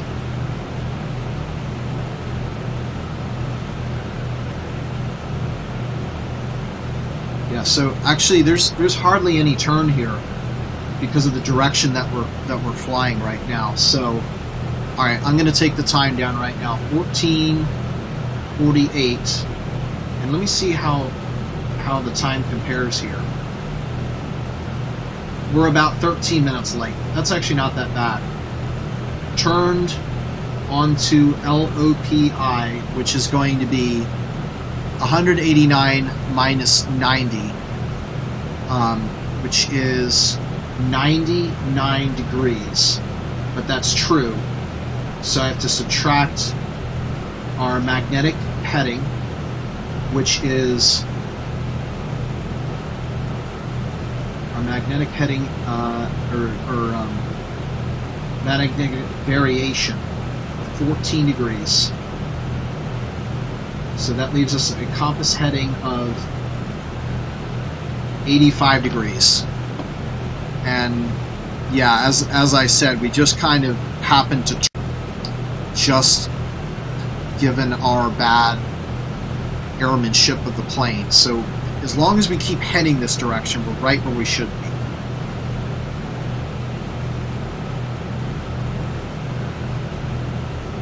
So real quick, let's see if we can take that, that course star, Rigil Kentaurus. Because I still don't have a true fix on where we are. Rigil Kentaurus is going to be at... Um, actually, no. Once, once you take the LOP star, you have to change the... Um, you have to change the assumed latitude and longitude again. But that's going to show where the base is. Yeah, we, we can we can do that because because we just we'd have to. All right, let me let me. All right, I'm gonna move this on Skyway Cafe. Twenty three zero five for the latitude, and one thirty four fifty three for the longitude.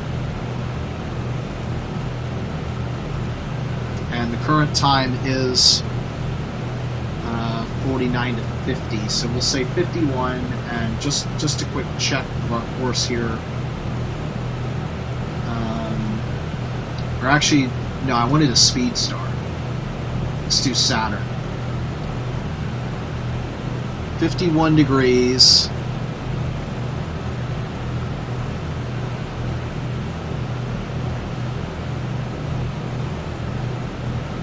Fifty-one degrees. 58 minutes. Just going to round up. And then the azimuth is going to be exactly 90 degrees.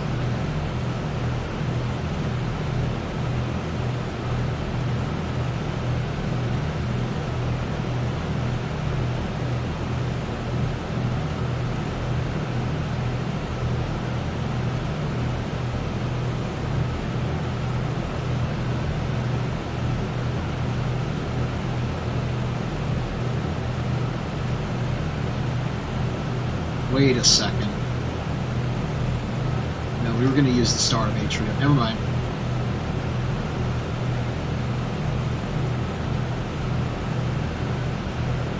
Yep, everything is still good. Uh, 90 degrees. And let me take that uh, shot down.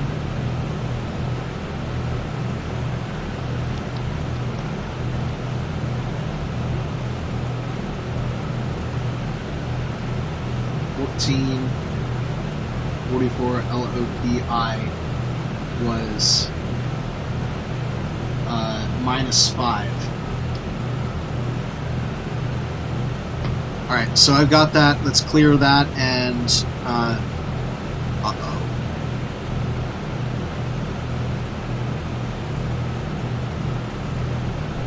Oh no no no! This this is right. This this is correct. This is this is the Speed Star, and I've done it from Totegegie. So this should this should tell us how far from the island of Totegegie we are. Okay, we're we're good. We're good. It scared me for a second.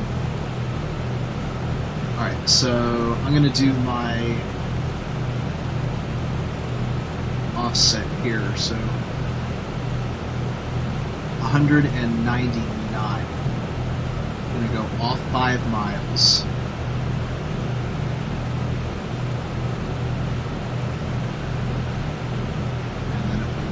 let's see, 99. Okay.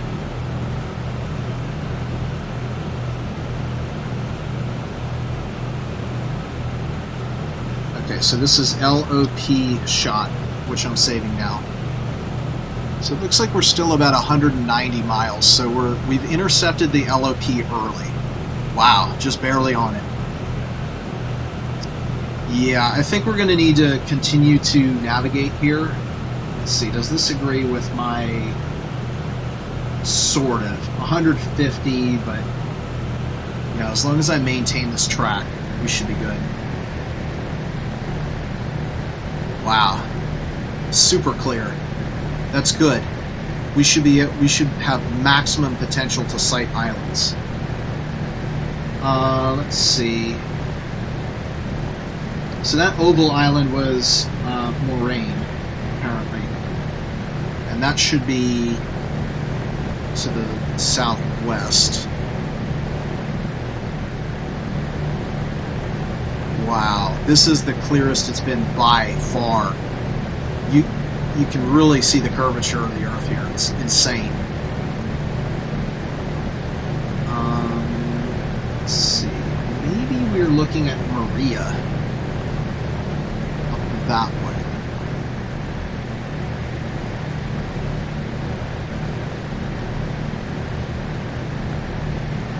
This is just about the time frame that, that I really wanted. Um, so let me get that plotted though. So 14, 15, oh, of course it agrees because I didn't extend the track all the way. Duh.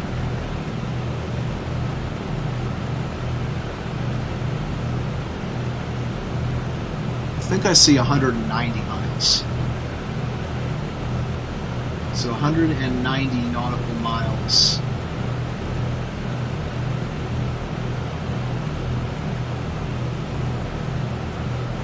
At um, 90, so it's two, 270.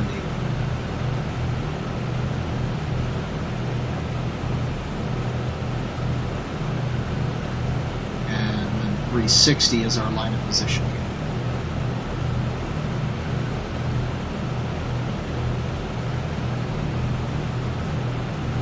So we must have slowed down and just passed over the nuclear island.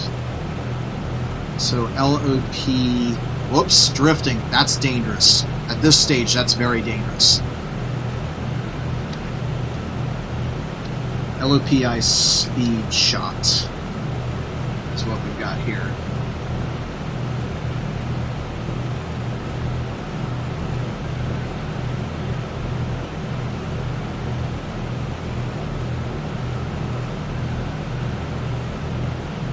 Let's see. The next the next time we went to um, do the shot is when I have a direct road here, which is 1450 oh, it's 55 now. All right. Um, Assumes position doesn't change. The azimuth is now 190.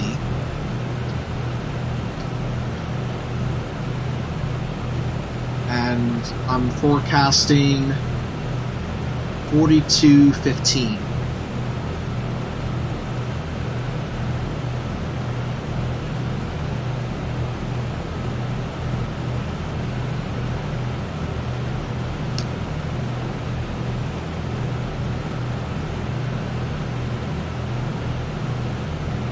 Okay, got that recorded, so I'm going to clear here and give it the shot here.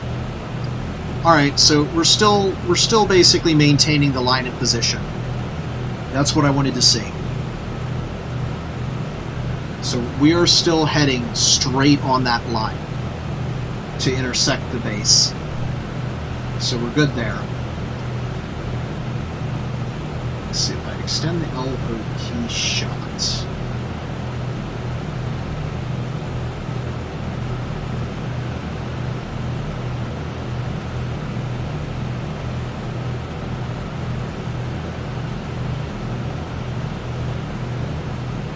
Alright, so 1457, second LOP shot.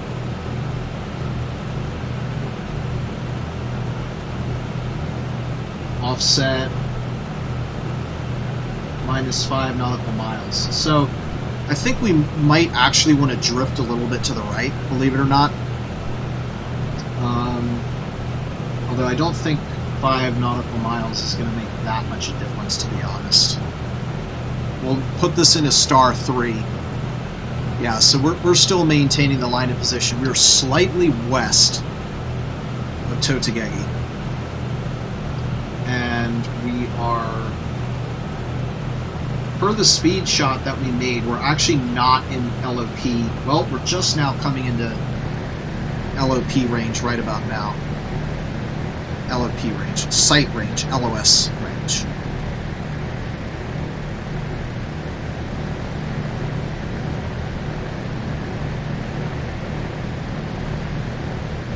Something is down there. Oh no, that's just the stupid reflection.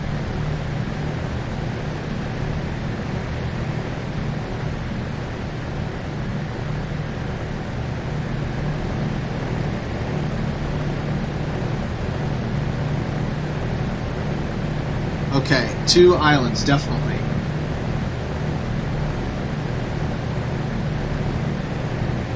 And I make sense of that.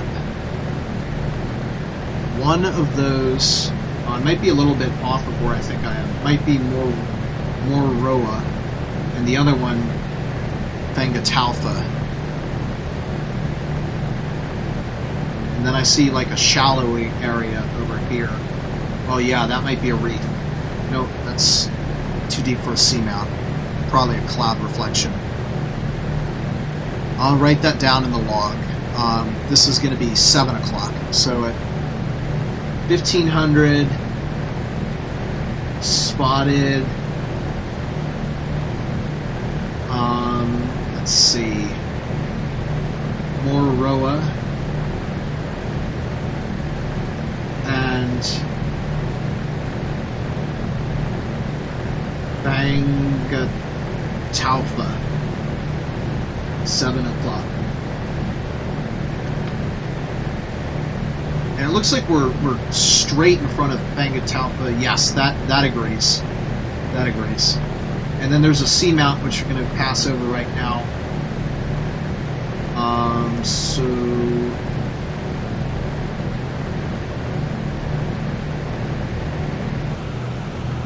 Oh, don't drift.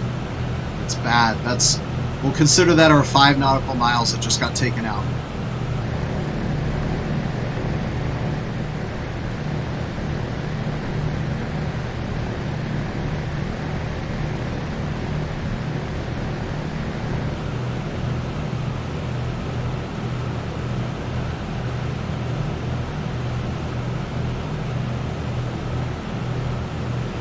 Okay, now here's the real question. What's the sun's azimuth when it comes up? Um, dang close to 90 degrees. So, what does that mean? We're following a LOPI of 85 degrees. So, we should be facing but not traveling towards the sun. Perfect. Wow, I need to figure out how to do this on the Robinson Crusoe leg. That's easy. Just point the nose at the sun. That's that's the easiest thing I could possibly do. So 190 nautical miles. Let me let me get the the time differential here. In 30 minutes we traveled 111 miles which means we're down now down to 220 miles an hour. Jeez. 30 minutes, uh, yeah, 220 miles an hour. And let's see, I need to travel 220 miles, so we'll be on this course for about an hour. LOP intercept was at uh, 1500. Yeah, 1448. So, all right, expecting Totegegie at 1548. And I was gonna say, if, if we get clouds, we're we're in we're in deep trouble. because I'm going to lose the ability to to navigate based on the um, based on the stars. Well, I guess we could use a solar LOP intercept, but then there'd be no no way to tell once once we pass the island. So something something went screwy here with my wind calculations. We're, were going way slower than anticipated.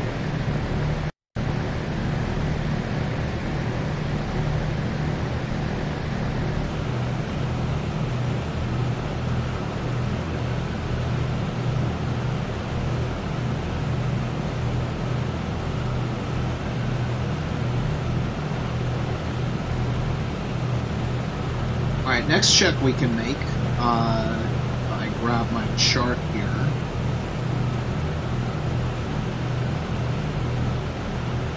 Is going to be at uh, 05. Let's do that really quickly. So 05 is going to be a altitude of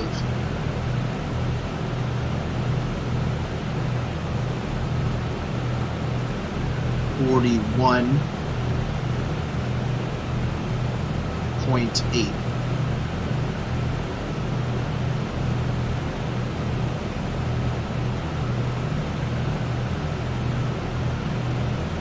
And an azimuth of 191 degrees.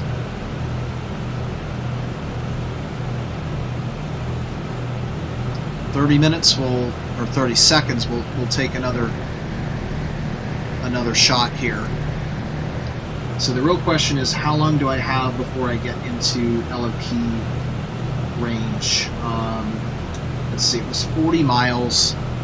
40 miles at our current speed will take 11 minutes. And that was done from our offset that we made a couple minutes ago.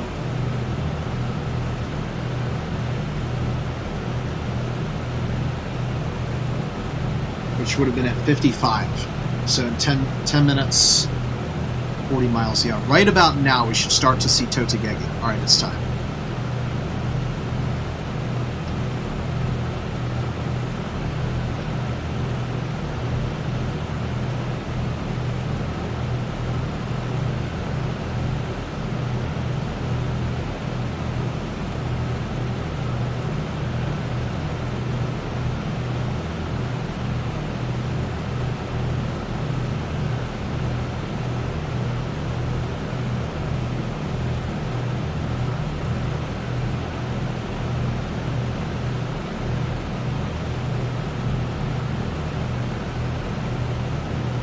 Still good.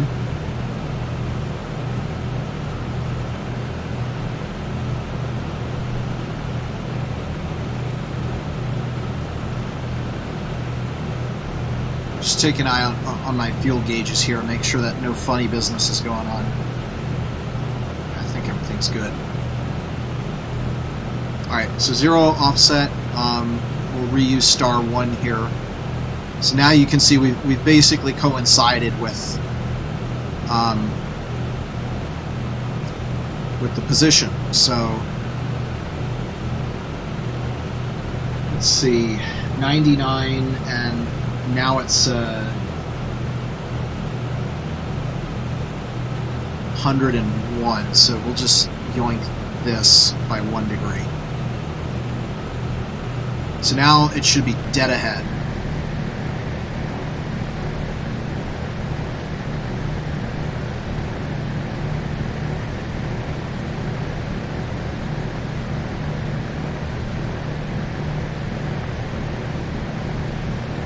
Um, there should be an island to the south.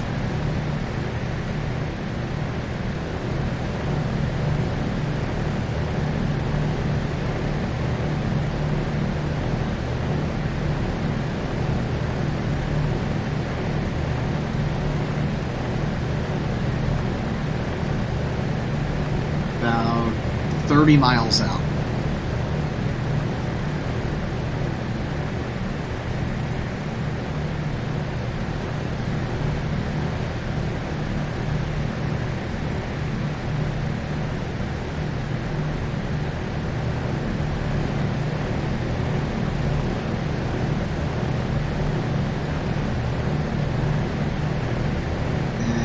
is an atoll, so it might be might be really small and hard to see. But I can still see our islands back there, so so something something that doesn't make sense. It's 108, so it should be one quarter the distance. So the, the atoll would have to be hiding in one of those clouds in order for it to work.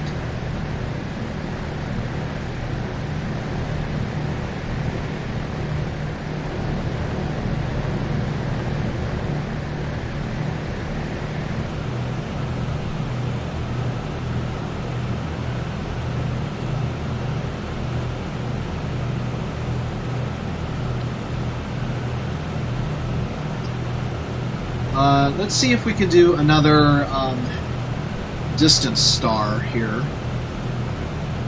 So now the time, we'll say it's going to be 1515. And right about then the sun's going to be coming up, so it's that's pretty much our last shot, probably, for the stars. Um, let's see, I want a speed star. Well, no, Ju- Jupiter will stay visible for a long time. Jupiter's actually a really good position right now.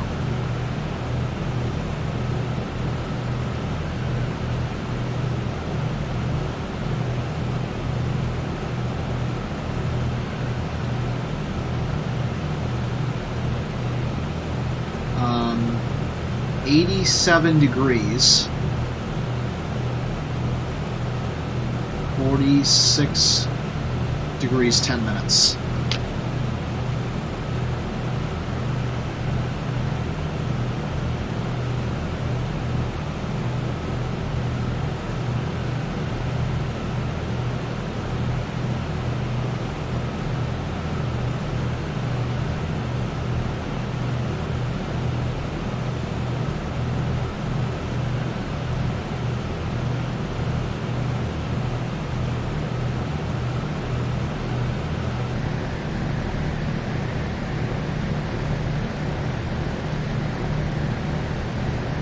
Oh, I think I have something.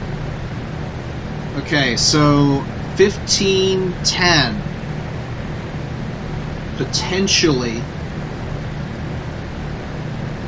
Mangareva Atoll, which includes Totegegie. And it's exactly where I would expect to see it if we were five nautical miles off. Um, I'll say 12 o'clock on right. 1548. Uh, I think we're going to get to it earlier than that, actually.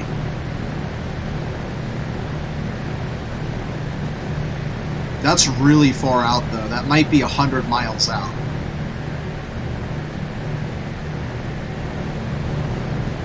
So if we can just solve the mystery of why I can't see that atoll, I'll be a lot happier. I haven't seen a weather update in a very long time, so at this point, if I don't have, or if I still have an inter- internet connection, I'm going to assume at this point the simulator can't load new weather.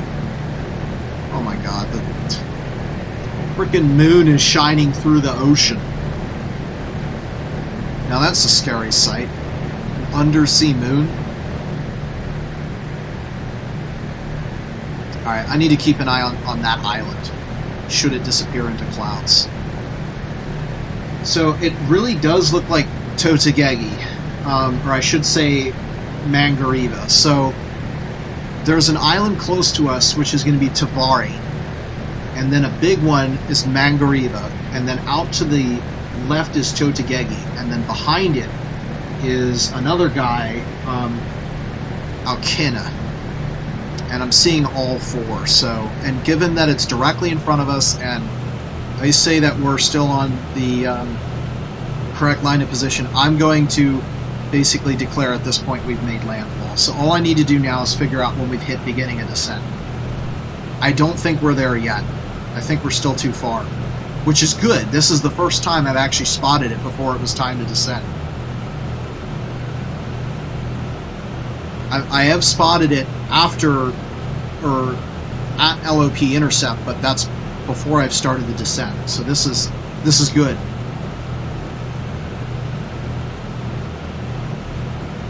So I need two two more minutes, and then I can get Jupiter.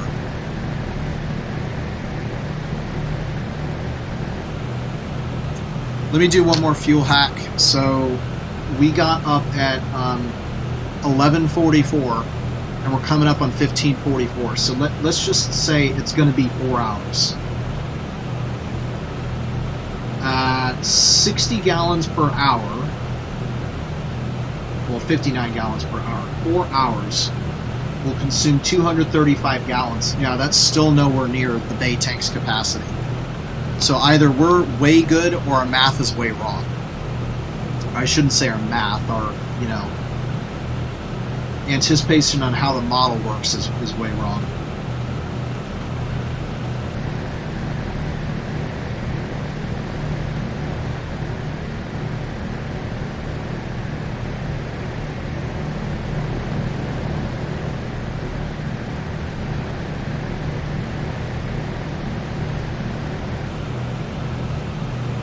Uh, one minute to go, and we'll we'll reuse star two for this one.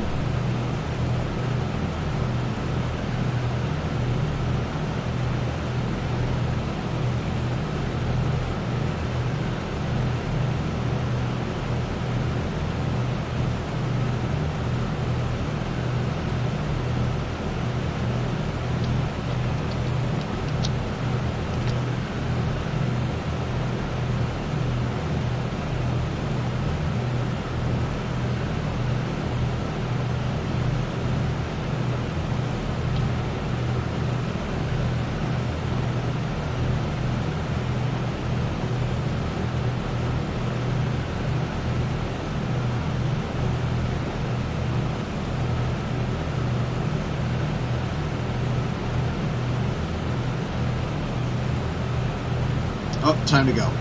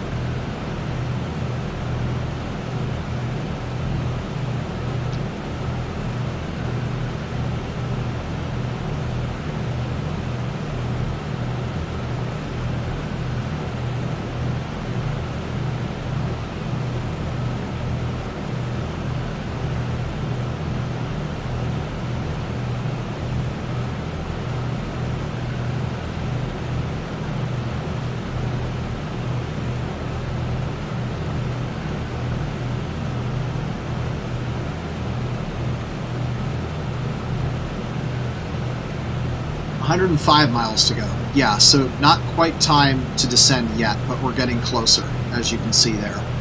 So that's that's our new position, where the green intersects blue and red. Um, but what I can do at this point is calculate when to start descent.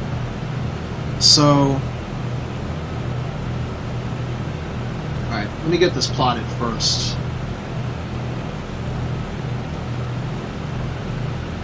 So this was at 1515.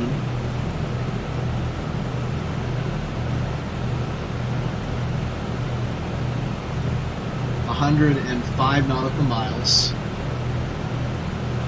off of um, 273.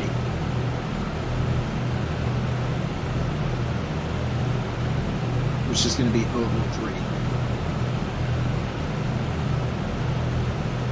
saved this one. This is um, LOP second speed shot. And I'll put the time down, 1515.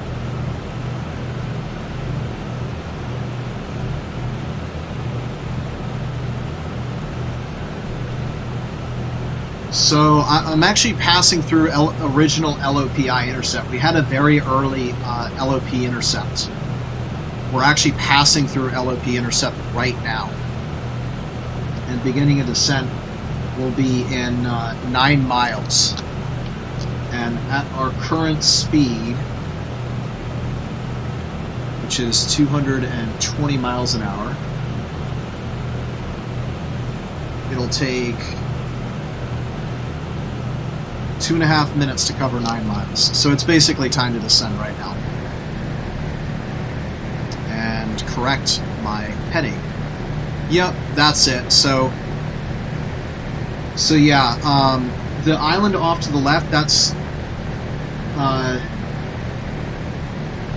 Taravai, and then the middle one is Mangareva, and then the strip, you can barely see it, that's Totegegie and then the one behind it, behind all those islands, Aukena, and there's actually another one way off to the right, uh, and that is Akamaru.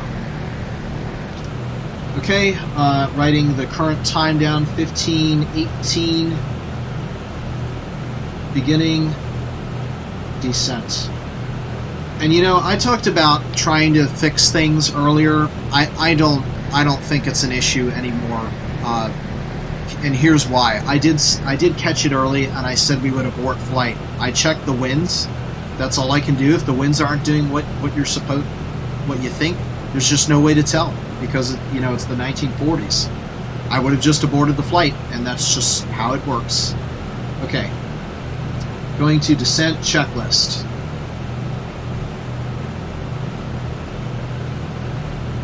Throttles, 15 inches of manifold pressure.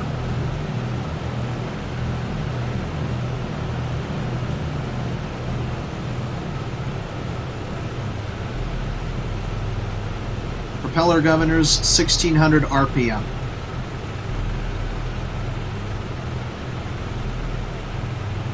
And that's it until we reach below 12,000 feet.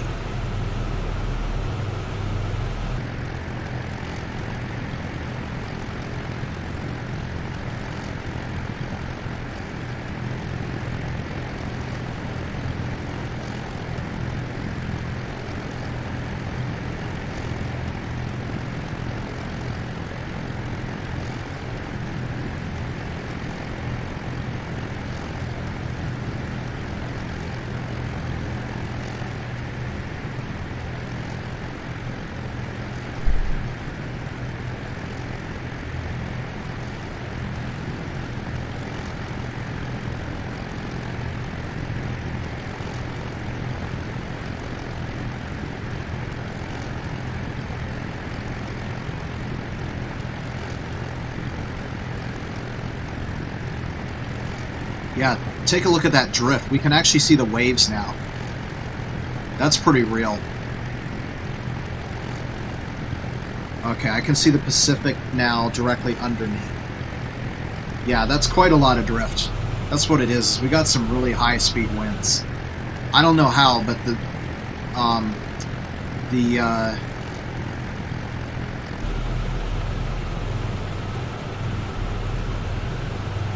make a drift correction here. Also going to add a little bit of power. I think we're descending a bit too quickly. I don't know how uh, it was done, but uh, somehow the winds got into the simulator. So that's realistic. I just don't know how it did it. Uh, so let's see, we're 102 miles away, so that's roughly half an hour. So if we're not up there in, or down there, I should say, in half an hour from when I took the last sight, which is 1515, so 1545, we're still on for speed. Yeah, if we're not down there by 1545, 48, I'm going to be getting concerned. but as of now, it's it's in sight out the window.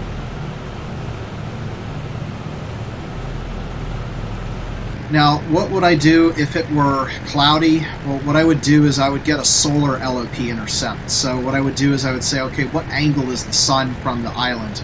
And if I did that, you can see we're almost at the same, angle. we're flying almost straight for the sun.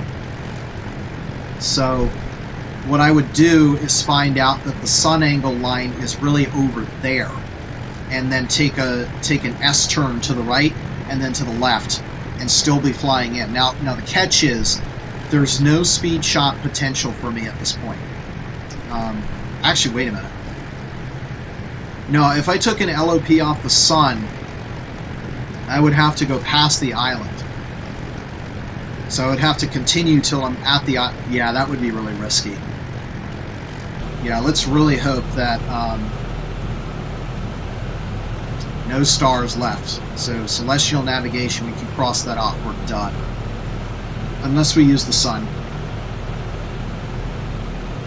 Now, I guess for, for Easter Island, I'm probably also going to have the moon up here, and then between the sun and the moon, I could, I'm going to bet that I could probably figure out in an emergency my position using sun and moon, because they'll be 90 degrees apart. So it might not be ideal, you know, might have 20 degrees to work with, but think that's enough to nail down our position if it's an absolute emergency. This is kind of what it's going to look like coming into Easter Island, you know, except for the fact that like I said, no islands. Not even trying. I think I do see some extra islands up there. That might be Maria. And yes, I recognize that I said it said that an hour ago. And that might be Maratia. But yeah, guys, we're coming into Totegegie, so if the uh, if there was some nice background, smooth jazz, you know, this this would be where you can't hear it anymore, and we turn that final click, turning the music off. This is where it gets serious. And that music is replaced with just the sound of cold wind.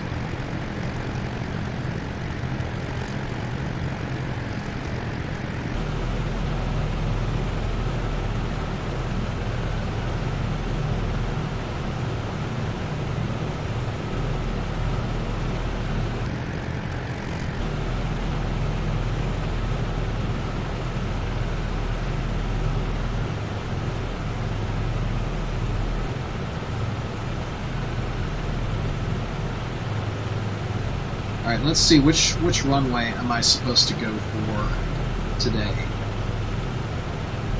According to my weather notes, it looks like 3-0, so we so we want to pass the airport. What we're going to do is we're, we're going to pass the atoll on the um, on the south side, and then we're gonna, basically going to follow the outer edge of the atoll all the way around, and that's our traffic pattern. The pattern is literally the atoll. That will take us around.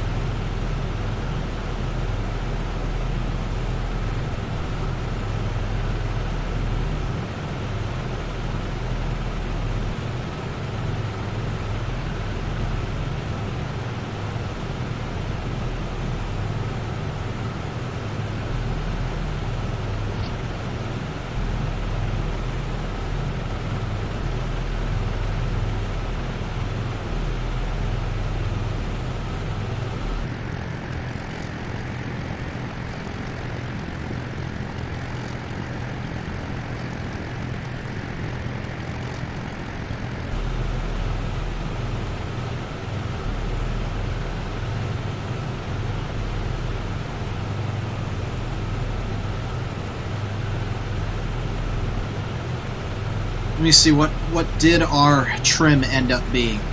Um, looks like it is slightly to the left. So that's kind of annoying. It, it works backwards than what you would expect.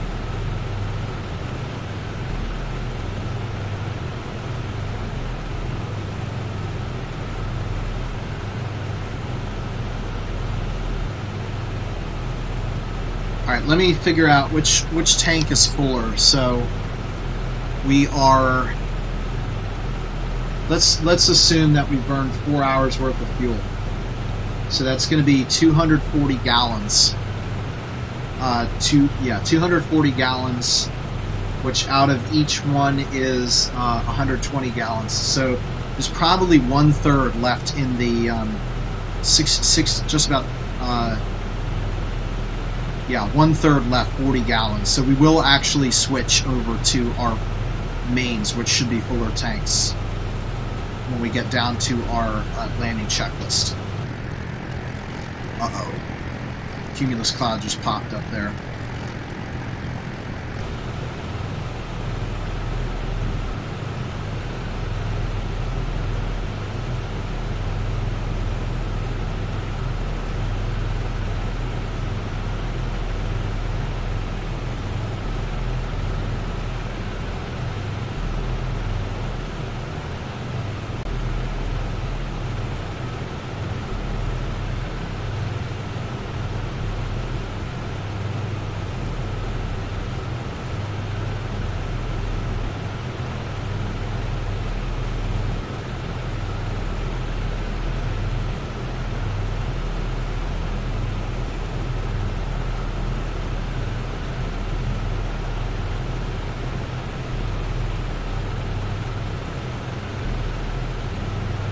Dang, we're still above 20,000 feet? It's hard to believe.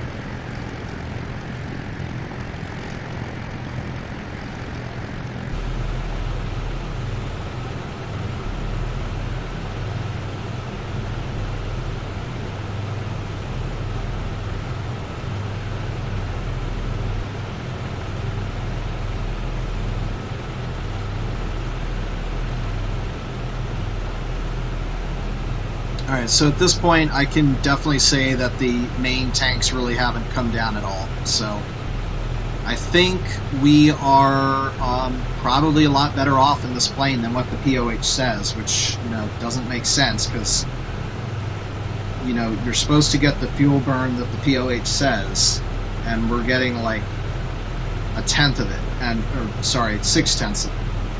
So if that's the case, then that theoretically means that I could fly from Japan to California via Hawaii.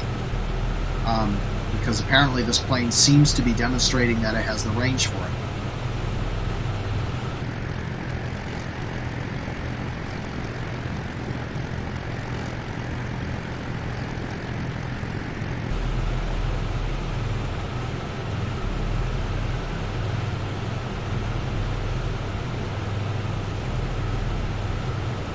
Eighteen minutes, yeah, I think that's about right. See now, if if the visibility were were way down, we would probably still not see it, which is, I think that's unrealistic. I mean, when I'm sitting in an airliner, I, I would say what we're seeing now is probably pretty realistic. So it's like really hard to see stuff that's way in the distance, but when it gets below like four degrees from the horizontal, yeah, you can see it.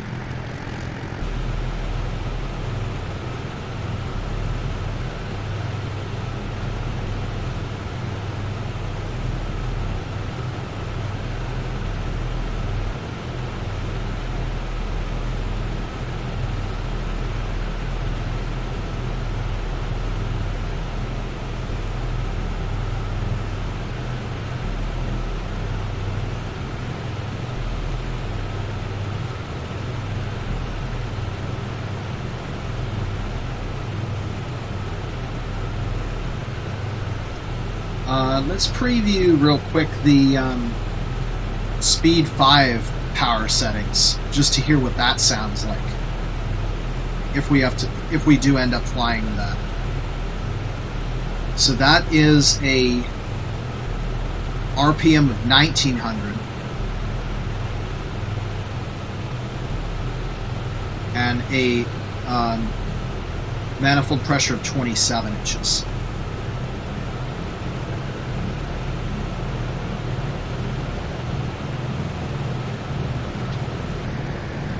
Wow, so this is 5, the speed profile of 5. Alright, we'll go back down to cruise here.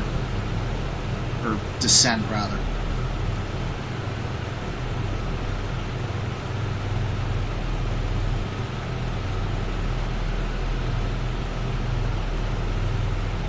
And I see that because we've trimmed up so so much that we're actually going really slow. So I think that's delaying our descent some.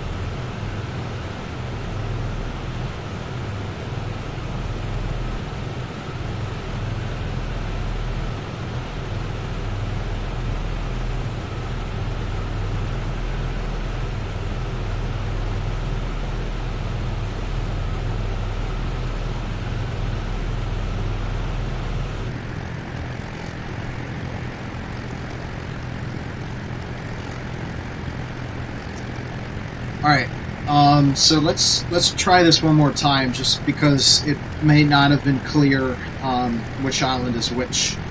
So um, the island that's closest to us is Taravai. Now the biggest one that kind of looks like a, a weird cone-shaped thing, that's Mangareva.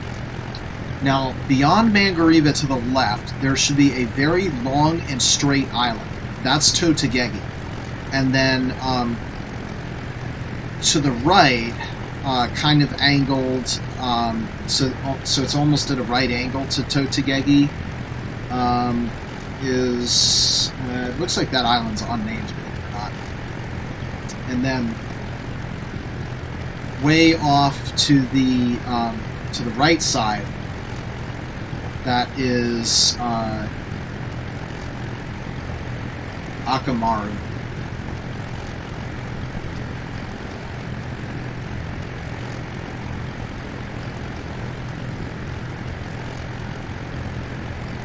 Ah, there we go. Aukena. It's just only showing up on Wikipedia.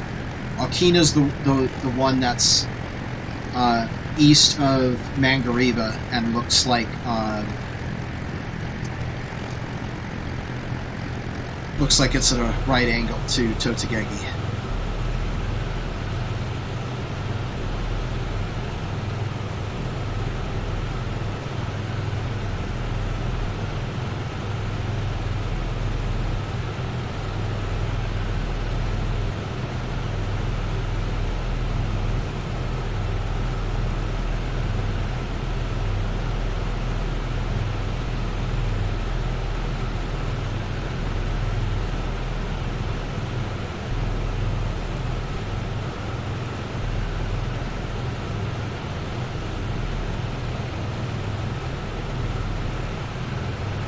Let's see what the closest continent is. And for the purposes of this, I am going to count New Zealand as a continent.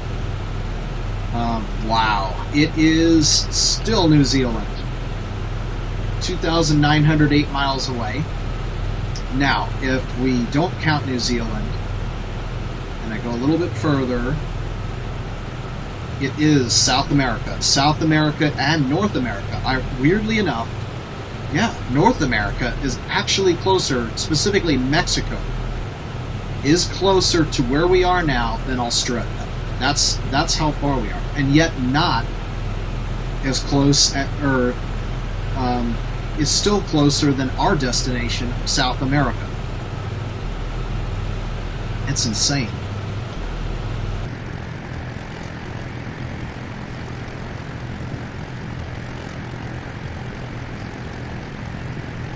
Well, this is just about perfect weather right here. Couldn't ask for anything better.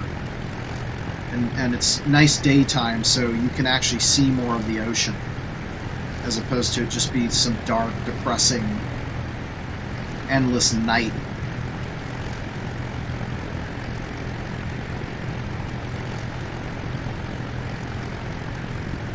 I'm amazed at how we're, we're still drifting, and we're, we're pretty low now. Um, we're at 13,000 feet.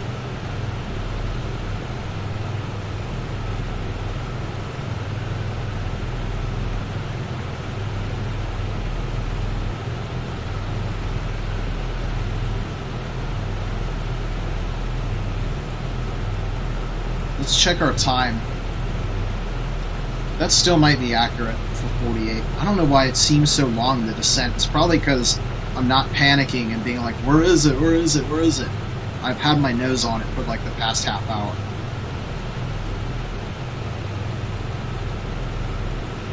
And you know what I just realized is I think this is this is the first time we're we're, we're getting a, a really small island um, see how far, how big across this is. Yeah, yeah, only eight miles in radius, and it was exactly where we said it would be the whole time. So as long as I did what I said I was going to do for Easter Island and abandon abandon the trip if, if it's if, if it's clear that it's not going to happen on time before the sun rises, uh, then this is a perfect run.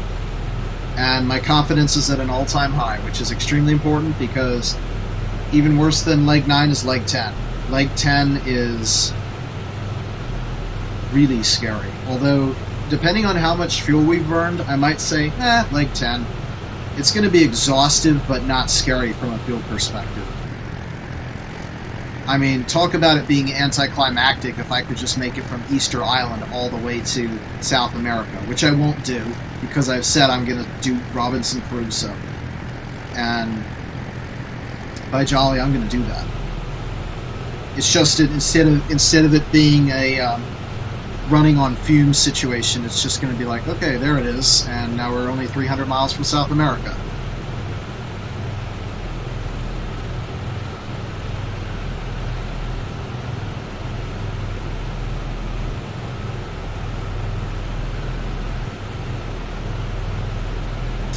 Okay, we're at 11.5, so I can continue the checklist now.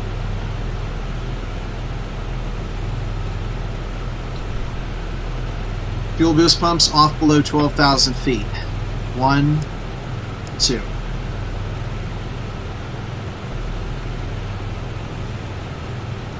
Um, O2 flow off below 12,000 feet. And let's see what our Navlog is saying. Temperature outside should be plus two, so cockpit heat can go off. We'll be in the tropical air pretty soon. Alright, so I think now I'll move into my landing checklist. So we'll go full fuel selectors to fullest tanks. So 15, you know what? Yeah, 1543. Four hours exactly on drop tanks. We're going from drop tanks to main. Six, five, four, three, two, one, two, three, one, two, three. Done.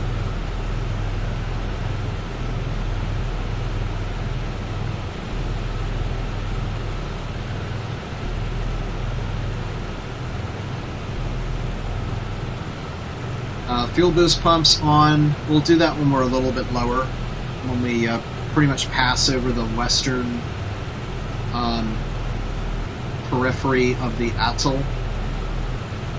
I guess the, the reef is what you would call it.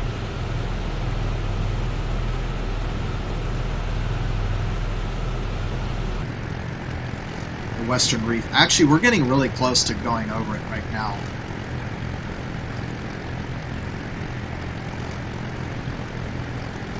So on on the very the very far side, that that strip of land, that's Totegegie.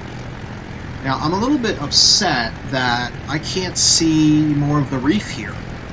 Um, it's like Flight Simulator doesn't even trace the outer edge of the reef, which is kind of ridiculous. And the water depth where I am now should be right around. Well, actually, there should be a shore break actually right around here.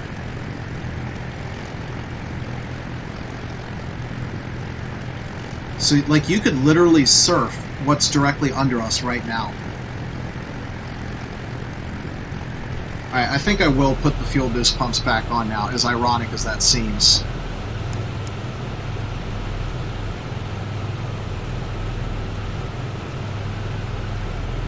Uh, prop governors... Still not ready for that. We need to lose more altitude.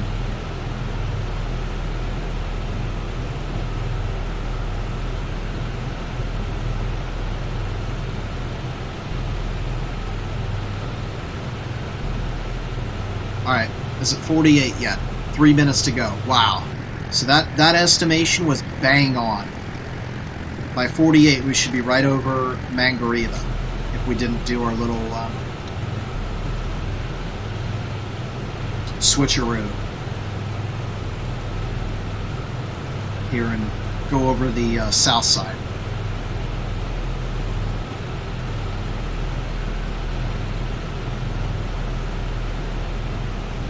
Alright, and the airport is going to be towards the south side of Totegegie. So I definitely want to overshoot.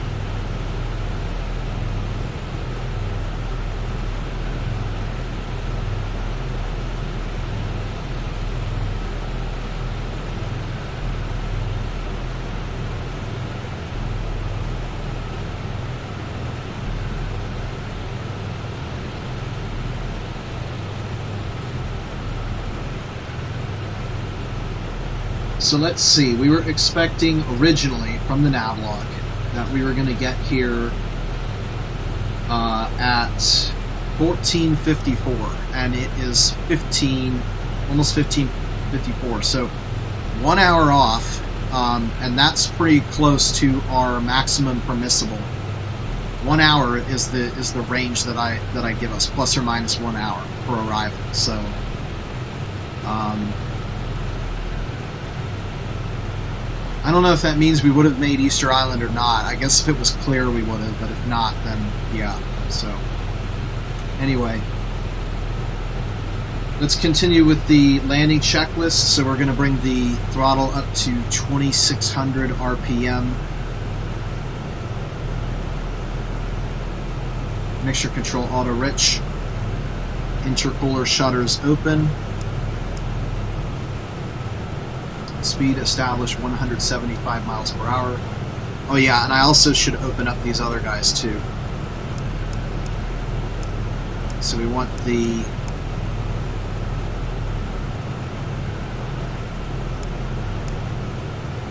oil cooler flaps in automatic and the coolant overrides back off again.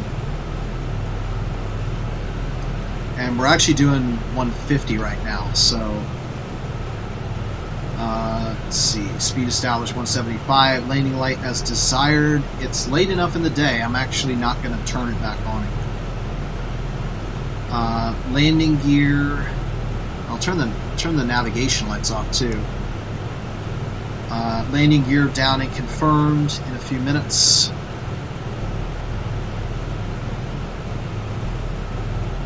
I want to turn around. We, we got seriously pushed around there. Okay, I can see the airport of Totegegie. It is right there. Let's try, try fixing that. Right there.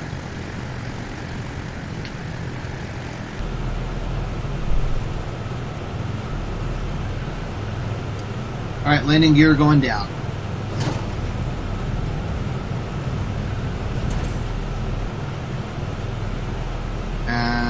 Normally we'd be able to check the nacelle, but it doesn't reflect, so yes, the nose wheel is down.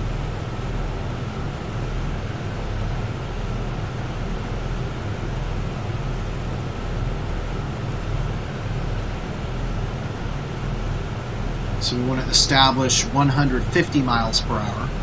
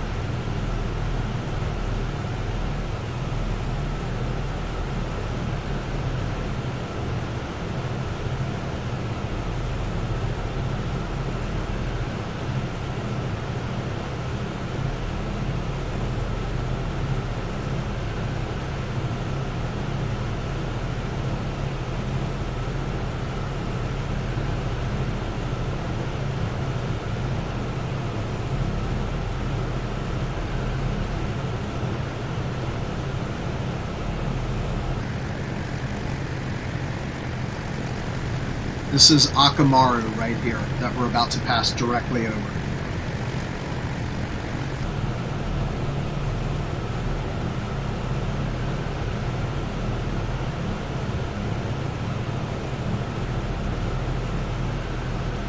And that's Totegegie right there. That is the smallest island that we're going to land on. At least by area, not by length.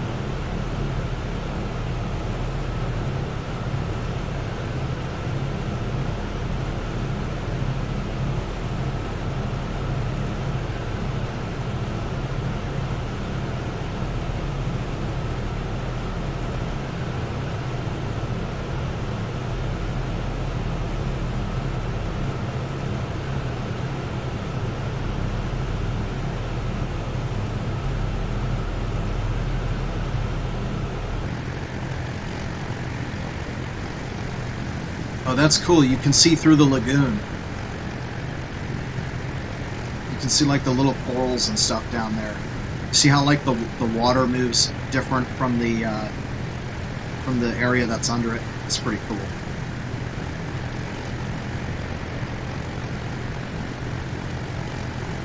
That one there is Aukena.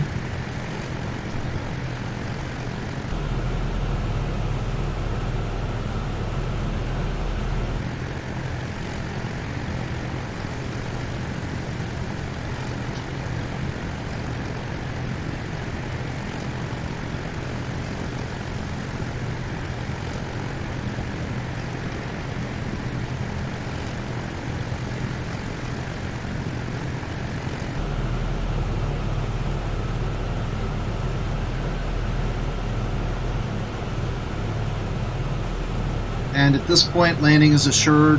Um, so we'll establish 150 and we'll put the flaps down.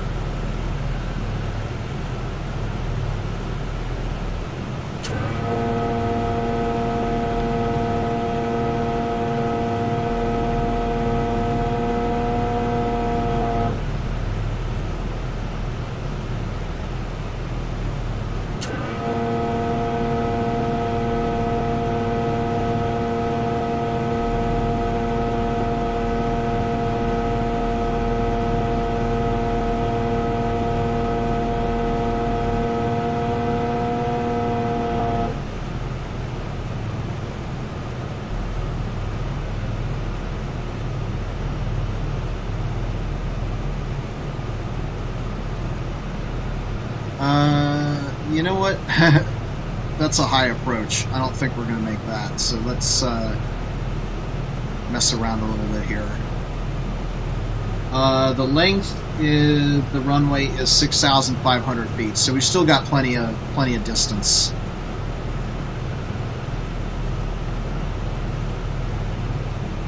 Man, that's beautiful.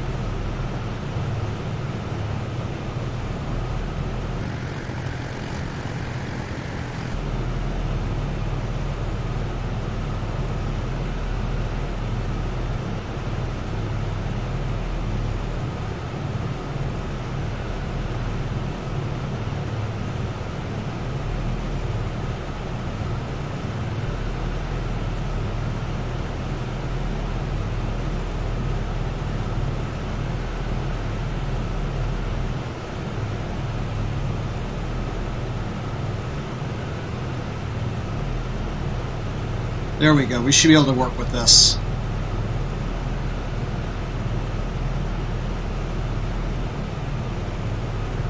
Uh, or not. Wow, my perception is, is really screwed up here.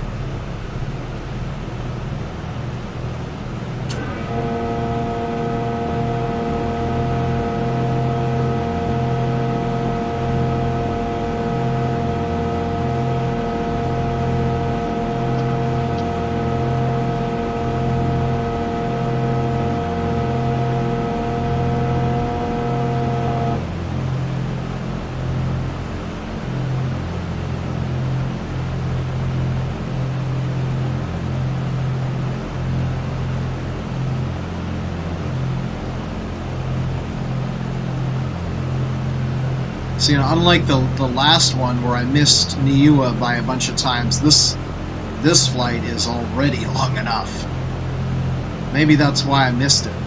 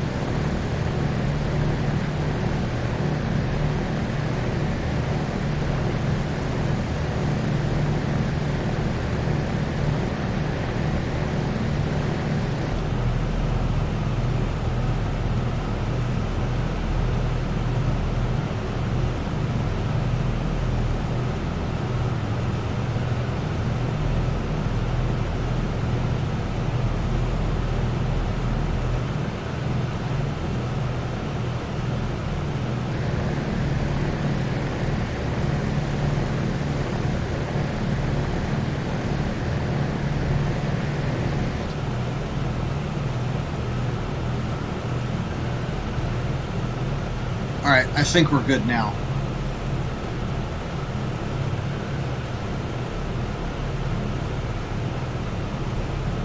Oh yeah, we're good.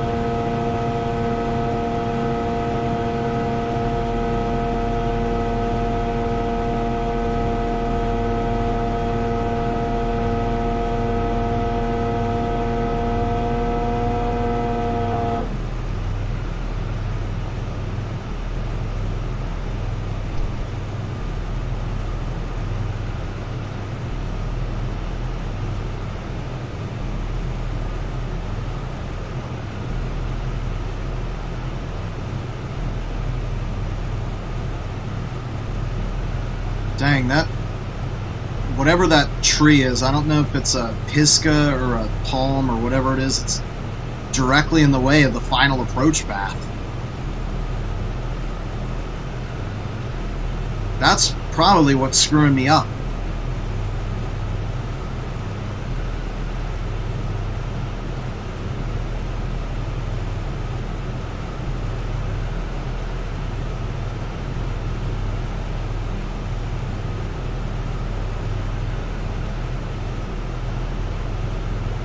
Nope.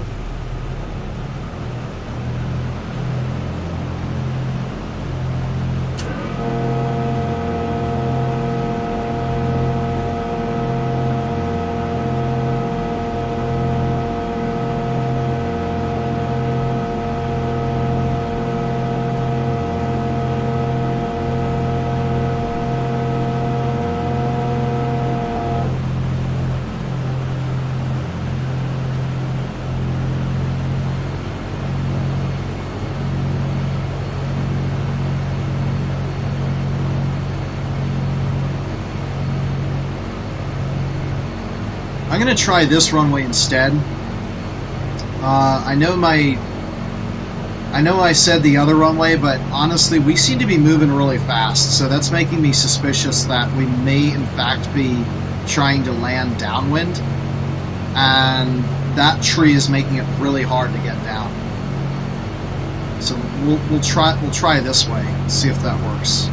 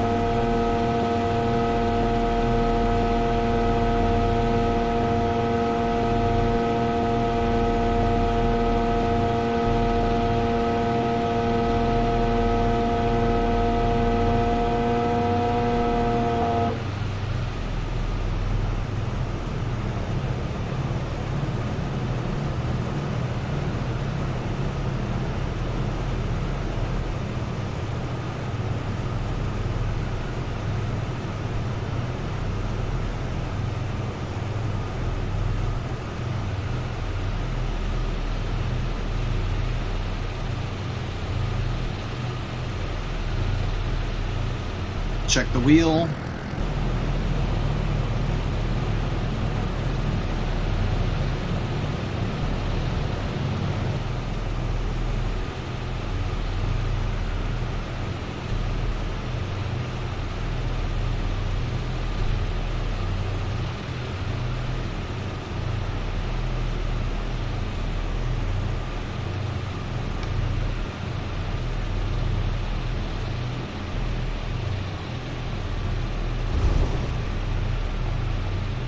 Yeah, that was much slower. I think I was trying to land uh, downwind, to be honest.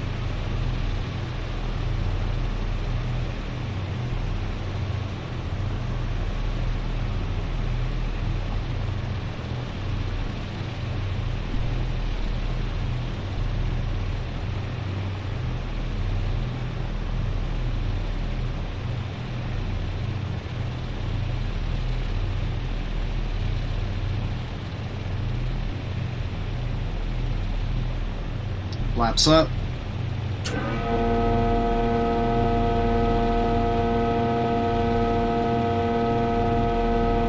Fuel boost pumps off. Prop governor full forward, and let's get our touchdown time here. It's 1606.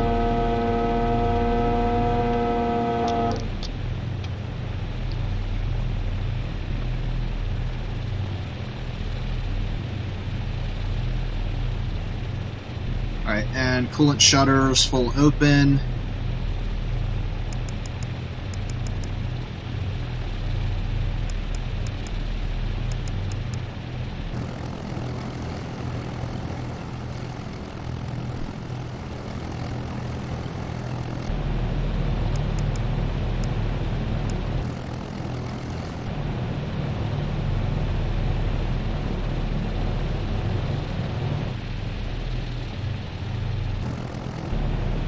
A serious problem with the sound here. I don't know what's going on. Uh, okay, um, let's see. Oil shutters, coolant shutters, we got those all. Uh, landing lights, those are actually off, and recognition light, we'll turn up. Alright, where's my fuel pump? It kind of looks like it's there, to be honest.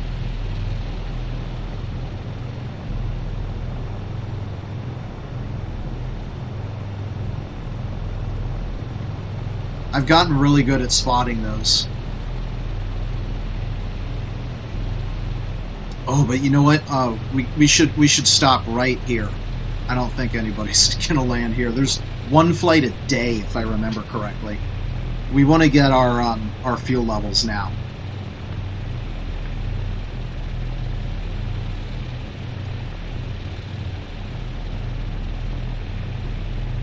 Okay, um, so... We gotta open up the window first. And hop out on the wing. Now we can check.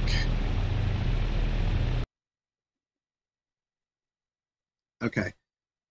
Um, left reserve 54, so that's six gallons out for the climb.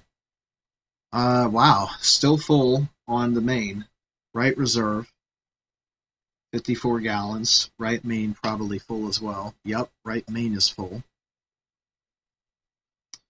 Left drop tank is 36.6 gallons. Right drop tank, 36.6 gallons. Yeah, that's that means um, altogether 367. Uh, yeah, that that basically means that uh, we're not going to be concerned about fuel because this thing doesn't follow the POH like it's supposed to. That's why I liked the Just Flight version, but unfortunately, it is too buggy to fly.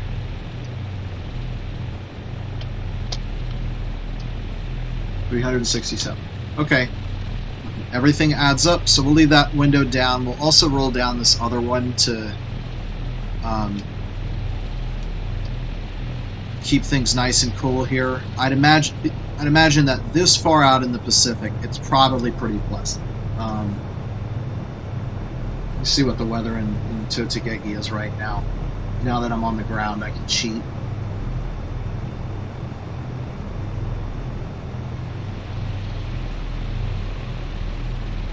Let's see, looks like 25 degrees centigrade, so that's right about room temperature and the dew point is 20 so that's that's about 60 60 some.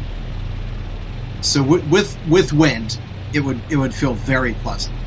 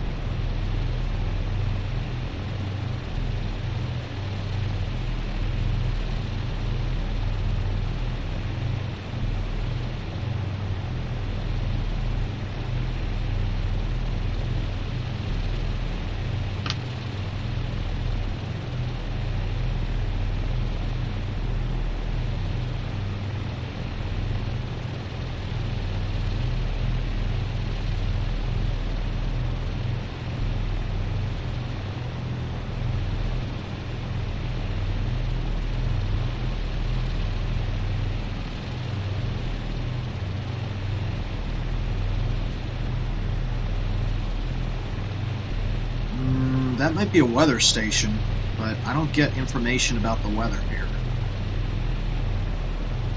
Um, I didn't see anything behind me.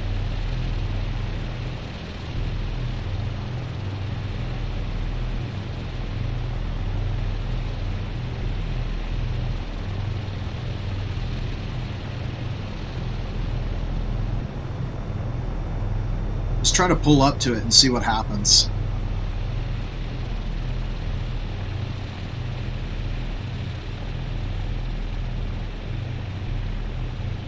Okay, you are not the pup.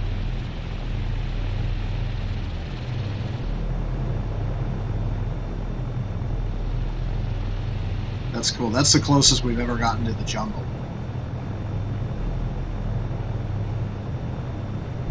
I'm ready for this thing to end, so let's really kick it up here and get moving.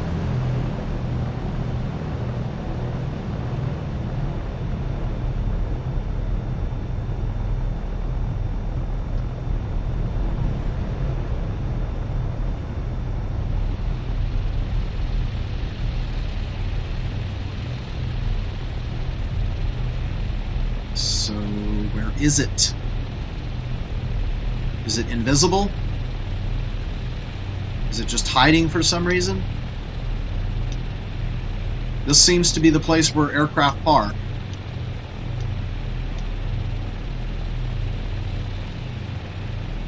Okay, it's not invisible here.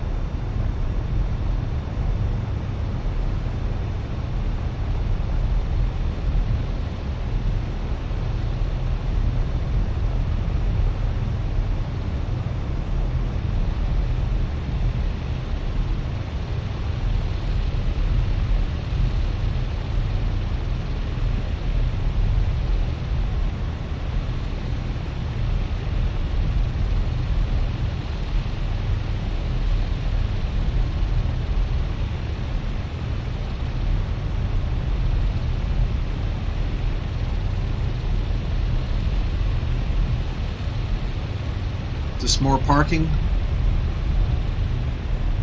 Mm, doesn't look like it. Alright.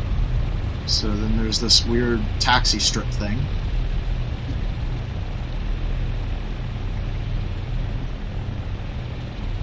Whoa, skidding a little bit. It's my fault being a little bit too aggressive on the controls.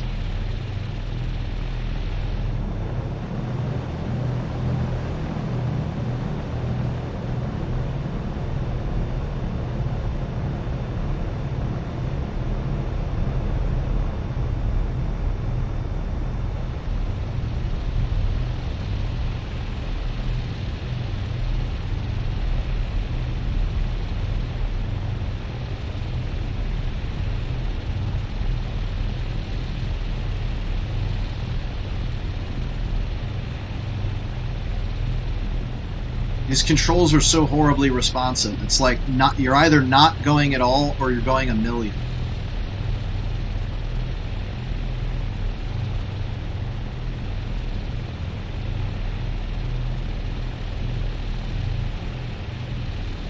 Alright, is this it?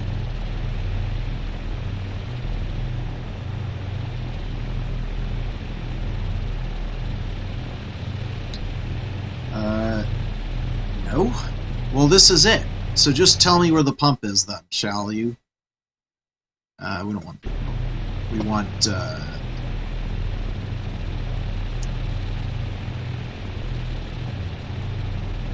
go to airport. There we go.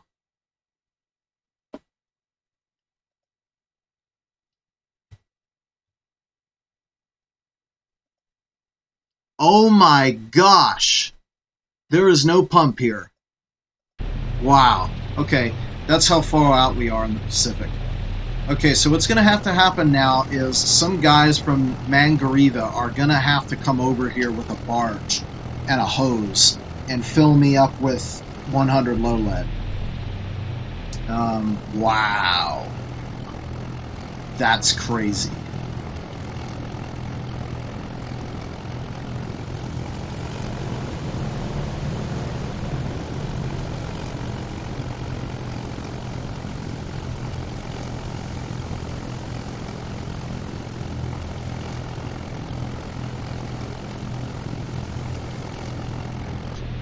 That's pretty nuts. That's how far out we are. Uh-oh, cumulonim or uh, cumulus congestus. That means there's a storm forming. Good thing we're on the ground. Um, okay, let's end this thing.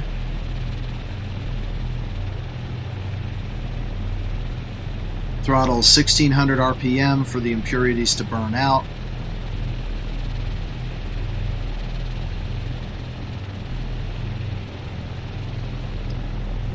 Return the throttles to 1200 RPM.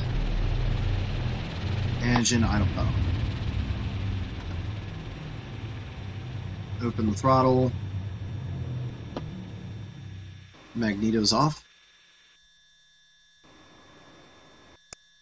Let's see, cockpit heat is off.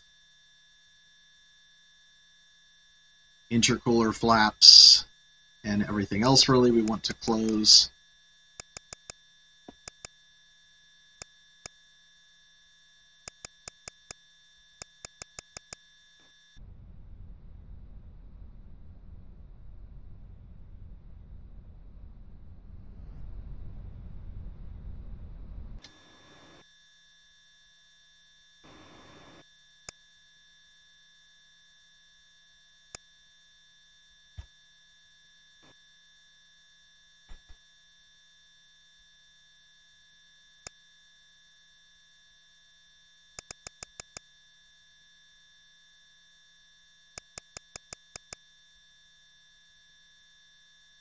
Good.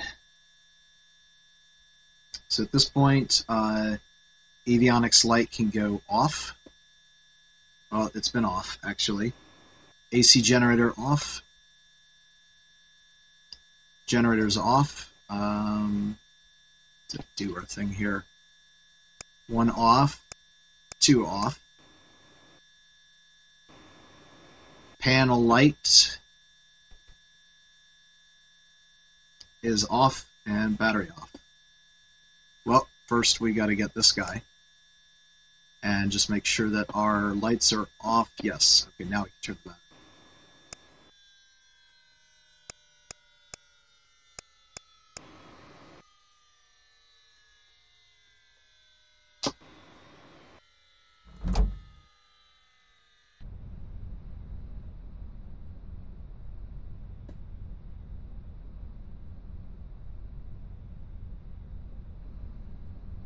The chocks showing up?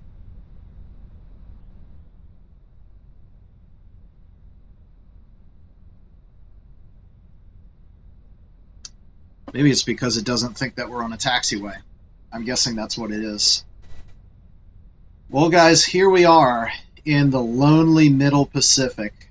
Uh, we are so far out now that the islands are so small that I can see the breaking waves. We've come with to within a few yards of entering a crazy jungle. I can see water all the way around now, except just a little bit. Nice and scenic. If it were toasty and hot, you could go over there and um, relax in the uh, beach. Although I would pick this beach because this is the one that faces the lagoon. This one's probably going to have the destructive waves. Um, so it looks like we're really low too, which um, yeah, we're 15 feet above sea level. So, guys, this is almost as crazy as it gets. There's no there's no fuel pump here. We're actually going to have to get um, to get a uh, a barge from from Mangareva with with some 100 low lead in it to be able to fill up again. Um, so yeah, things are really crazy. Other than that, my navigation went well.